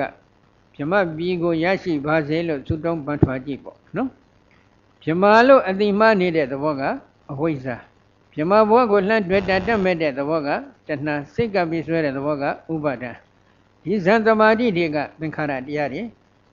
ဒီသင်္ခါရတရားတွေလည်းအနိစ္စတရားတွေဖြစ်ခြင်းကြောင့်ချုပ်ပြတ်သွားမယ်ဒါပြင်နဲ့ချုပ်ပြတ်သွားတဲ့အချိန်ခါမှာနောက်တစ်ချိန်မိမိမျှော်လင့်တောင်းတနေတဲ့မြမဘဝမြမခန္ဓာ၅ပါးကိုဖြစ်စေနိုင်တဲ့ စွန့်ရင်ကမ္မတတ္တိကိုယုံနာစင်မှာမြုပ်နှံပြီးမှချုပ်ပြတ်သွားတယ်ဒီကမ္မတတ္တိလေးကကံပေါင်းလိုက်တော့အဝိဇ္ဇာတဏှာဥပါဒံသင်္ခါရကံဆုံးပြီးအကြောင်းတရား၅ခုအဲ့ဒီအကြောင်းတရား၅ခုကအလိုလျောက်မဖြစ်ဖို့ဒကာကြီးတွေရဲ့လက်ရှိခန္ဓာ၅ပါးကိုအမိပြုတ်ပြီးတော့မှသူကဖြစ်ပေါ်သွားတာဒကာကြီးတွေတကယ်လက်တွေအထုတ်လိုက်လို့ဖြစ်ပေါ်လာတာအလားတူပဲအနိကပြည့်စုံပြတော်ခဲ့တဲ့အဝိဇ္ဇာရဏဥပါဒသင်္ခါရကံဆိုတာကလည်းအတိတ်က တည်ရှိခဲ့တဲ့ခန္ဓာ၅ပါးတွေကိုအစွမ်းအမိပြုတ်ပြီးမှဖြစ်ပေါ်ခဲ့ရတာအတိတ်ကခန္ဓာ၅ပါးကိုလှမ်းမရှုတဲ့ပုဂ္ဂိုလ်ကဒီအတိတ်ကခန္ဓာ၅ပါးကိုအမြင်ပြုတ်ပြီးဖြစ်ပေါ်ခဲ့တဲ့ဒီအဝိဇ္ဇာတဏဥပါဒသင်္ခါရကံကိုလှမ်းမြော်ကြည့်ရင်မြင်နိုင်ပါမလားမမြင်နိုင်ဘူးနော်အတိတ်ခန္ဓာ၅ပါးကိုမရှုတဲ့ပုဂ္ဂိုလ်ကအတိတ်ကထူထောင်ခဲ့တဲ့ ပရိစ္ဆသမုပ္ပါအင်္ဂါရက်ဖြစ်နေတဲ့အဝိဇ္ဇာဏဥပါဒသင်္ခါရကံဆိုတဲ့အကြောင်းတရားကိုဘယ်လို့မှထိုးထွင်းမသိဘူးမသိဘူးဆိုရင်အတိတ်ကြောင့်ကြောင့်ပြစ္ဆုတ်မှာအကျိုးဖြစ်ပုံကသိရောမလားမသိမသိတဲ့ပုဂ္ဂိုလ်သန္တရာဝုဇ္ဇဒုက္ခမှာကြော်လွန်လွန်မြောက်မှုဆိုတာဖြစ်မလားမဖြစ်နိုင်ဘူးဒါပြင်းနဲ့ခစ်ကတော့မသိလဲနိဗ္ဗာန်ရပါတယ်လို့ဟောနေတယ်ဒါကြောင့်ခက်ကဟောတဲ့နိဗ္ဗာန်ကိုပဲဒကာကြီးတွေအလိုရှိသလားဘုရားဟောတဲ့နိဗ္ဗာန်ပဲအလိုရှိသလားအဲ့ဒါကတော့ဒကာကြီးတွေကိုယ်ပိုင်ဉာဏ်နဲ့စဉ်းစားဆုံးဖြတ်ကြပါနော် ခုဒီနေရာမှာအတိတ်နကပိစ္ဆုပန်ဣဇဒဗိဒ္ဓစတဲ့တစ်ဆက်တစ်မျိုးသောအချက်ဖြင့်ဒီတဲ့ခန္ဓာ၅ပါးတွေကိုအနိစ္စဒုက္ခအတ္တလက္ခဏာသုံးတန်တင်ပြီးဝိပဿနာရှုဖို့ရန်အတွက်ပစ္စဝကေ၅ဥကိုမြတ်စွာဘုရားကဟောကြားနေပြီအဲ့ဒီထက်မှာသောဝိသောနိအဖြစ်အတိတ်ခန္ဓာ၅ပါးကိုအမိပြုပြီးဖြစ်ပေါ်ခဲ့တဲ့အဝိဇ္ဇာရဏဥပါဒသင်္ခါရကံဆိုတဲ့အကြောင်းတရားတွေလည်းအတိတ်ခန္ဓာ၅ပါးကိုရှုတဲ့အခါမှာယောပြီးပါမသွားဘူးလားပါသွားတယ်နော် ပိဿုပန်ခန္ဓာ၅ပါးကိုရှုနိုင်တဲ့အခါမှာလည်းပိဿုပန်ခန္ဓာ၅ပါးတို့ထဲမှာအစွဲအမိပြုတ်ပြီးပိဿုပန်ခန္ဓာ၅ပါးရဲ့အစိပ်ပိုင်းဖြစ်တဲ့အနာဂတ်အတွက်ထူထောင်နေတဲ့အဝိဇ္ဇာရဏဥပါဒသင်္ခါရကံတွေလည်းပါမသွားဘူးလားပါသွားတယ်အနာဂတ်ကိုလှမ်းရှုတဲ့အခါမှာလည်းအလားတူပဲအနာဂတ်ခန္ဓာ၅ပါးထဲမှာအကျုံးဝင်နေတဲ့အဝိဇ္ဇာနောက်အနာဂတ်တွေအတွက်ရည်ရွယ်ပြီးပြုစုပြုထောင်နေတဲ့အဝိဇ္ဇာရဏဥပါဒသင်္ခါရကံတွေလည်းပါမသွားဘူးလားပါသွားတယ် အကြောင်းတရားတွေပါသလိုအကျိုးဝိညာဉ်ယုတ်တလနာဖတ်တာဝိညာခေါ်တဲ့ခန္ဓာ၅ပါးတွေလည်းပါမသွားဘူးလားပါသွားပါတယ်ဒါကြောင့်အတိတ်နကပိစုပန်ဣဇဒဗိဒ္ဓစတဲ့တစ်ဆက်တစ်မျိုးသောအကျမ်းဖြင့်တည်နေတဲ့ဒီခန္ဓာ၅ပါးတွေကိုအနိစ္စဒုက္ခအနတ္တရှုပါဆိုရင်တိုက်ရိုက်ဖော်မပြတော့လည်းပဲအတိတ်အကြောင်းတရားပိစုပန်အကြောင်းတရားအနာကအကြောင်းတရားလို့ခေါ်ဆိုအပ်တဲ့အကြောင်းတရားတွေလည်းဒီခန္ဓာ၅ပါးတွေထဲမှာအကျုံးဝင်နေတဲ့အတွက်ရောပြီးပါမသွားဘူးလားပါသွားပါတယ်နော် အဲ့ဒီရှုွက်တွေကိုပစ္စဝဂ္ဂိငါဥတို့ကဘုရားရှင်ညွှန်ကြားတော်မူသည့်အတိုင်းတရားနာရင်ဖြင့်လိုက်ပြီးရှုပတ်သုံးသနိုင်တဲ့အတွက်ဘာဖြစ်သွားကြသလဲဒီဘိုင်းလေးပဲနော်ေဝံပတံဘိခဝေသုတဝါရိယတဝကောရူပတမေပိနေပိတတိဝေဒနာယပိနေပိတတိပညာယပိနေပိတတိသင်္ခါရေတုပိနေပိတတိဝိညာဏတမေပိနေပိတတိဘိခဝေစိတယံတို့အေဝံဤသို့လျင်ပတံပတံတော် ဝိပဒနာပညာဖြင့်ရှုပွားစဉ်ခြင်းသုတ်တလျက်ရှိသောသုတဝါအဂမသုတအဓိကမသုတဟုခေါ်ဆိုရသောအကြအမြင်ဘုသုတရှိသောအရိယသာဝကောအရိယသာဝကသည်ဝါအရိယဖြစ်တော်မူသောငါဖျားရှင်ဤတပိသာဝကသည်ရူပသမိန်ပြီးယုတ်တရား၌လည်းပဲနိဗ္ဗာန်တည်းညင်ခွေတော်ဤဝေဒနာယပိဝေဒနာတရားအပေါ်၌လည်းပဲနိဗ္ဗာန်တည်းညင်ခွေတော်ဤ တင်ညာယပိတင်ညာတရားအပေါ်၌သောလည်းပဲနိဗ္ဗာန်တည်းညင်ခွေတော်ဤသင်္ခါရေသူပိစရတိသင်္ခါရတရားတို့အပေါ်၌သောလည်းပဲနိဗ္ဗာန်တည်းညင်ခွေတော်ဤဝိညာဏသမိဖြင့်အသိစေဝိညာဉ်တရား၌တော်လည်းပဲနိဗ္ဗာန်တည်းညင်ခွေတော့ဤသူတို့ရဲ့အပြစ်တွေကိုမြင်ပြီးအနိစ္စဆိုတဲ့ပြစ်ချက်လည်းမြင်ပြီးဒုက္ခဆိုတဲ့ပြစ်ချက်လည်းမြင်ပြီးအနတ္တဆိုတဲ့ပြစ်ချက်လည်းမြင်ပြီးဒီအမြင်ကြီးတွေကိုမြင်နေတဲ့အခါကျတော့ဘာဖြစ်လဲယုတ်တရားတွေအပေါ်မှာလည်းညင်ခွေပြီးဝေဒနာတရားအပေါ်မှာလည်းညင်ခွေပြီး သိညာတရားအပေါ်လည်းညင်ခွေပြီးစရတိသင်္ခါရတရားတွေအပေါ်လည်းညင်ခွေပြီးအသိစိတ်ဝိညာဉ်တရားအပေါ်မှာလည်းညင်ခွေပြီးနိဗ္ဗိန္ဒဉာဏ်ကတော့ဝိပဿနာဉာဏ်နေတဲ့တဲမှာသူကအလဲကောင်းမှတည်ရှိတဲ့ဉာဏ်ဖြစ်ပါတယ်။မွေးတဲ့ကောင်ကိုခါးလက်ကနေကင်ပြီးမြောက်ပြလိုက်ရင်ခါပဲမြင်တယ်ကြံတော့မမြင်ဘူးလား။မြင်ပါတယ်ဒီတိုင်းပဲနော်။မေဇေဒီပကအနည်းလို့ခေါ်ပါတယ်ဘုန်းကြီးတို့စာပေနယ်သုံးဝဟရကတော့ အလဲကောင်းမှတည်ရှိနေတဲ့နိဗ္ဗိန္ဒဉာဏ်ကိုကင်ပြီးမြောက်ပြလိုက်တဲ့အတွက်ဝိပဿနာဉာဏ်အလုံးဒီဒီထဲမှာပါဝင်သွားတယ်။အဲ့ဒီဝိပဿနာဉာဏ်စဉ်အတိုင်းစနစ်ကြရှုလိုက်တဲ့အခါဝိပဿနာဉာဏ်တွေကရင့်ကျက်လာပြီဆိုရင်ဘာဖြစ်မလဲနိဗ္ဗိဒံဝိရိသတိဝိရာဂဝိမုௌသတိဝိမုௌတတမဝိမုௌတမိတိညာဏဟောတိနိဗ္ဗိဒံနိဗ္ဗိဒံတောညီငွေကတိရှိသောဝိရဇတိတွေ့တာတတ်မဲ့ချင်းကင်းပြလေတော့ဤအရိယမညာဘုံညာစိုက်သွားရင် အစင်းစင်သောအရိယမညာဘုံညာတို့ကတွေ့တာမေမောနေတဲ့ခန္ဓာ၅ပါးအပေါ်မှာတွေ့တာမေမောနေတဲ့တရားတရားကိုပယ်ရှားလိုက်တဲ့အတွက်တွေ့တာမေမောခြင်းကင်းသွားပြီဝိရာဂတွေ့တမေမောခြင်းကင်းခြင်းကြောင့်ဝိမောစတိကိလေသာတို့မှလွတ်မြောက်၍သွားပေတော့ဤဒါကအရတ္တမအရတ္တဘုဆိုင်တဲ့အဆင့်ကိုဟောတာဝိမု ക്ത သမိန်ကိလေသာတို့မှလွတ်မြောက်ခြင်း၌ ဝိမု ക്ത မိတိငါသည်ကိလေသာတို့မှလွတ်မြောက်ရပေပြီဟု၍ညာနာပိစဝကနာညာသည်ဟောတိထင်ရှားဖြစ်ပေါ်၍လာပေ၏ကိလေသာတို့မှလွတ်မြောက်တဲ့အရတ္တဖို့ဉာဏ်ပြီးတဲ့အချိန်ခါမှာအရိယာမက်ကိုဆင်ခြင်ခြင်းအရိယာဖို့ကိုဆင်ခြင်ခြင်းပယ်ပြီးတဲ့ကိလေသာတွေကိုဆင်ခြင်ခြင်းနိဗ္ဗာန်ကိုဆင်ခြင်ခြင်းဆိုတဲ့ဒီပိဿဝကနာဉာဏ်အတိအသည့်တွေထင်ရှားဖြစ်ပေါ်လိုက်တဲ့အချိန်ခါမှာ ငါတော့ကိလေသာတို့မှလွတ်မြောက်ခဲ့ရဘေဘီဆိုတဲ့ပိဿဝကနာဉာဏ်အမြင်သည်ထင်ရှားဖြစ်ပေါ်လာပြီခိနာဇာတိဝတိတံပြမစရိယကတကရဏိယနာပရံအိဋ္ဌထာယတိပသနာတိဇာတိပရိသန္တိဒီနိယခြင်းဇာတိသဘောတရားတိခိနာကုံဆုံးခဲ့တယ်ပြီမြမစရိယသာသနာတော်နဲ့ကျင့်တဲ့ကျင့်တိုက်တဲ့သာသနာမြမစရိယမက်ကမြမစရိယကိုဝုတိတန်ခါကျင့်သုံးရွက်ပြခဲ့လေပြီ ကရဏီယံသာသနာတော်၌ပြုတင်ပြုတိုက်တဲ့အရိယမက်ကိစ္စကိုကတန်ငါပြုလုပ်ရွက်ပြီးခဲ့လေပြီဣဋ္ဌတာယဤမက်ကိစ္စကိုရရှိဖို့ရန်အလို့ငှအပရံနောက်ထပ်တဖန်ပြုဝဲလုပ်ငန်းကိစ္စရသည့်နတ်အထင်မရှိတော့ပြီဣတိဤသောလျင်ပါဇာနာတိကွယ်ကွယ်ပြပြသိလေတော့ဤငါမပရိသန္တိနေမှုဇာတိနိယဂုံမီငါသည် သာသနာမြမစရိယမက်ကမြမစရိယခေါ်တဲ့မြတ်သောကျင့်စဉ်ဒီကိုဒီသာသနာတော်မှာကျင့်သုံးရပြီးလေပြီသာသနာတော်မှာပြုတင်ပြုတဲ့လုပ်ငန်းကိစ္စအရိယာမက်ကိစ္စကိုငါပြုလုပ်ပြီးပြီနောက်တပံဒီအရိယာမက်ညာရရှိအတွက်ထပ်မံပြီးကြင်ကြကြောကိုပွားများအထုဖို့ရန်အတွက်လုပ်ငန်းကိစ္စငါမှမရှိတော့ပြီလို့ဒီလိုကွက်ကွက်ပြပြသိတယ်အဲ့ဒါယောဂီပုဂ္ဂိုလ်ကဒါဘယ်ချိန်ခံကြမှသိတယ်လဲဆိုတော့အရတ္တမအရတ္တဘုစိတ်မှသိတာမဟုတ်ဘူးနော် ဘုန်းကြီးမင်းညကပြောခဲ့တယ်လို့ပဲဟိုဥရိယပြညံခန်းလောက်မှာတဲ့ကဝိဇာတနာဥပါဒသင်္ခါရကံဆိုတဲ့အကြောင်းတရားတွေထင်ရှားဖြစ်လို့အကျုပ်ခန္ဓာ၅ပါးယုတ်တရားနံတရားထင်ရှားဖြစ်ပုံကိုလည်းသိအောင်ရှုရတယ်ဝိဇာတနာဥပါဒသင်္ခါရကံဆိုတဲ့အကြောင်းတရားတွေကနောက်တတမှဘယ်တော့မှမဖြစ်သောချုပ်ချင်းဖြစ်ခြုံငိမ့်သွားခြင်းကြောင့်အကျိုးခန္ဓာ၅ပါးယုတ်တရားနံတရားတွေလည်းနောက်တတမှဘယ်တော့မှမဖြစ်သောချုပ်ချင်းဖြစ်ခြုံငိမ့်ဘုံကိုလည်းမြင်အောင်ရှုရတယ်အဲ့ဒီရှုွက်ကိုရှုတဲ့အချိန်ခါတည်းက ငါဘဝဒီဒီဘဝဟာနောက်ဆုံးဘဝဖြစ်တော့မယ်ဆိုတာလှမ်းကြည့်တော့မြင်နေပြီမြင်နေတဲ့အတွက်ခုအရတ္တမအရတ္တဘုံစိုက်လိုက်တဲ့အခါကျတော့ကျင်းသေးတဲ့လက်မှတ်ကိုရပြီလို့ဒီလိုအတည်ပြုတဲ့အချိန်ပဲကိုရုံးနဲ့ကမြင်ခဲ့တယ်အဲ့မြင်ခဲ့တဲ့အတိုင်ခုတော့မှန်ပြီငါတော့လွတ်ပြီလုံးဝလွတ်မြောက်သွားပြီဆိုတာဒီချိန်ခါမှသိတယ်ဒီတော့ယဟန္တာဖြစ်ပြီဆိုရင်ဖြစ်တဲ့အတိုင်ဟိုတိုင်းမှန်ဆိုတာသိပါတယ်နော်အဲ့ဒီခါကျတော့မှဘာဖြစ်လဲ ဣဒမောဇာဘဂဝါအတ္တမနာပိစဝကိယဖေခောဘဂဝတောဗတိတံအပိနန္တုံဣဒံဤအနတ္တလက္ခဏသုတ်တံဒေသနာတော်မြတ်ကိုဘဂဝါမြတ်စွာဘုရားသည်ဩဝါစဟောကြားပြသဆွဆုံးမတော်မူခဲ့လေပြီပိစဝကိယဘိက္ခုပိစဝကိအမိယာသောယဟန်တော်တို့သည်အတ္တမနနှင့်လိုဝမ်းမြောက်သောစိတ်ဓာတ်ရှိကြကုန်သည်ဖြစ်၍ဘဂဝတ်တော်မြတ်စွာဘုရား၏ ဘာတိတံဟောကြားပြသအဆိုဆုံးမတော်မူသောအနတ္တလက္ခဏသုတ်တံတရားဒေသနာတော်မြတ်ကိုအဘိနန္တုံယိုသေးစွာဥဖြင့်ခံယူကြလေကုန်ပြီသိဝမ်းသာသွားတယ်သိဝမ်းသာသွားတဲ့အတွက်မြတ်စွာဘုရားဟောကြားပြတာဆွဆုံးမတော်မူတဲ့ဒီအနတ္တလက္ခဏာသုတ်တံဒေသနာတော်မြတ်ကြီးကိုဥထိတ်ချက်မှလက်ဆယ်ကြောင်းတင်ပြီးတော့ယိုသေးစွာခံယူကြတယ်ဘယ်နဲ့တော့တရားနာပရိသတ်တွေ ဥဒိတ်တဲ့မှာလက်ဆယ်ကြောင်းတင်ပြီးတော့ဘုရားဟောတဲ့ဒီအနတ္တလက္ခဏာသုတ်တန်ကြီးကိုခံယူနိုင်ကြပါမလားအဲ့ဒါပဲဒါတခါကြီးတွေစဉ်းစားဖို့ဘုန်းကြီးတင်ပြတာပဲနော်ဘုရားဟောဒေသနာတော်ကိုခံယူနိုင်တဲ့စွမ်းအင်ရှိဖို့လိုတယ်အဲ့ဒီစွမ်းအားမှမရှိတော့ဘူးဆိုရင်ဒီဘုရားဟောဒေသနာတော်အတိုင်းကျင့်ဖို့ဆိုတာကဖြစ်နိုင်ပါမလားဘာဖြစ်လဲစိတ်ကမယုံဘူးလေသိနေမဖြစ်နိုင်ပါဘူးဒါကြီးက ဒါတွေကကိုယ်နဲ့မထိုက်တန်ပါဘူးဆိုပြီးတော့ဒီလိုပဲခက်ဖတိဘာသာနေလိုက်မယ်ဆိုရင်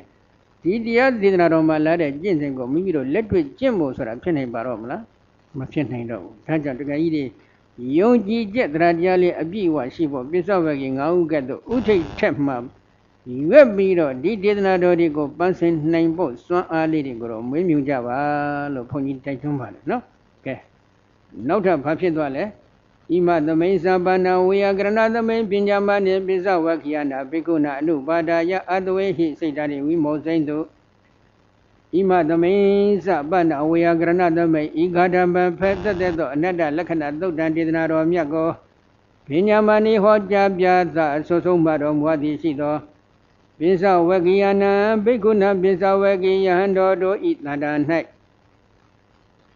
ပိစဝကိယနာဘိက္ခုနာပိစဝကိယံတော်တို့အားအနုဘာဒယတဇံတကုသောခန္ဓာ၅ပါးတို့အပေါ်၌ဆွဲလန်းမှုဥပါဒမရှိပဲ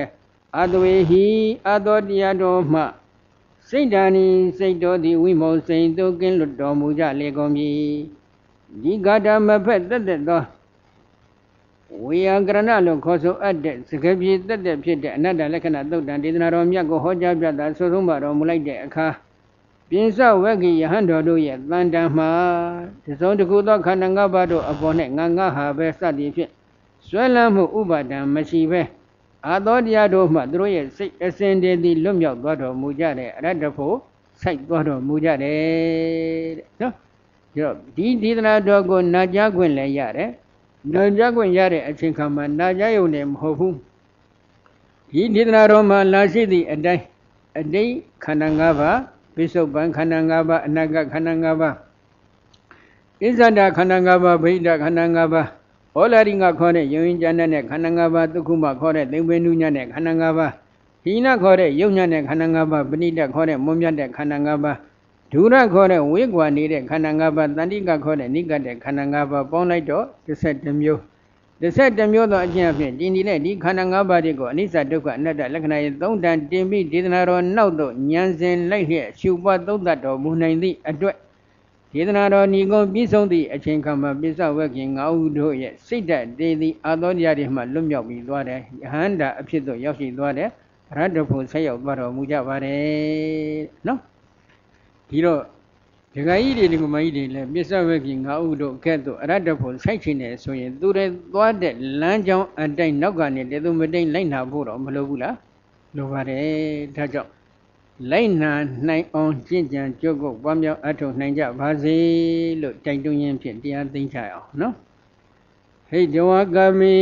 ပပစိန်သို့တန်တော်ကံမိရစိန်တကာ တေတုံမီပြနုသိခာဟောပပစိဓာတုပေတလာမန္တောဖယအလျာပိစေကာနှင့်အရိယာနွယ်လောင်းဟောတို့ရှိကသူတော်ကောင်းတို့သည်ဂံဗီရာစိန်တကနည်းနည်းသည့်တတ်သောတွေကိုနည်းနည်းစွာကြံစင်အကြံကောင်းဝင်တော်မူကြကုန်သည်ဖြစ်၍ကာမေရှိကပြုဖန်ကုသိုလ်ကံတို့စီမံထောက်မှလက်ရောက်ရသာမြာလာဇနီသေးကြီးကြီးငယ်နှင့် နိနေရောယူကိုရောတို့ပိုင်သာသည့်ကာမဝုထုစုစုတို့ကိုဟိတဝါငါတို့ပိုင်ညဤကာမတရားတို့သည်အများနှင့်ဆက်ဆံပေဒီကံဝန်ချမ်းရနေကမြောင်များတကယ်ကိုကြောက်လန့်ဖွယ်ဒီပါတံကဟုကြောက်အပ်တော်ညံကျွဲလွတ်လွတ်ကြည်စွန့်ပဲတော်မူကြကုန်သည်ဖြစ်၍မပဇိန်သူကရဝါဒတံပါဒဟု ကိစ္စများမြောင်လူတို့ဘောင်ဝနှောကိုလွတ်အောင်ကြုံလျက်ယုံကန်ထွက်၍နှစ်သက်ရှင်လန်းရှင်ယဟန်ပြု၍တောထွက်တော်မူကြလေကုန်ပြီဒုမေပိမြတ်နေခမတအတရားဟုသန္တာကိန်အောင်သင်သူတော်ကောင်းတို့သည်လည်းပဲ